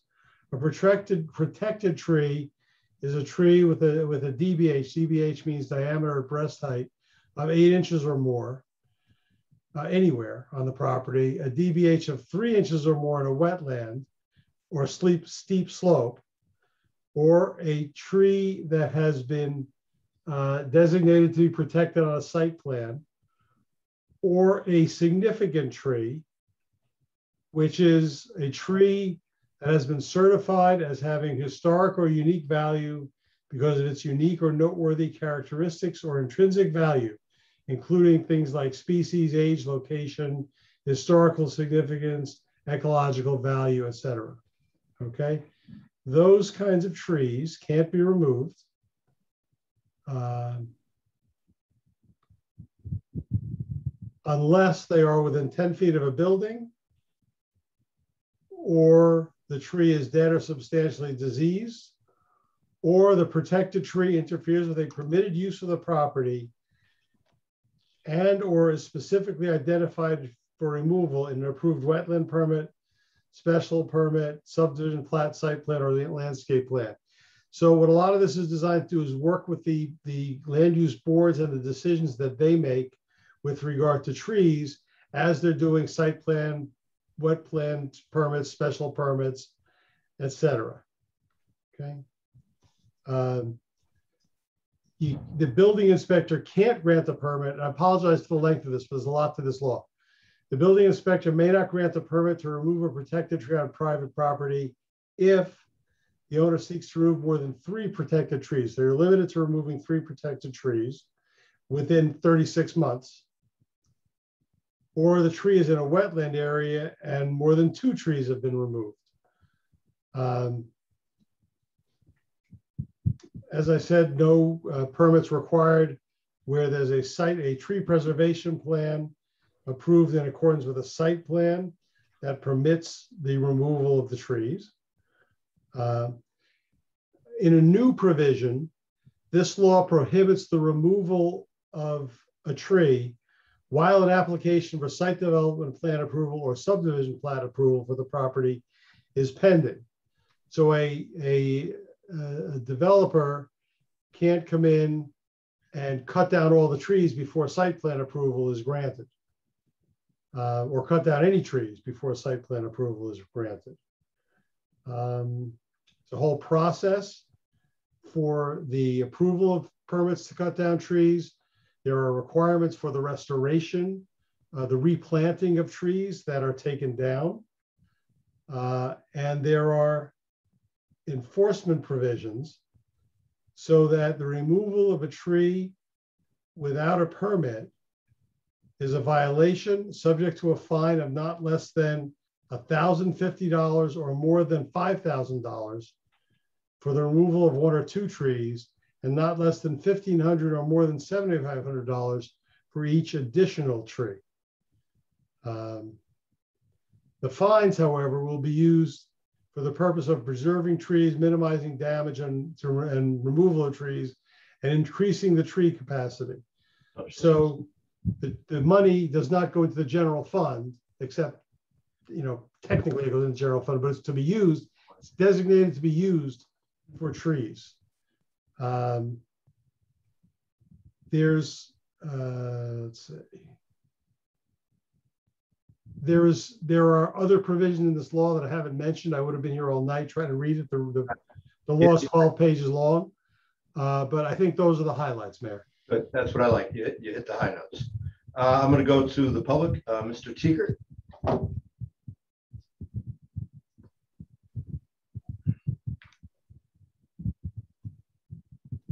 Yes, good evening. Thank you. Um, I had some comments, some substantive, some just opinion. Um, I think Mr. Spolzino's right. This law has a lot in it. Um, I think it may have too much in it. Um, but I will start on with the definition of clear cutting. So there's no specific penalty if you clear cut, correct? I read the law. All the penalties are just based on how many trees you remove. Is that correct? Just please continue with your comments. Okay. Um, so essentially, if there's an additional penalty, since nobody will answer a question about the law, which seems pretty odd in a public hearing, um, if there is an extra penalty for that, then any person removing one tree from his property, if he only has three trees, is guilty of clear cutting. Um, the next definition is dangerous tree. it reads a dead or diseased tree which constitutes a hazard to life or property. All dangerous trees are not dead or diseased. You have trees that have structural cracks in them. You have trees that are hit by lightning, which are arguably alive. So I'm not sure why you wouldn't just say a tree which constitutes a hazard to life or property instead of limiting it. Um, the definition of, let me just say I was in the tree business for 20 years of my life. Um, ran a licensed tree company in Connecticut. The idea that you could pin in three years the death of a tree on things like severing a tree, the tree's roots, or engaging in destructive pruning practices is not really reasonable. I don't think anybody would ever not be able to defend against that. Um,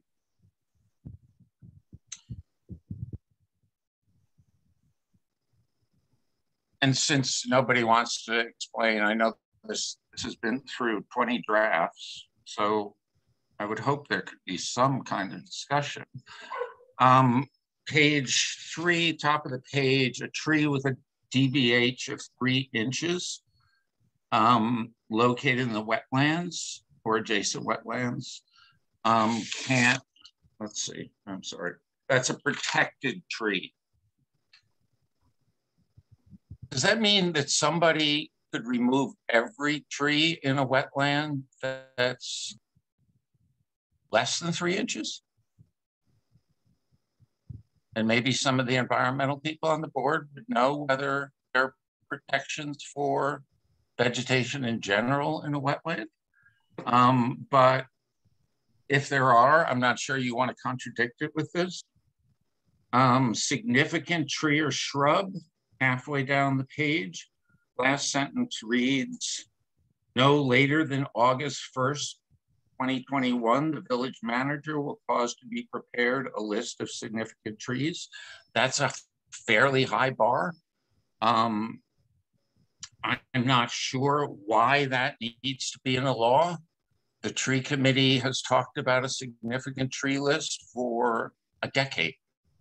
Um, this could be created at any time. I don't think you need to encase it in law. Um, the next definition, street tree, is defined as a tree located within the village right of way. I'm not sure why you just wouldn't define public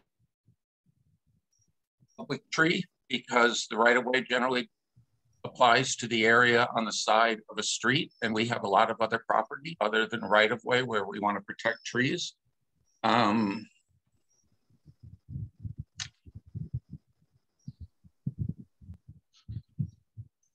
this is just a comment. Article 2, um, 318-4, a tree committee must study, investigate, review, develop, and update annually, administrate a written plan presented annually to the Board of Trustees for the care, preservation, pruning, planting and replanting and removal or disposition of trees and shrubs in parks along streets and in other public areas. Again, it's not just right of ways, but more importantly, I hope the board will encourage the tree committee to do this. I don't think during their existence they've ever done that. And that's always been a part of 318, which is the tree code as it exists. Um, number seven, under duties and responsibilities, it reads the tree committee must advise village boards, committees, and departments on tree related matters. I'm not sure if that should have tagged upon request on it. I think that's what the old law has. I don't think you want to make the tree committee review um, related related matters automatically. Um,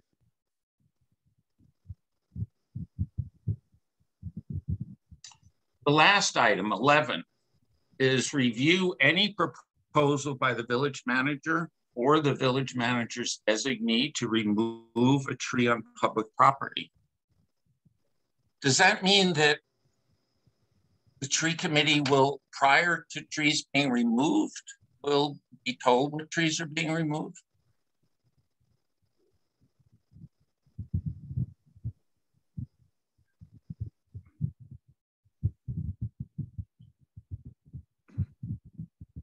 No one knows the answer to that question?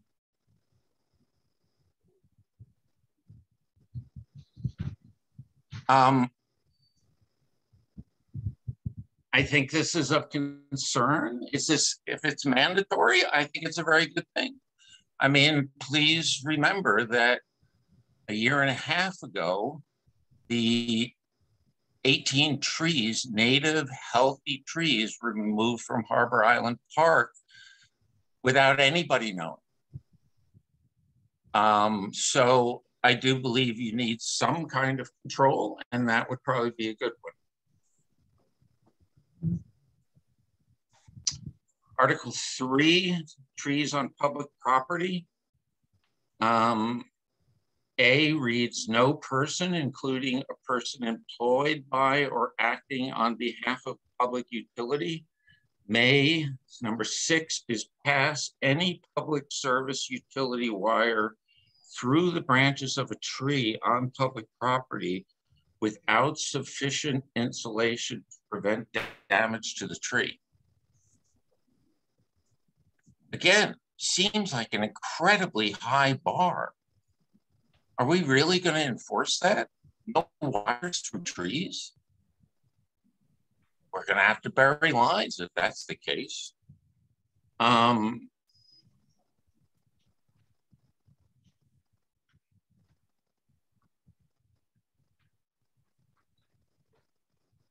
B reads, no person, including any person or entity engaged by any person to treat any tree on public property may treat a tree on public property without the permission of the village manager or the village manager's designee. I think all that's covered in A, and I'm not sure why, if that holds some other meeting than A, but it might want to be removed just for efficiency.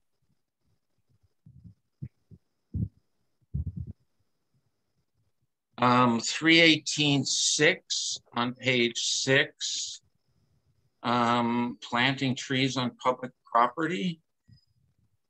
B reads, the village manager or the village manager's designee may accept monetary donations for the planting of non-invasive trees on the list of suggested tree species established by the tree committee.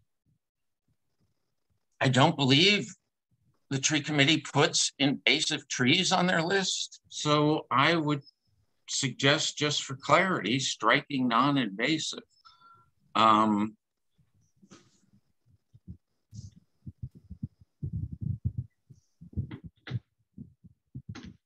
the last sentence in that section says the tree committee may not authorize the planting of trees that are not on the list of selected street tree species. I think that's foolish. I mean, if we're going to have a tree committee that um, is basically our citizen group of tree experts, and I don't think they would argue that the tree list the village has is by any way um, a complete list. So I'm not sure why you'd want to limit somebody from planting a tree that was totally appropriate, might not happen to be on the list.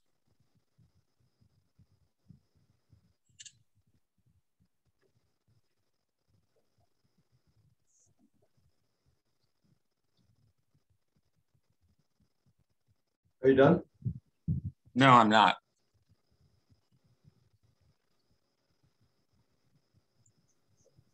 Um, page seven, D. it reads, um, any tree damaged or removed without permission during its construction or the development of any property must be replaced in kind. Um, the law defines injured. It doesn't define damaged. So I would think for just consistency, you'd want to use injured instead of damaged. Um,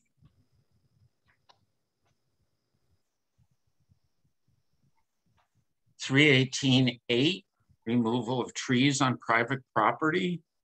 Um, prohibitions, A, number two reads, a person may without, a person may without a permit issued by the building inspector either per, I'm sorry, no person may without a permit issued by the building inspector either purposefully or negligently remove or injure any tree exceeding eight inches in diameter at four feet measured off the ground.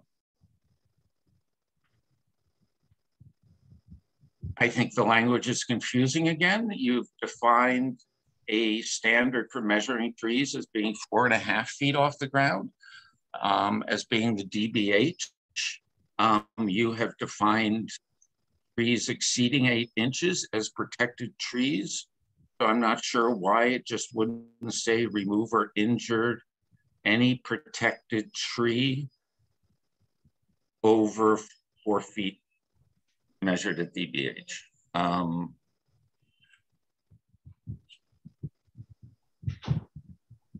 and that's it.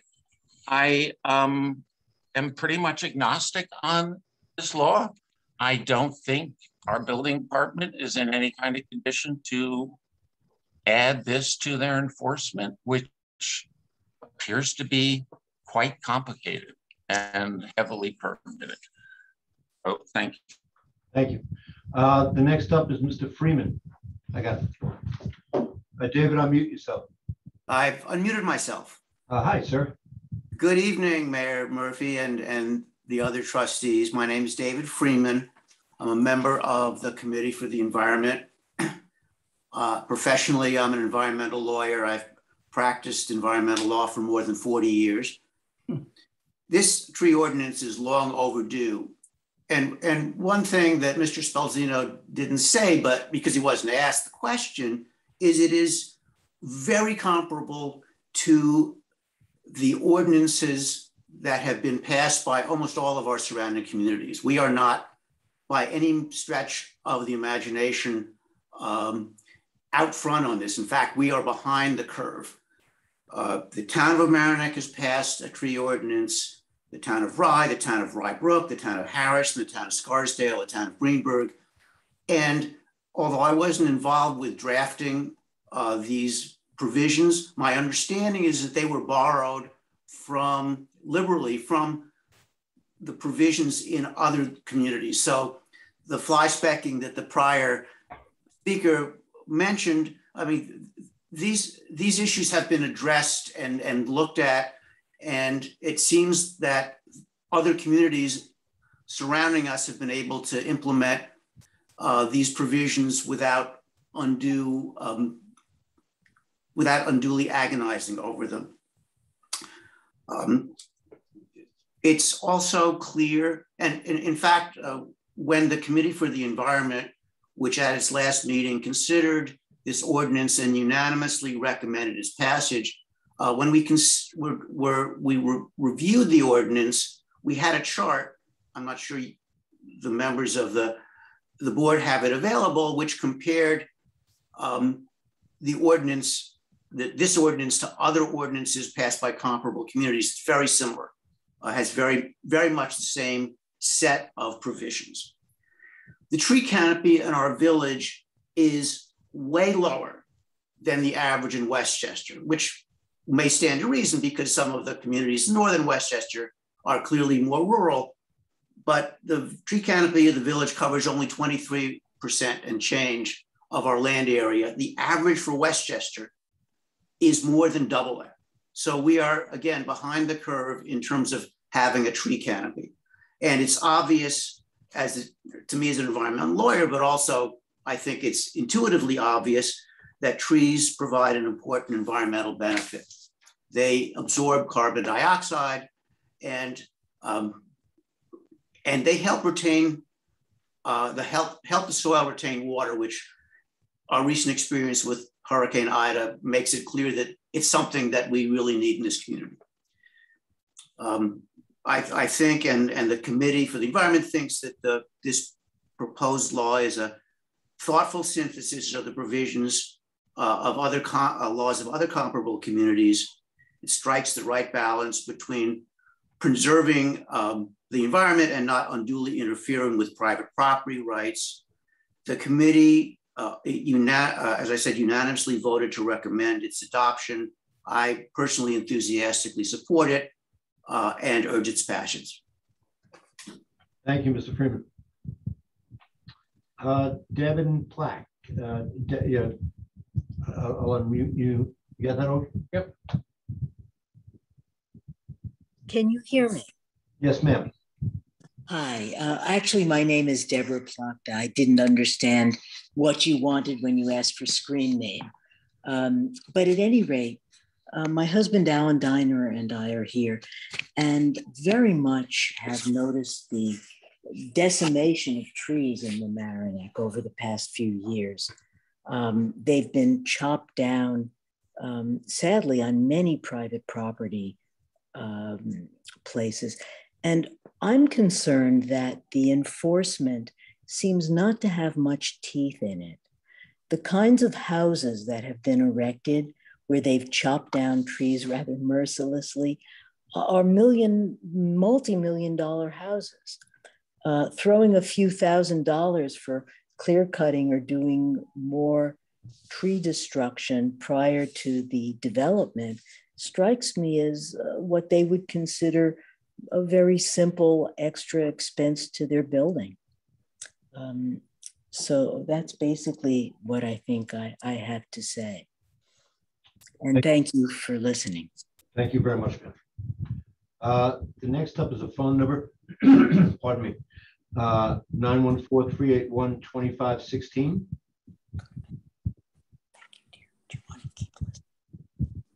Uh, Good evening, Mayor Murphy and Board of Trustees. It's Doreen Roney. Hi, Doreen. I wish you didn't put my name out there for the public, but you just did. However, just um, I was a little, a just- little taken back because on your agenda, it seems like this hearing is scheduled on your agenda for the 25th of October. Um, that's the date that the public hearing is uh, slated for. But I'm glad I was watching, and I'll say what I have to say about the tree law and um, what we have going in the village because uh, it's a good idea to preserve trees and all vegetation. But um, I was concerned if the current staff has the time to devote to this one code, or is additional staff necessary? Is that being contemplated in that? No answer. Um, it would be great to quantify or obtain or provide information before considering adopting this tree law to see what time it will take to enforce it. Um, the other thing I wanted to mention is as far as um, SEQRA is concerned, which I didn't hear too much about tonight, it, SEQRA requires you to explore reasonable alternatives in achieving the same goal for the action. Well, there's already um, codified in our code, and it's easily accomplished in our zoning code, but all it takes is enforcing our existing zoning code. And I'll talk about that in a little bit. It's not only the trees, but also all vegetation that provides for habitat, decreases impacts to land and water resources. The definition of vegetation in the relevant section of the current zoning code is broad. It includes trees. Please also note that in 34275 of the Village Code, it's not only uses, but actions that the planning board has to review applications on.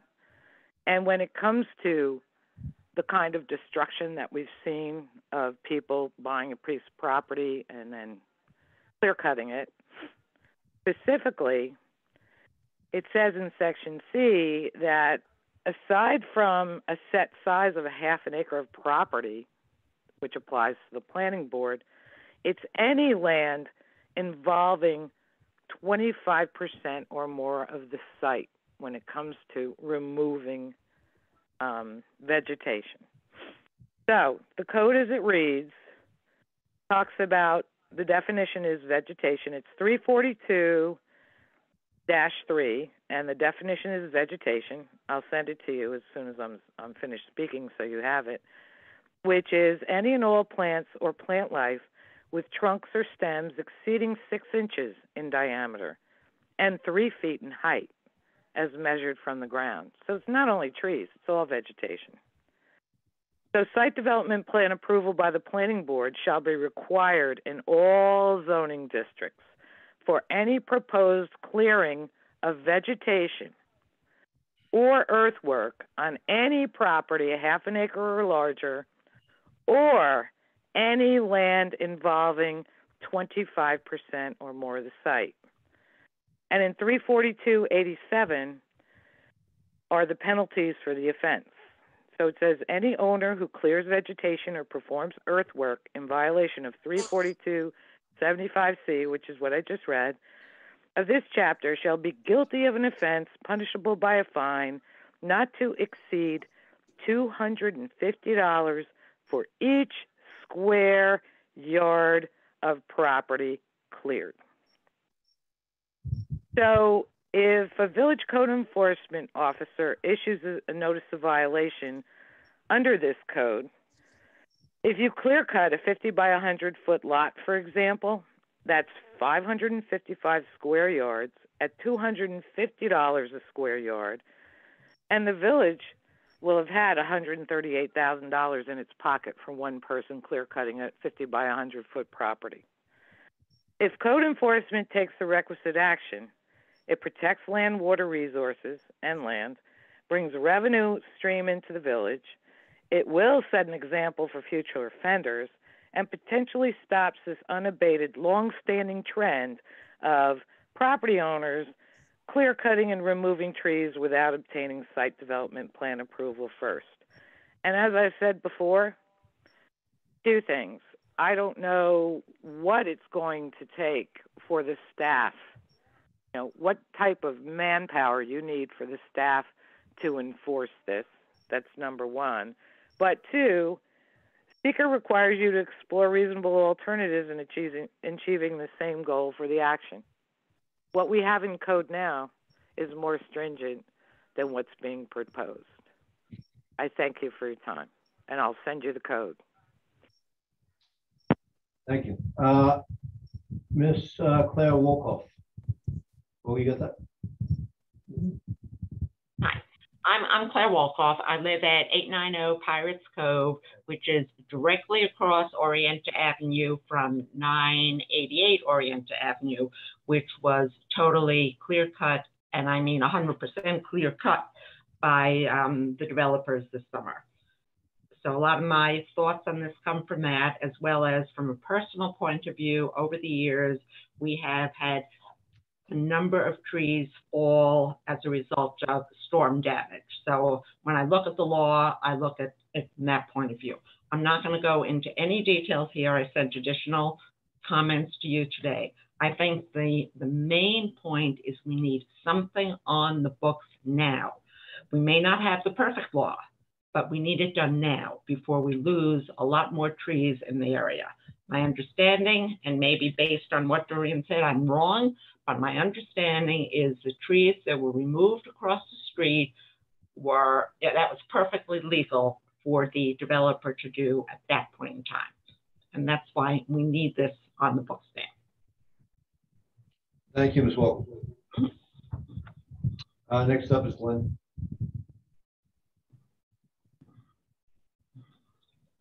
Yeah, uh, very quickly, Mr. Mayor. Uh, is there any uh, provision for uh, suspension of the um, permit and or um, uh, Jerry looking in case of a storm? As Yeah. says, in other words, if if you, you if you have a large storm and you have 4,000 trees go down, uh, what what what would happen? Can you uh, is there a suspension of getting a permit? Would you have to just have some kind of written affidavit that the trees were dead and removed? I don't think Jerry or staff would have the time the time to be looking at you know 500 properties with three four trees down af- after a uh, nor- nor'easter. Yeah, I, I think the, the law provides provision for the village manager to have a, a emergency uh, powers to suspend it. Thank you. Thank you. Secret again.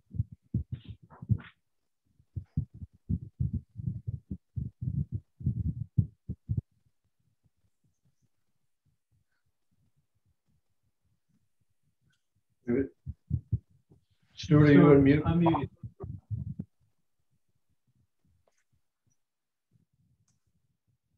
Got it. Sorry. Um, to the point about 988 Orienta and the point of Doreen, that property owner could have been fined. The village has never, ever enforced its laws on the books. Um, it hasn't enforced, it used to have laws for trees on public property. and enforce those. So, you know, we have laws on our books that are regularly ignored. Um, my fear is that's what's going to happen with this one. We have the ability to stop these actions. If he had been assessed on that property, which was quite large, large at 250 a square yard, I think that probably would have gotten out. Even if the fine had been levied and reduced, I think the message gets out. But without enforcement, it's just another um, leaf blower law. Thanks. Thank you. Uh, Anybody in the board of trustees like to comment? Um, I think that there's some questions that have been asked uh, or raised. Uh, we also received uh, some written comments that I think need to be um, reviewed. So I would suggest that we keep the hearing open uh, and not close the hearing uh, and um, review review the comments uh, and make and see if we need to do anything or not regarding them. Uh, Just before anybody else on the board goes, Gail Cole will put a hand up.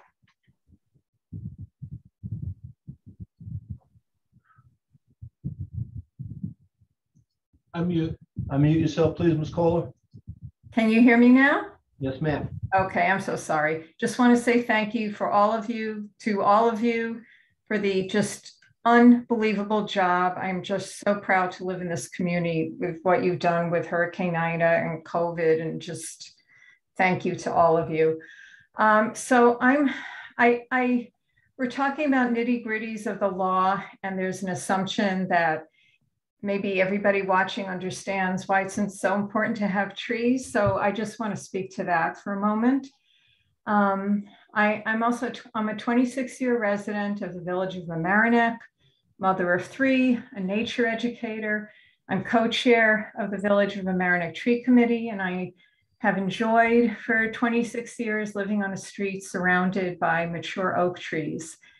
So um, yeah, flood mitigation.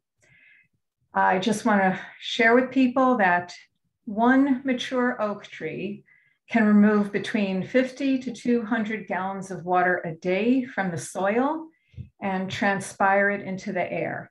So reverse that. Remove a mature oak and you've just added in a, on a very wet, stormy day, 50 to 200 gallons of water that will stay on and in the ground. For every 5% of tree cover in a community, Stormwater mm-hmm. runoff is reduced by 2%. Trees prevent stormwater runoff from reaching watercourses with harmful chemicals that are collected from the roads and the sidewalks. Air quality, for every 10% increase in urban tree canopy, ozone is reduced 3 to 7%. That's by cutting down the trees. Okay. Uh, you, you increase the ozone. You build tree canopy, tree coverage, you reduce ozone. Trees are proven to remove carbon from the air. Planting trees is one of the most cost-effective ways of drawing carbon dioxide from the atmosphere. One single mature tree can absorb carbon dioxide and release enough oxygen into the atmosphere to support two humans. Those are numbers that need to be paid attention to. Research has also shown a 60% reduction in particulates from car exhaust fumes on streets that are lined with trees, whether they're public trees or private trees. Health and well-being impacts. Trees have also been proven to have a positive impact on skin cancer, asthma, hypertension, and other stress-related illnesses by filtering out polluted air, reducing smog formation, providing shade from solar radiation, and providing an attractive, calming setting for recreation. And boy, have we needed that the last 18, 19 months. Sulfur dioxide, nitrogen oxides and particulates, carbon monoxide, cadmium, nickel, lead, they're all pollutants that trees work constantly to remove from the air. Trees also form an effective sound absorbing barrier to help reduce unwanted noise pollution. And the biodiversity of trees and providing natural habitats for birds, squirrels, and other fauna are considered to some people as incalculable. And speaking of cost savings, for every $1 spent on trees, a return of $2.70 in benefits is received, and that's according to the United States Forest Service. Independent studies have shown a consistent 5 to 15% increase in property values on tree-lined streets, proving that trees increase commercial and residential real estate values. Researchers have also discovered reductions in both violent and petty crime including domestic violence through the therapeutic calming influence of mature tree planting. Trees reduce temperatures by shade and transpiring water. This helps reduce air conditioning bills and energy use and heating bills. Studies have even proven that one mature tree can produce the same cooling effect as 10 room-sized air conditioners. This becomes an effective tool in reducing hot spots in our village.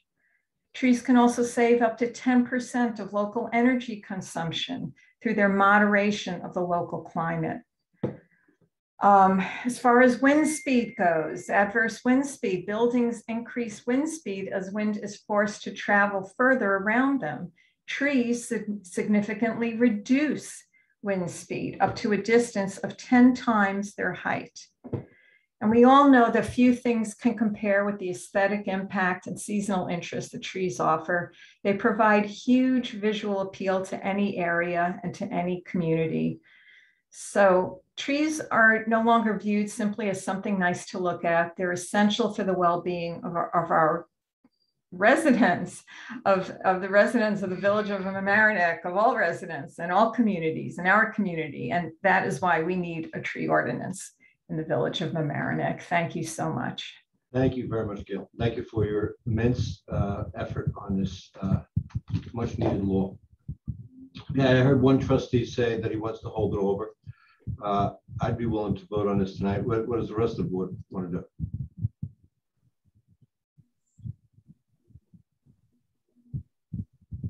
I, I would actually hold it over. I, I would hold it over. I know when we talked about scheduling it at the last meeting, I know you weren't there, Tom, but we, we did talk about having this um, maybe open for two meetings. So I would, I'd be in favor of holding the hearing over one more time.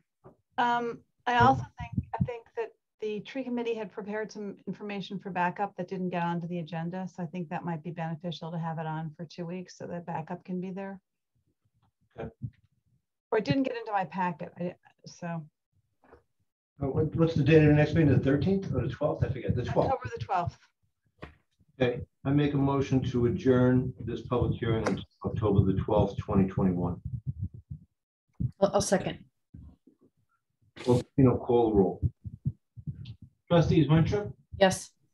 Natchez, Yes. Lucas?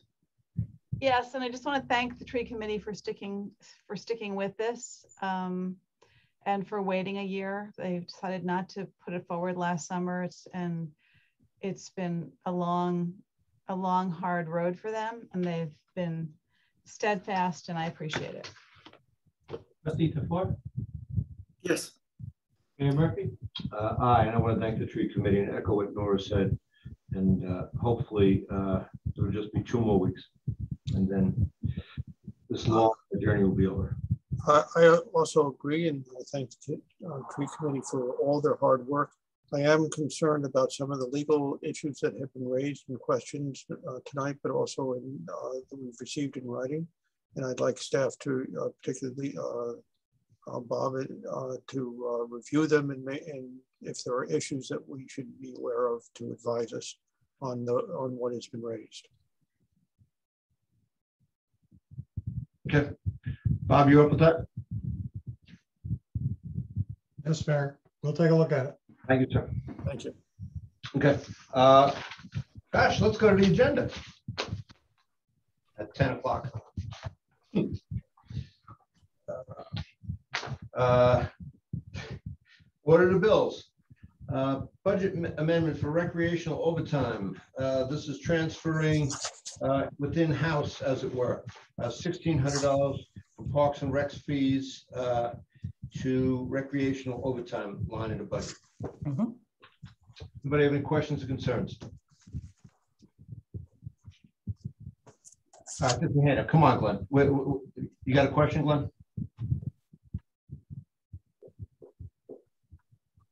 Yeah, I'll make this quick, and this is just in general for overtime. Um, we have a, a lot of, lot of, uh, the, uh, different ones are go, are going, um, with the overtime. Uh, could there, before they get to the point where the budget goes over, is it possible for them to let you know, uh, and the reasoning why the overtime is, is, needs to be adjusted? That's all. It, it's all in the resolution, Glenn, the, the whole explanation of why it needed to be adjusted. Yeah, but it should it should happen before they actually overspend, not after they overspent. Okay, thank you. Okay. Uh, I need a motion. So moved. Second, Augie, Trustees Winstrup, Yes. Natchez, Yes. Lucas, yes, Tafur, Yes. Mayor Murphy? Aye. Uh, This is the same uh, kind of a deal. It's a recreational overtime. Uh, This has to do with softball and beach overtime. They're taking the money from the contract services and uh, applying it to the beach account and to the softball account. Uh, Any questions or concerns? no, I Need a motion? so moved. Second. I think we have a hand up, uh, Oh, Tom. No? Jesus. All right. Come on, Glenn. It's, it's, it's it's 11 o'clock. Give me a break here. It's ten. Dan had his hand up, Tom. I didn't I didn't have my hand up. Sorry. Your hand was up. Sorry. That's all right, big guy. Okay. Okay, anybody have any questions or concerns? Dan did. No, Dan was pointing out Glenn. Oh, sorry. I'll make the motion. I think we already had a motion second, but I'll second if we didn't. Okay. Uh, Oh, you've got motion and second? Roll call. Roll call, please. Trustees Winstrup, Yes. Natchez, Yes. Lucas, Yes, Tafur, Yes. Mayor Murphy? Aye.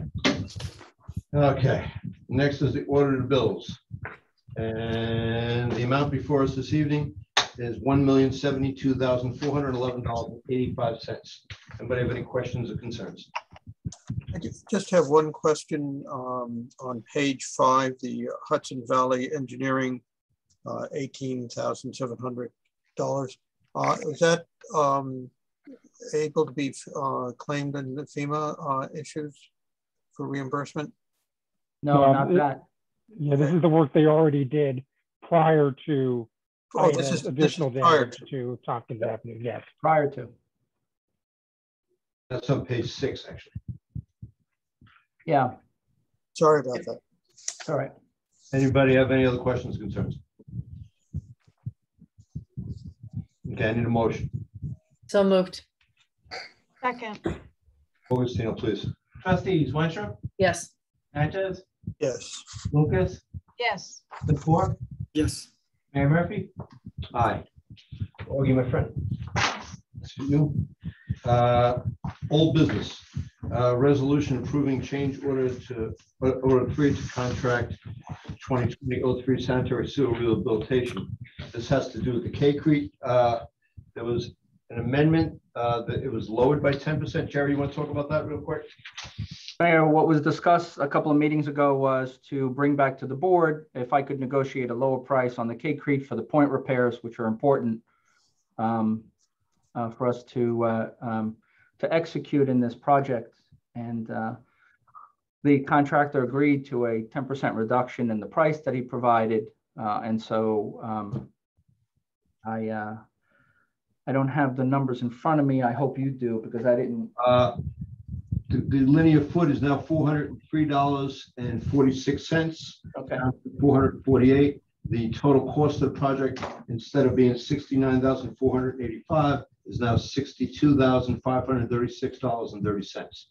So you, you, about a seven thousand dollar reduction. And that's the change order, uh, I think number three. I don't know why I don't have it in front of me. All right. Uh, With those changes and that amendment of the ten percent reduction, uh, I'd be willing to make the motion. There's a hand up. Mr. Teager has his hand up. Oh, you got that? Yes. Yes, I have a question about how inspections are being done of this work. This is a fairly significant project. Is it true that there is an on-site engineer as well as on-site all the time? We have, we have, we have inspections or inspectors of some doing this. That was part of the contract with Kellard and was it not, Jerry?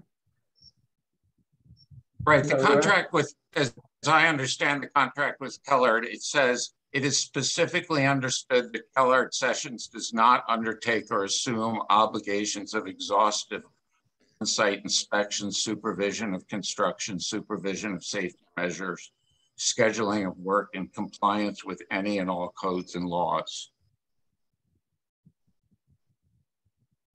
I'm sorry, Jerry, you you got interrupted. I- Dan, did you ask a question? I didn't hear it, I'm sorry. I said, I, I, I believe in previous discussions, there, are- there is, um, there is engineering supervision on this. I was- Mhm. Gentleman who works for Kellard named Steve, and then our staff also augments that. Especially Mark and Mike Iannarelli. Okay, thank you. Is there a new um, supervision contract, the management contract, or is it still the one um, that was originally signed?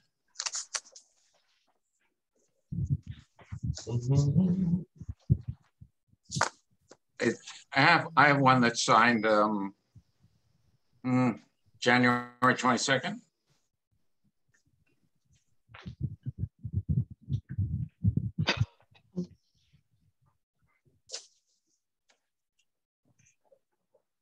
Do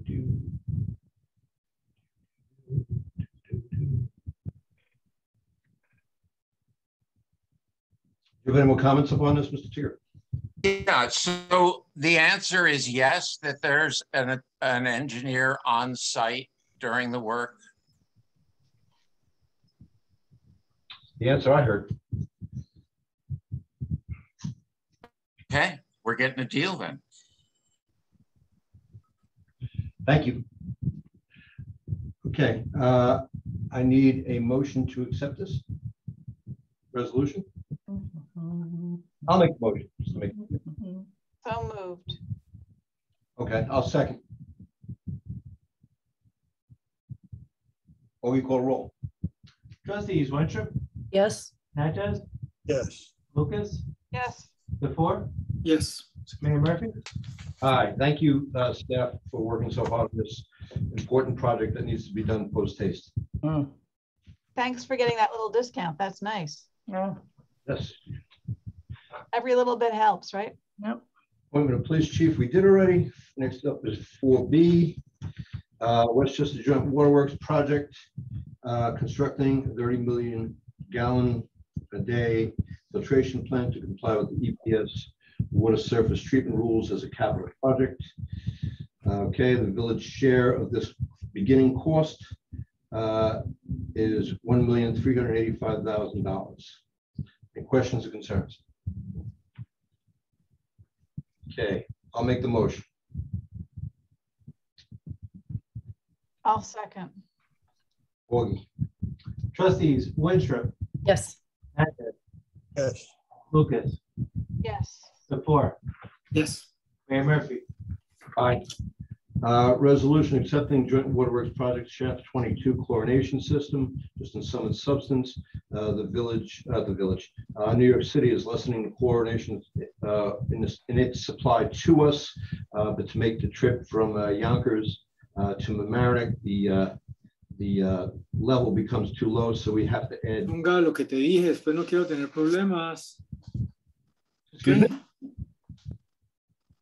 What'd you say? Y hablas, ok. Se va a dormir, si no duerme allá y, y duermes aquí los fines de semana, yo no sé, lo que tú creas que es mejor, chongo. Victor, you're not, muted.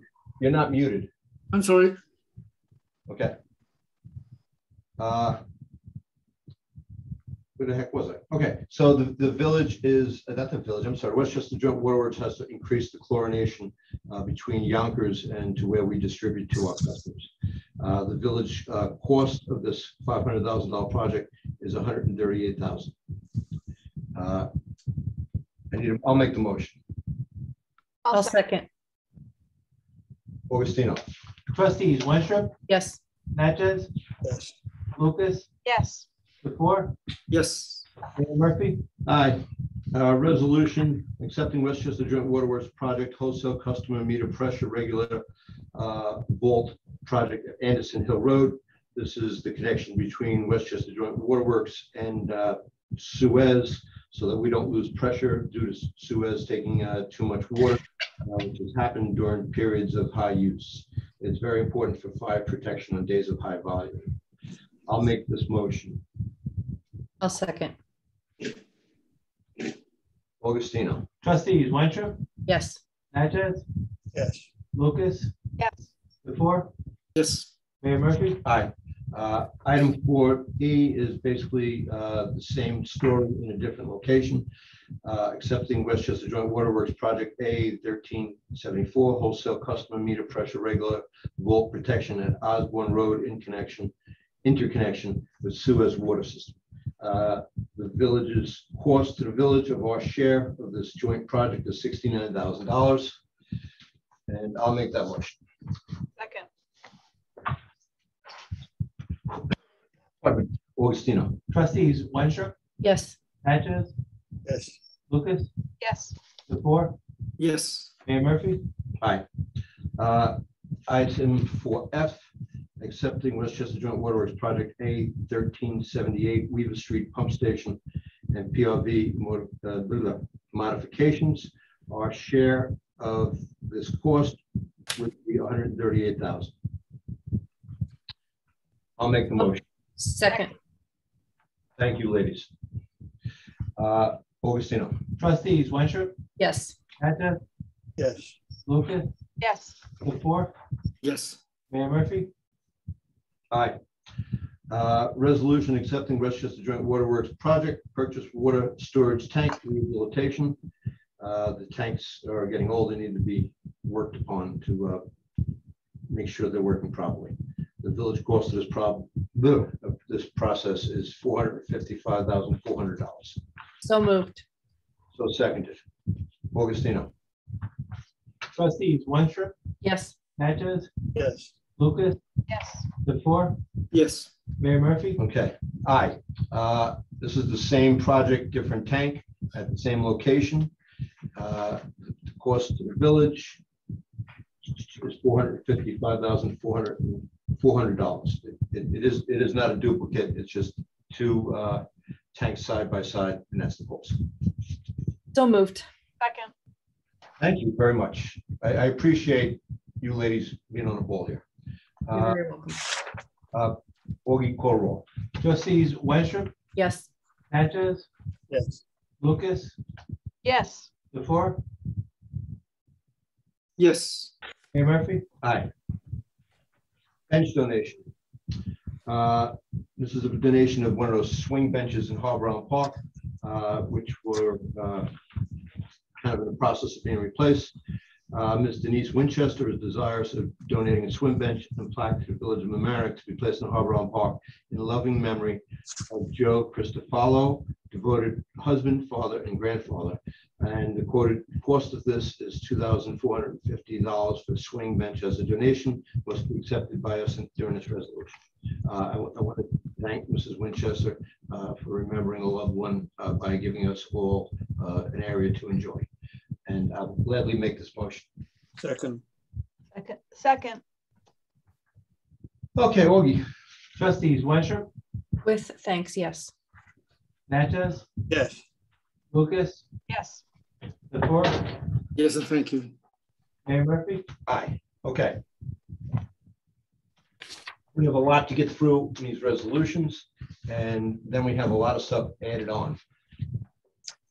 So bear with me, please. Okay. Resolution A, these are bond resolutions, just for the public. These are projects that the village has already done and completed and paid for. And we are now going to bond them because they're capital projects. And uh, this is the process where we do it. In total, uh, these capital projects, uh, what is it, six million, six million and change? Six million. Six million, four hundred and thirty-seven thousand, six hundred and four dollars. Thank you, thank you very much. So we're gonna go through them one at a time because that's the way it has to be done, apparently. Extracts from the village meeting, uh, at a regular board of trust meeting of the village of Mamaroneck located in Westchester County, it's held in New York. Today, uh, quorum. the Following bond resolution. Alexa, turn off my lights. Okay, this, this first resolution A, uh, we, we went through them in the work session. It's two hundred forty-one thousand, one hundred and thirty-seven dollars for motor vehicles. Somebody want to make a motion, please? so moved. A second. Or you please call a roll. Trustees Winstrup, Yes. Natchez, Yes. Lucas, Yes, Tafur, Yes. Mayor Murphy? Yes. Aye. Uh, The next item up, item B, is one hundred and ninety-three thousand, eight hundred and fifteen uh, for software bonded for ten years. I'll make the motion. A second. Mr. Fusco. Trustees Winstrup, Yes. Natchez? No. For Reasons discussed in, uh, that I voiced in the work session. Lucas, yes, Tafur, Yes. Mayor Murphy? Aye. Uh, Extracts of meeting from the Board of Trustees. This is for street improvements, DPW equipment, uh, four hundred ninety-three thousand, seven hundred ninety-seven dollars. It's a fifteen-year bond. I'll make the motion. A second. Trustees Winstrup, Yes. Natchez, Yes. Lucas, yes, Tafur, Yes. Mayor Murphy? Aye. Uh, the next up is a bond resolution for dock improvements. It's a twenty-year bond, two hundred and seventeen thousand, two hundred and eighty-six dollars. So moved. Okay, I'll second. Will you please? Trustees Winstrup, Yes. Natchez, Yes. Lucas, yes, Tafur, Yes. Mayor Murphy? Aye. Uh, The next up is building improvements, four hundred thirty-eight thousand, three hundred fourteen dollars. Most of that is uh, Stanley Avenue uh, Community Counseling Center. So moved. I'll second. Oh, Okay, Augie, please. Trustees Winstrup, Yes. Natchez? Yes. Lucas, Yes, Tafur, Yes. Mayor Murphy? Aye. Uh, Up is a forty-year bond uh, for water and sanitary sewer uh, system improvements, so it's potable water and sanitary system improvements. Four million, eight hundred and fifty-three thousand, two hundred and fifty-five dollars. I'll make the motion. Second. Mr. Fusco. Trustees Winstrup, Yes. Natchez, No, for reasons I discussed in the work session. Lucas, Yes. Tafur, Yes. Mayor Murphy? Aye. That that clears up actually. Uh, So we have here.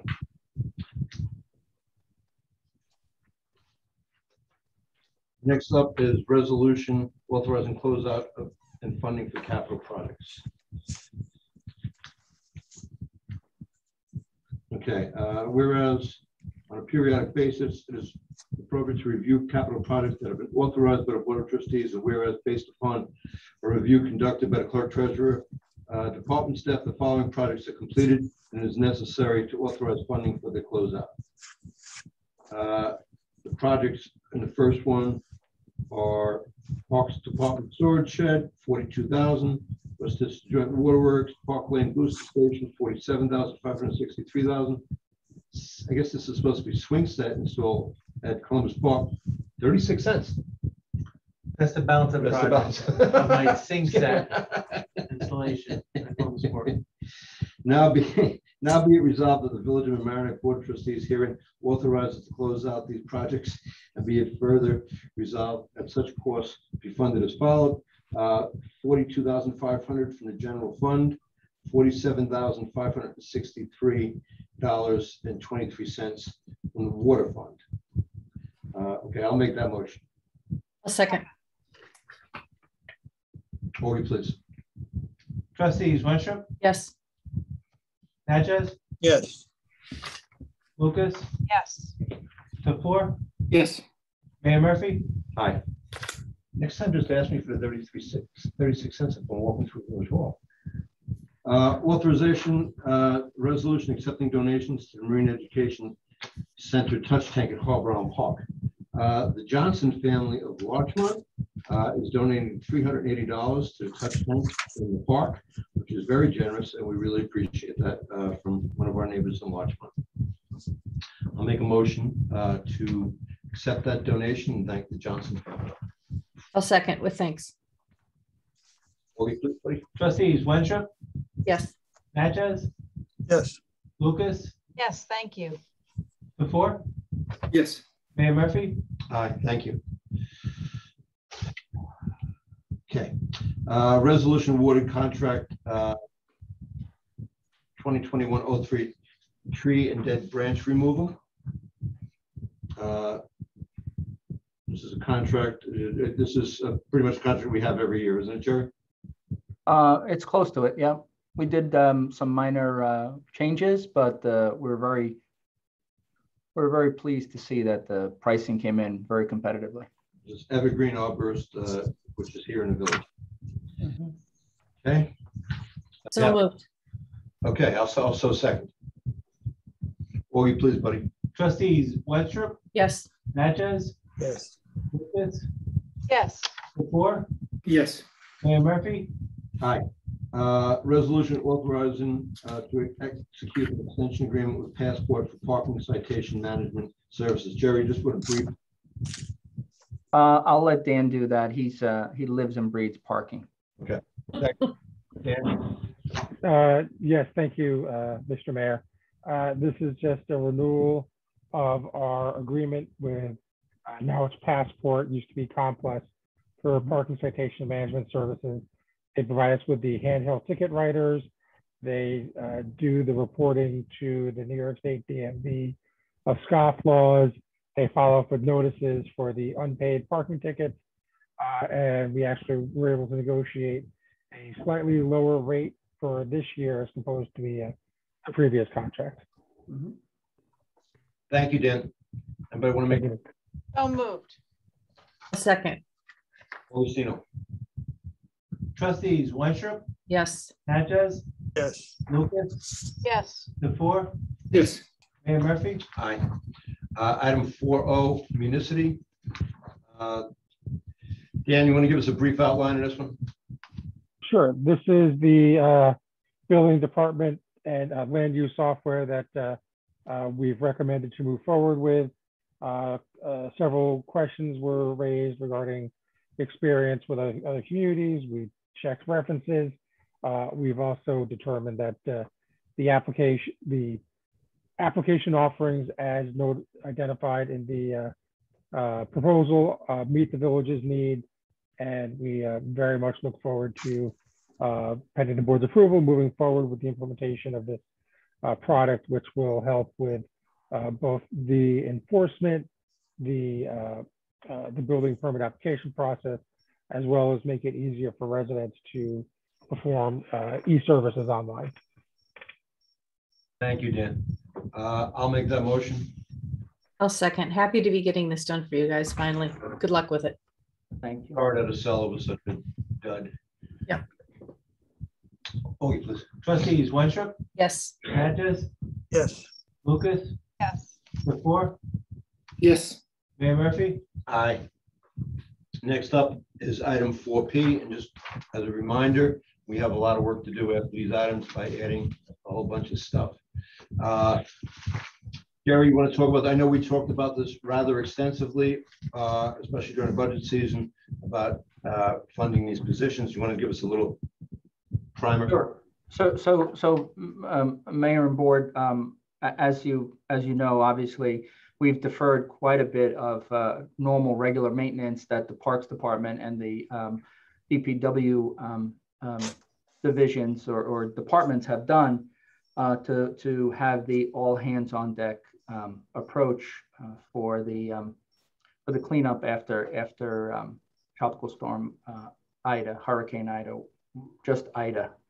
And the reality is that we're falling behind on some things. And so, because our sales tax have come in higher than expected, I was asking the board for consideration. And we talked about this several meetings ago, um, asking for the consideration for um, these frozen positions to be released two months in advance. Um, now we need them more than ever uh, to be able to fill these very quickly and to get the two departments uh, some some much needed help.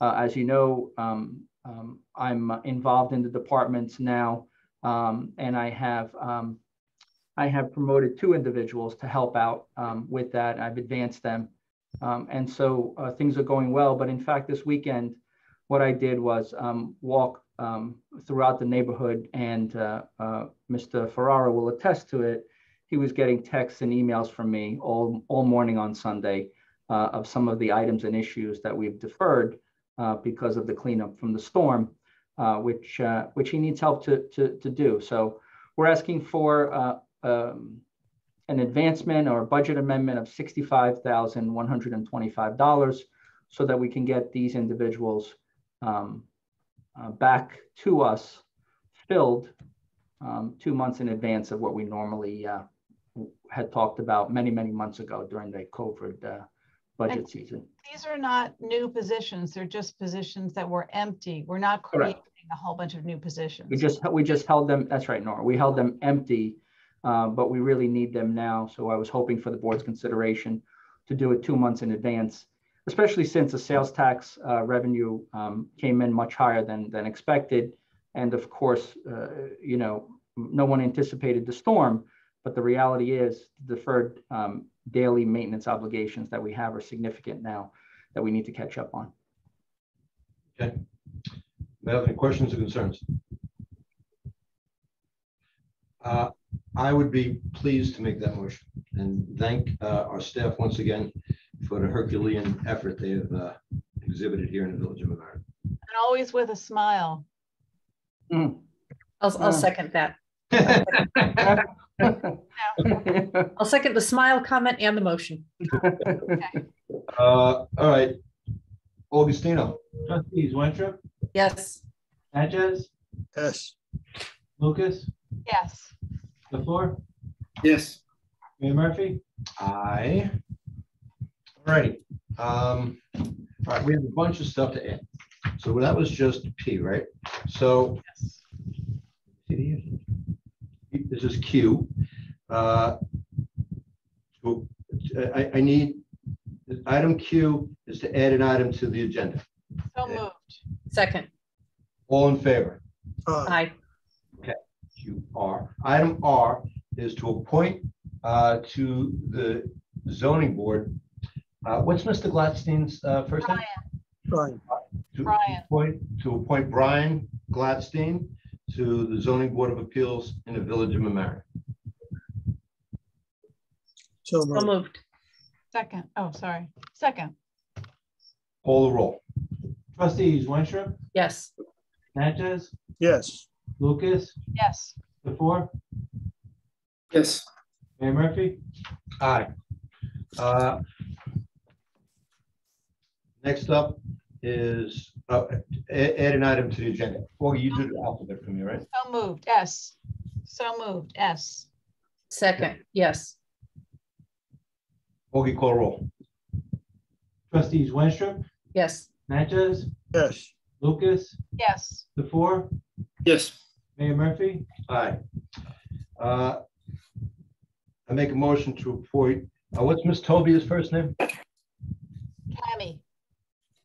Okay, say it again. I think it's Cami, C A M I E. Okay, I make a motion to appoint Cami Tobia. Tobias. Bias. Bias, I'm sorry, there it is. I wrote it down. Uh, to a position on the Harbor Coastal Zone Management Commission. Second, All in favor? No, call roll, I'm sorry. Trustees Winstrup, Yes. Natchez, Yes. Lucas, yes. Tafur, Yes. Mayor Murphy. Aye. Okay, uh, I need a motion to add an item to the agenda. So moved. Item four U. Oh, all you will do that. Oh, okay. So moved. Item for you. I'll second. Everybody in favor of moving an item to the agenda? Aye. Aye. Okay, this item is to appoint uh, to the Harbor Coastal Zone Management Commis- Commission, Mr. Jack Lusk. I'll make that. I'll Oh, make, I'll move it. I'll, I'll make the motion. all right, I'll second. Mr. Fusco, Trustees Winstrup, Yes. Natchez, Yes. Lucas, Yes. Tafur, Yes. Mayor Murphy. aye. Uh, The next up is to add an item to the agenda. So moved. Second, Okay, uh, all in favor? Aye. aye. Very good. Uh, The next is to add um, Mr., what- what's Mr. Williams' first name? Brian. Mr. Brian Williams to the Traffic Commission. Yes. Yep. I'll make that motion. Second, Mr. Fusco. Augie, I got it. Did you recall? Trustees Winstrup, Yes. Natchez, Yes. Lucas, yes. Tafur, Yes. Mayor Murphy. Aye. Uh, Next up is to add an item to the agenda. I'll make a motion to add the, an item to the agenda. Can I have a I'll second? second. I'll second. All in favor? Aye. Aye. Okay. uh, I'm going to make a motion to appoint Mr. Andrew Spatz to the uh, Flood Mitigation Advisory Committee in the Village of Mamaroneck. I need Second. second. Okay, Augie, call a roll. Trustees Winstrup, Yes. Natchez, Yes. Lucas, Yes. Tafur, Yes. Mayor Murphy. Aye. Uh, So what, the- the- I need a, a motion to add an item to the agenda. So moved. I'll second. Second, All in favor? aye. I'm gonna do this all in one fell swoop, all these appointments. Uh, What's the name of the committee? Help me out, throw me a bone. I know what you, I know what it is. It's, it's, ah. Jerry, what's the name of the committee? The committee is the um, Clean Energy.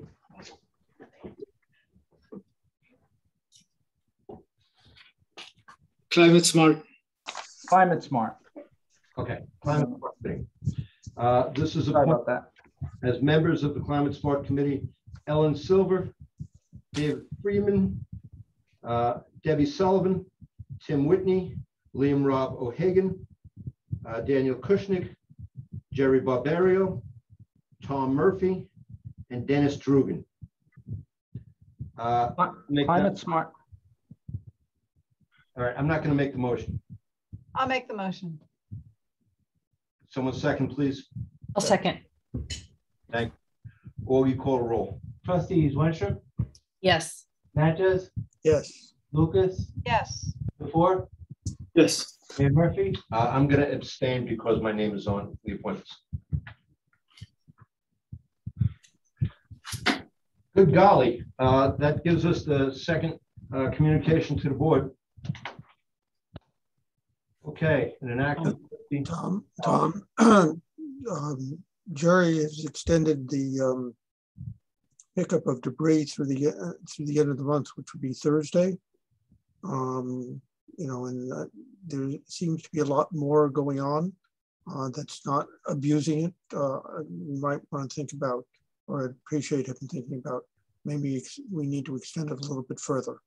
Um, I, I just don't know. I don't know what's coming down. I- I just see more and more you know, debris piles, uh, you know, from the flood damaged, uh, areas. Um, we're keeping up with it, um, rather quickly. So, um, I'll make that assessment on Thursday morning when I drive around. Thanks, Jerry. Glenn, you have your hand up? Please be brief. A couple of things quick. Um, uh, Stanley Avenue, the uh, community center got nailed again by the storm. We're aware. What's that? We're aware. We're aware of it. Yeah. Is there any way to move that building? I mean, literally take that building and move it to a different section of the village at this point because of how many times that it's been flooded? Um, we may have a problem because it's, um, Yeah, the, the building's historic. I, I know what Jerry's gonna say and I can yeah. answer, I can. I can don't want answer, to say it. I don't want to say it. I it, can but answer this, but I can answer this question and I can give you an answer you'll like.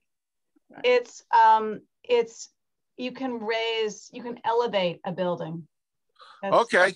Typically. Yeah, I would, I would definitely elevate that building because Yeah. the amount of money that we, we spent In to fact, do that. that is something Connecticut did a tremendous amount of after Hurricane Sandy. Um, you can, it, it's absolutely okay to elevate the building.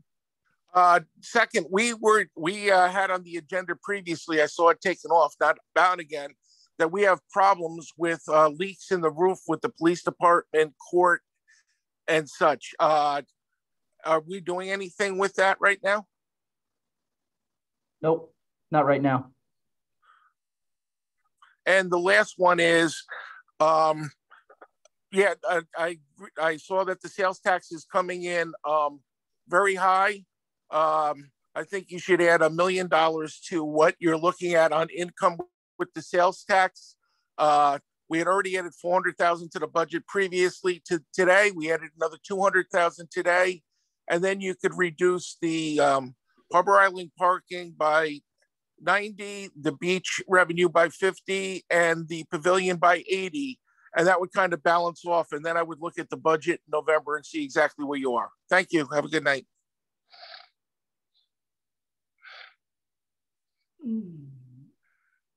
You guys are muted. Report from the village manager. Um, the only report I have is that, um, leaf blower season starts on Friday. Other than that, that's all I have. I mean, obviously, you know, I'm, I'm, I'm running on fumes every day and that's just, that's all I have for you right now. So I'm sorry. Uh, uh, Jerry, don't be sorry. You, you, you, you've done an exemplary job and, uh, it was a, a privilege to watch you. Thank you. Uh, clerk treasurer, Nothing to report, Mayor. village attorney, Nothing from me, Mayor. minutes of boards, commissions, and committees, minutes of the board of trustees work session, regular session for September thirteenth. And the minutes of the art council meeting for July nineteenth, twenty twenty-one. Uh, That this brings us to the end of a very long meeting.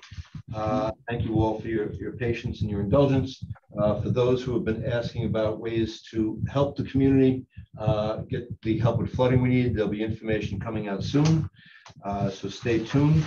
Thank you to everyone in this community for the amazing volunteer effort that went on. Uh, You literally saved lives and you gave out hope. And uh, what else can you ask for? Well, and it's, st- and it's still going on. It's still going on. People are, you know, For a while. yeah, so it's, I need a motion to adjourn. Move. Second. All in favor? Aye. Aye. Good night. Evening.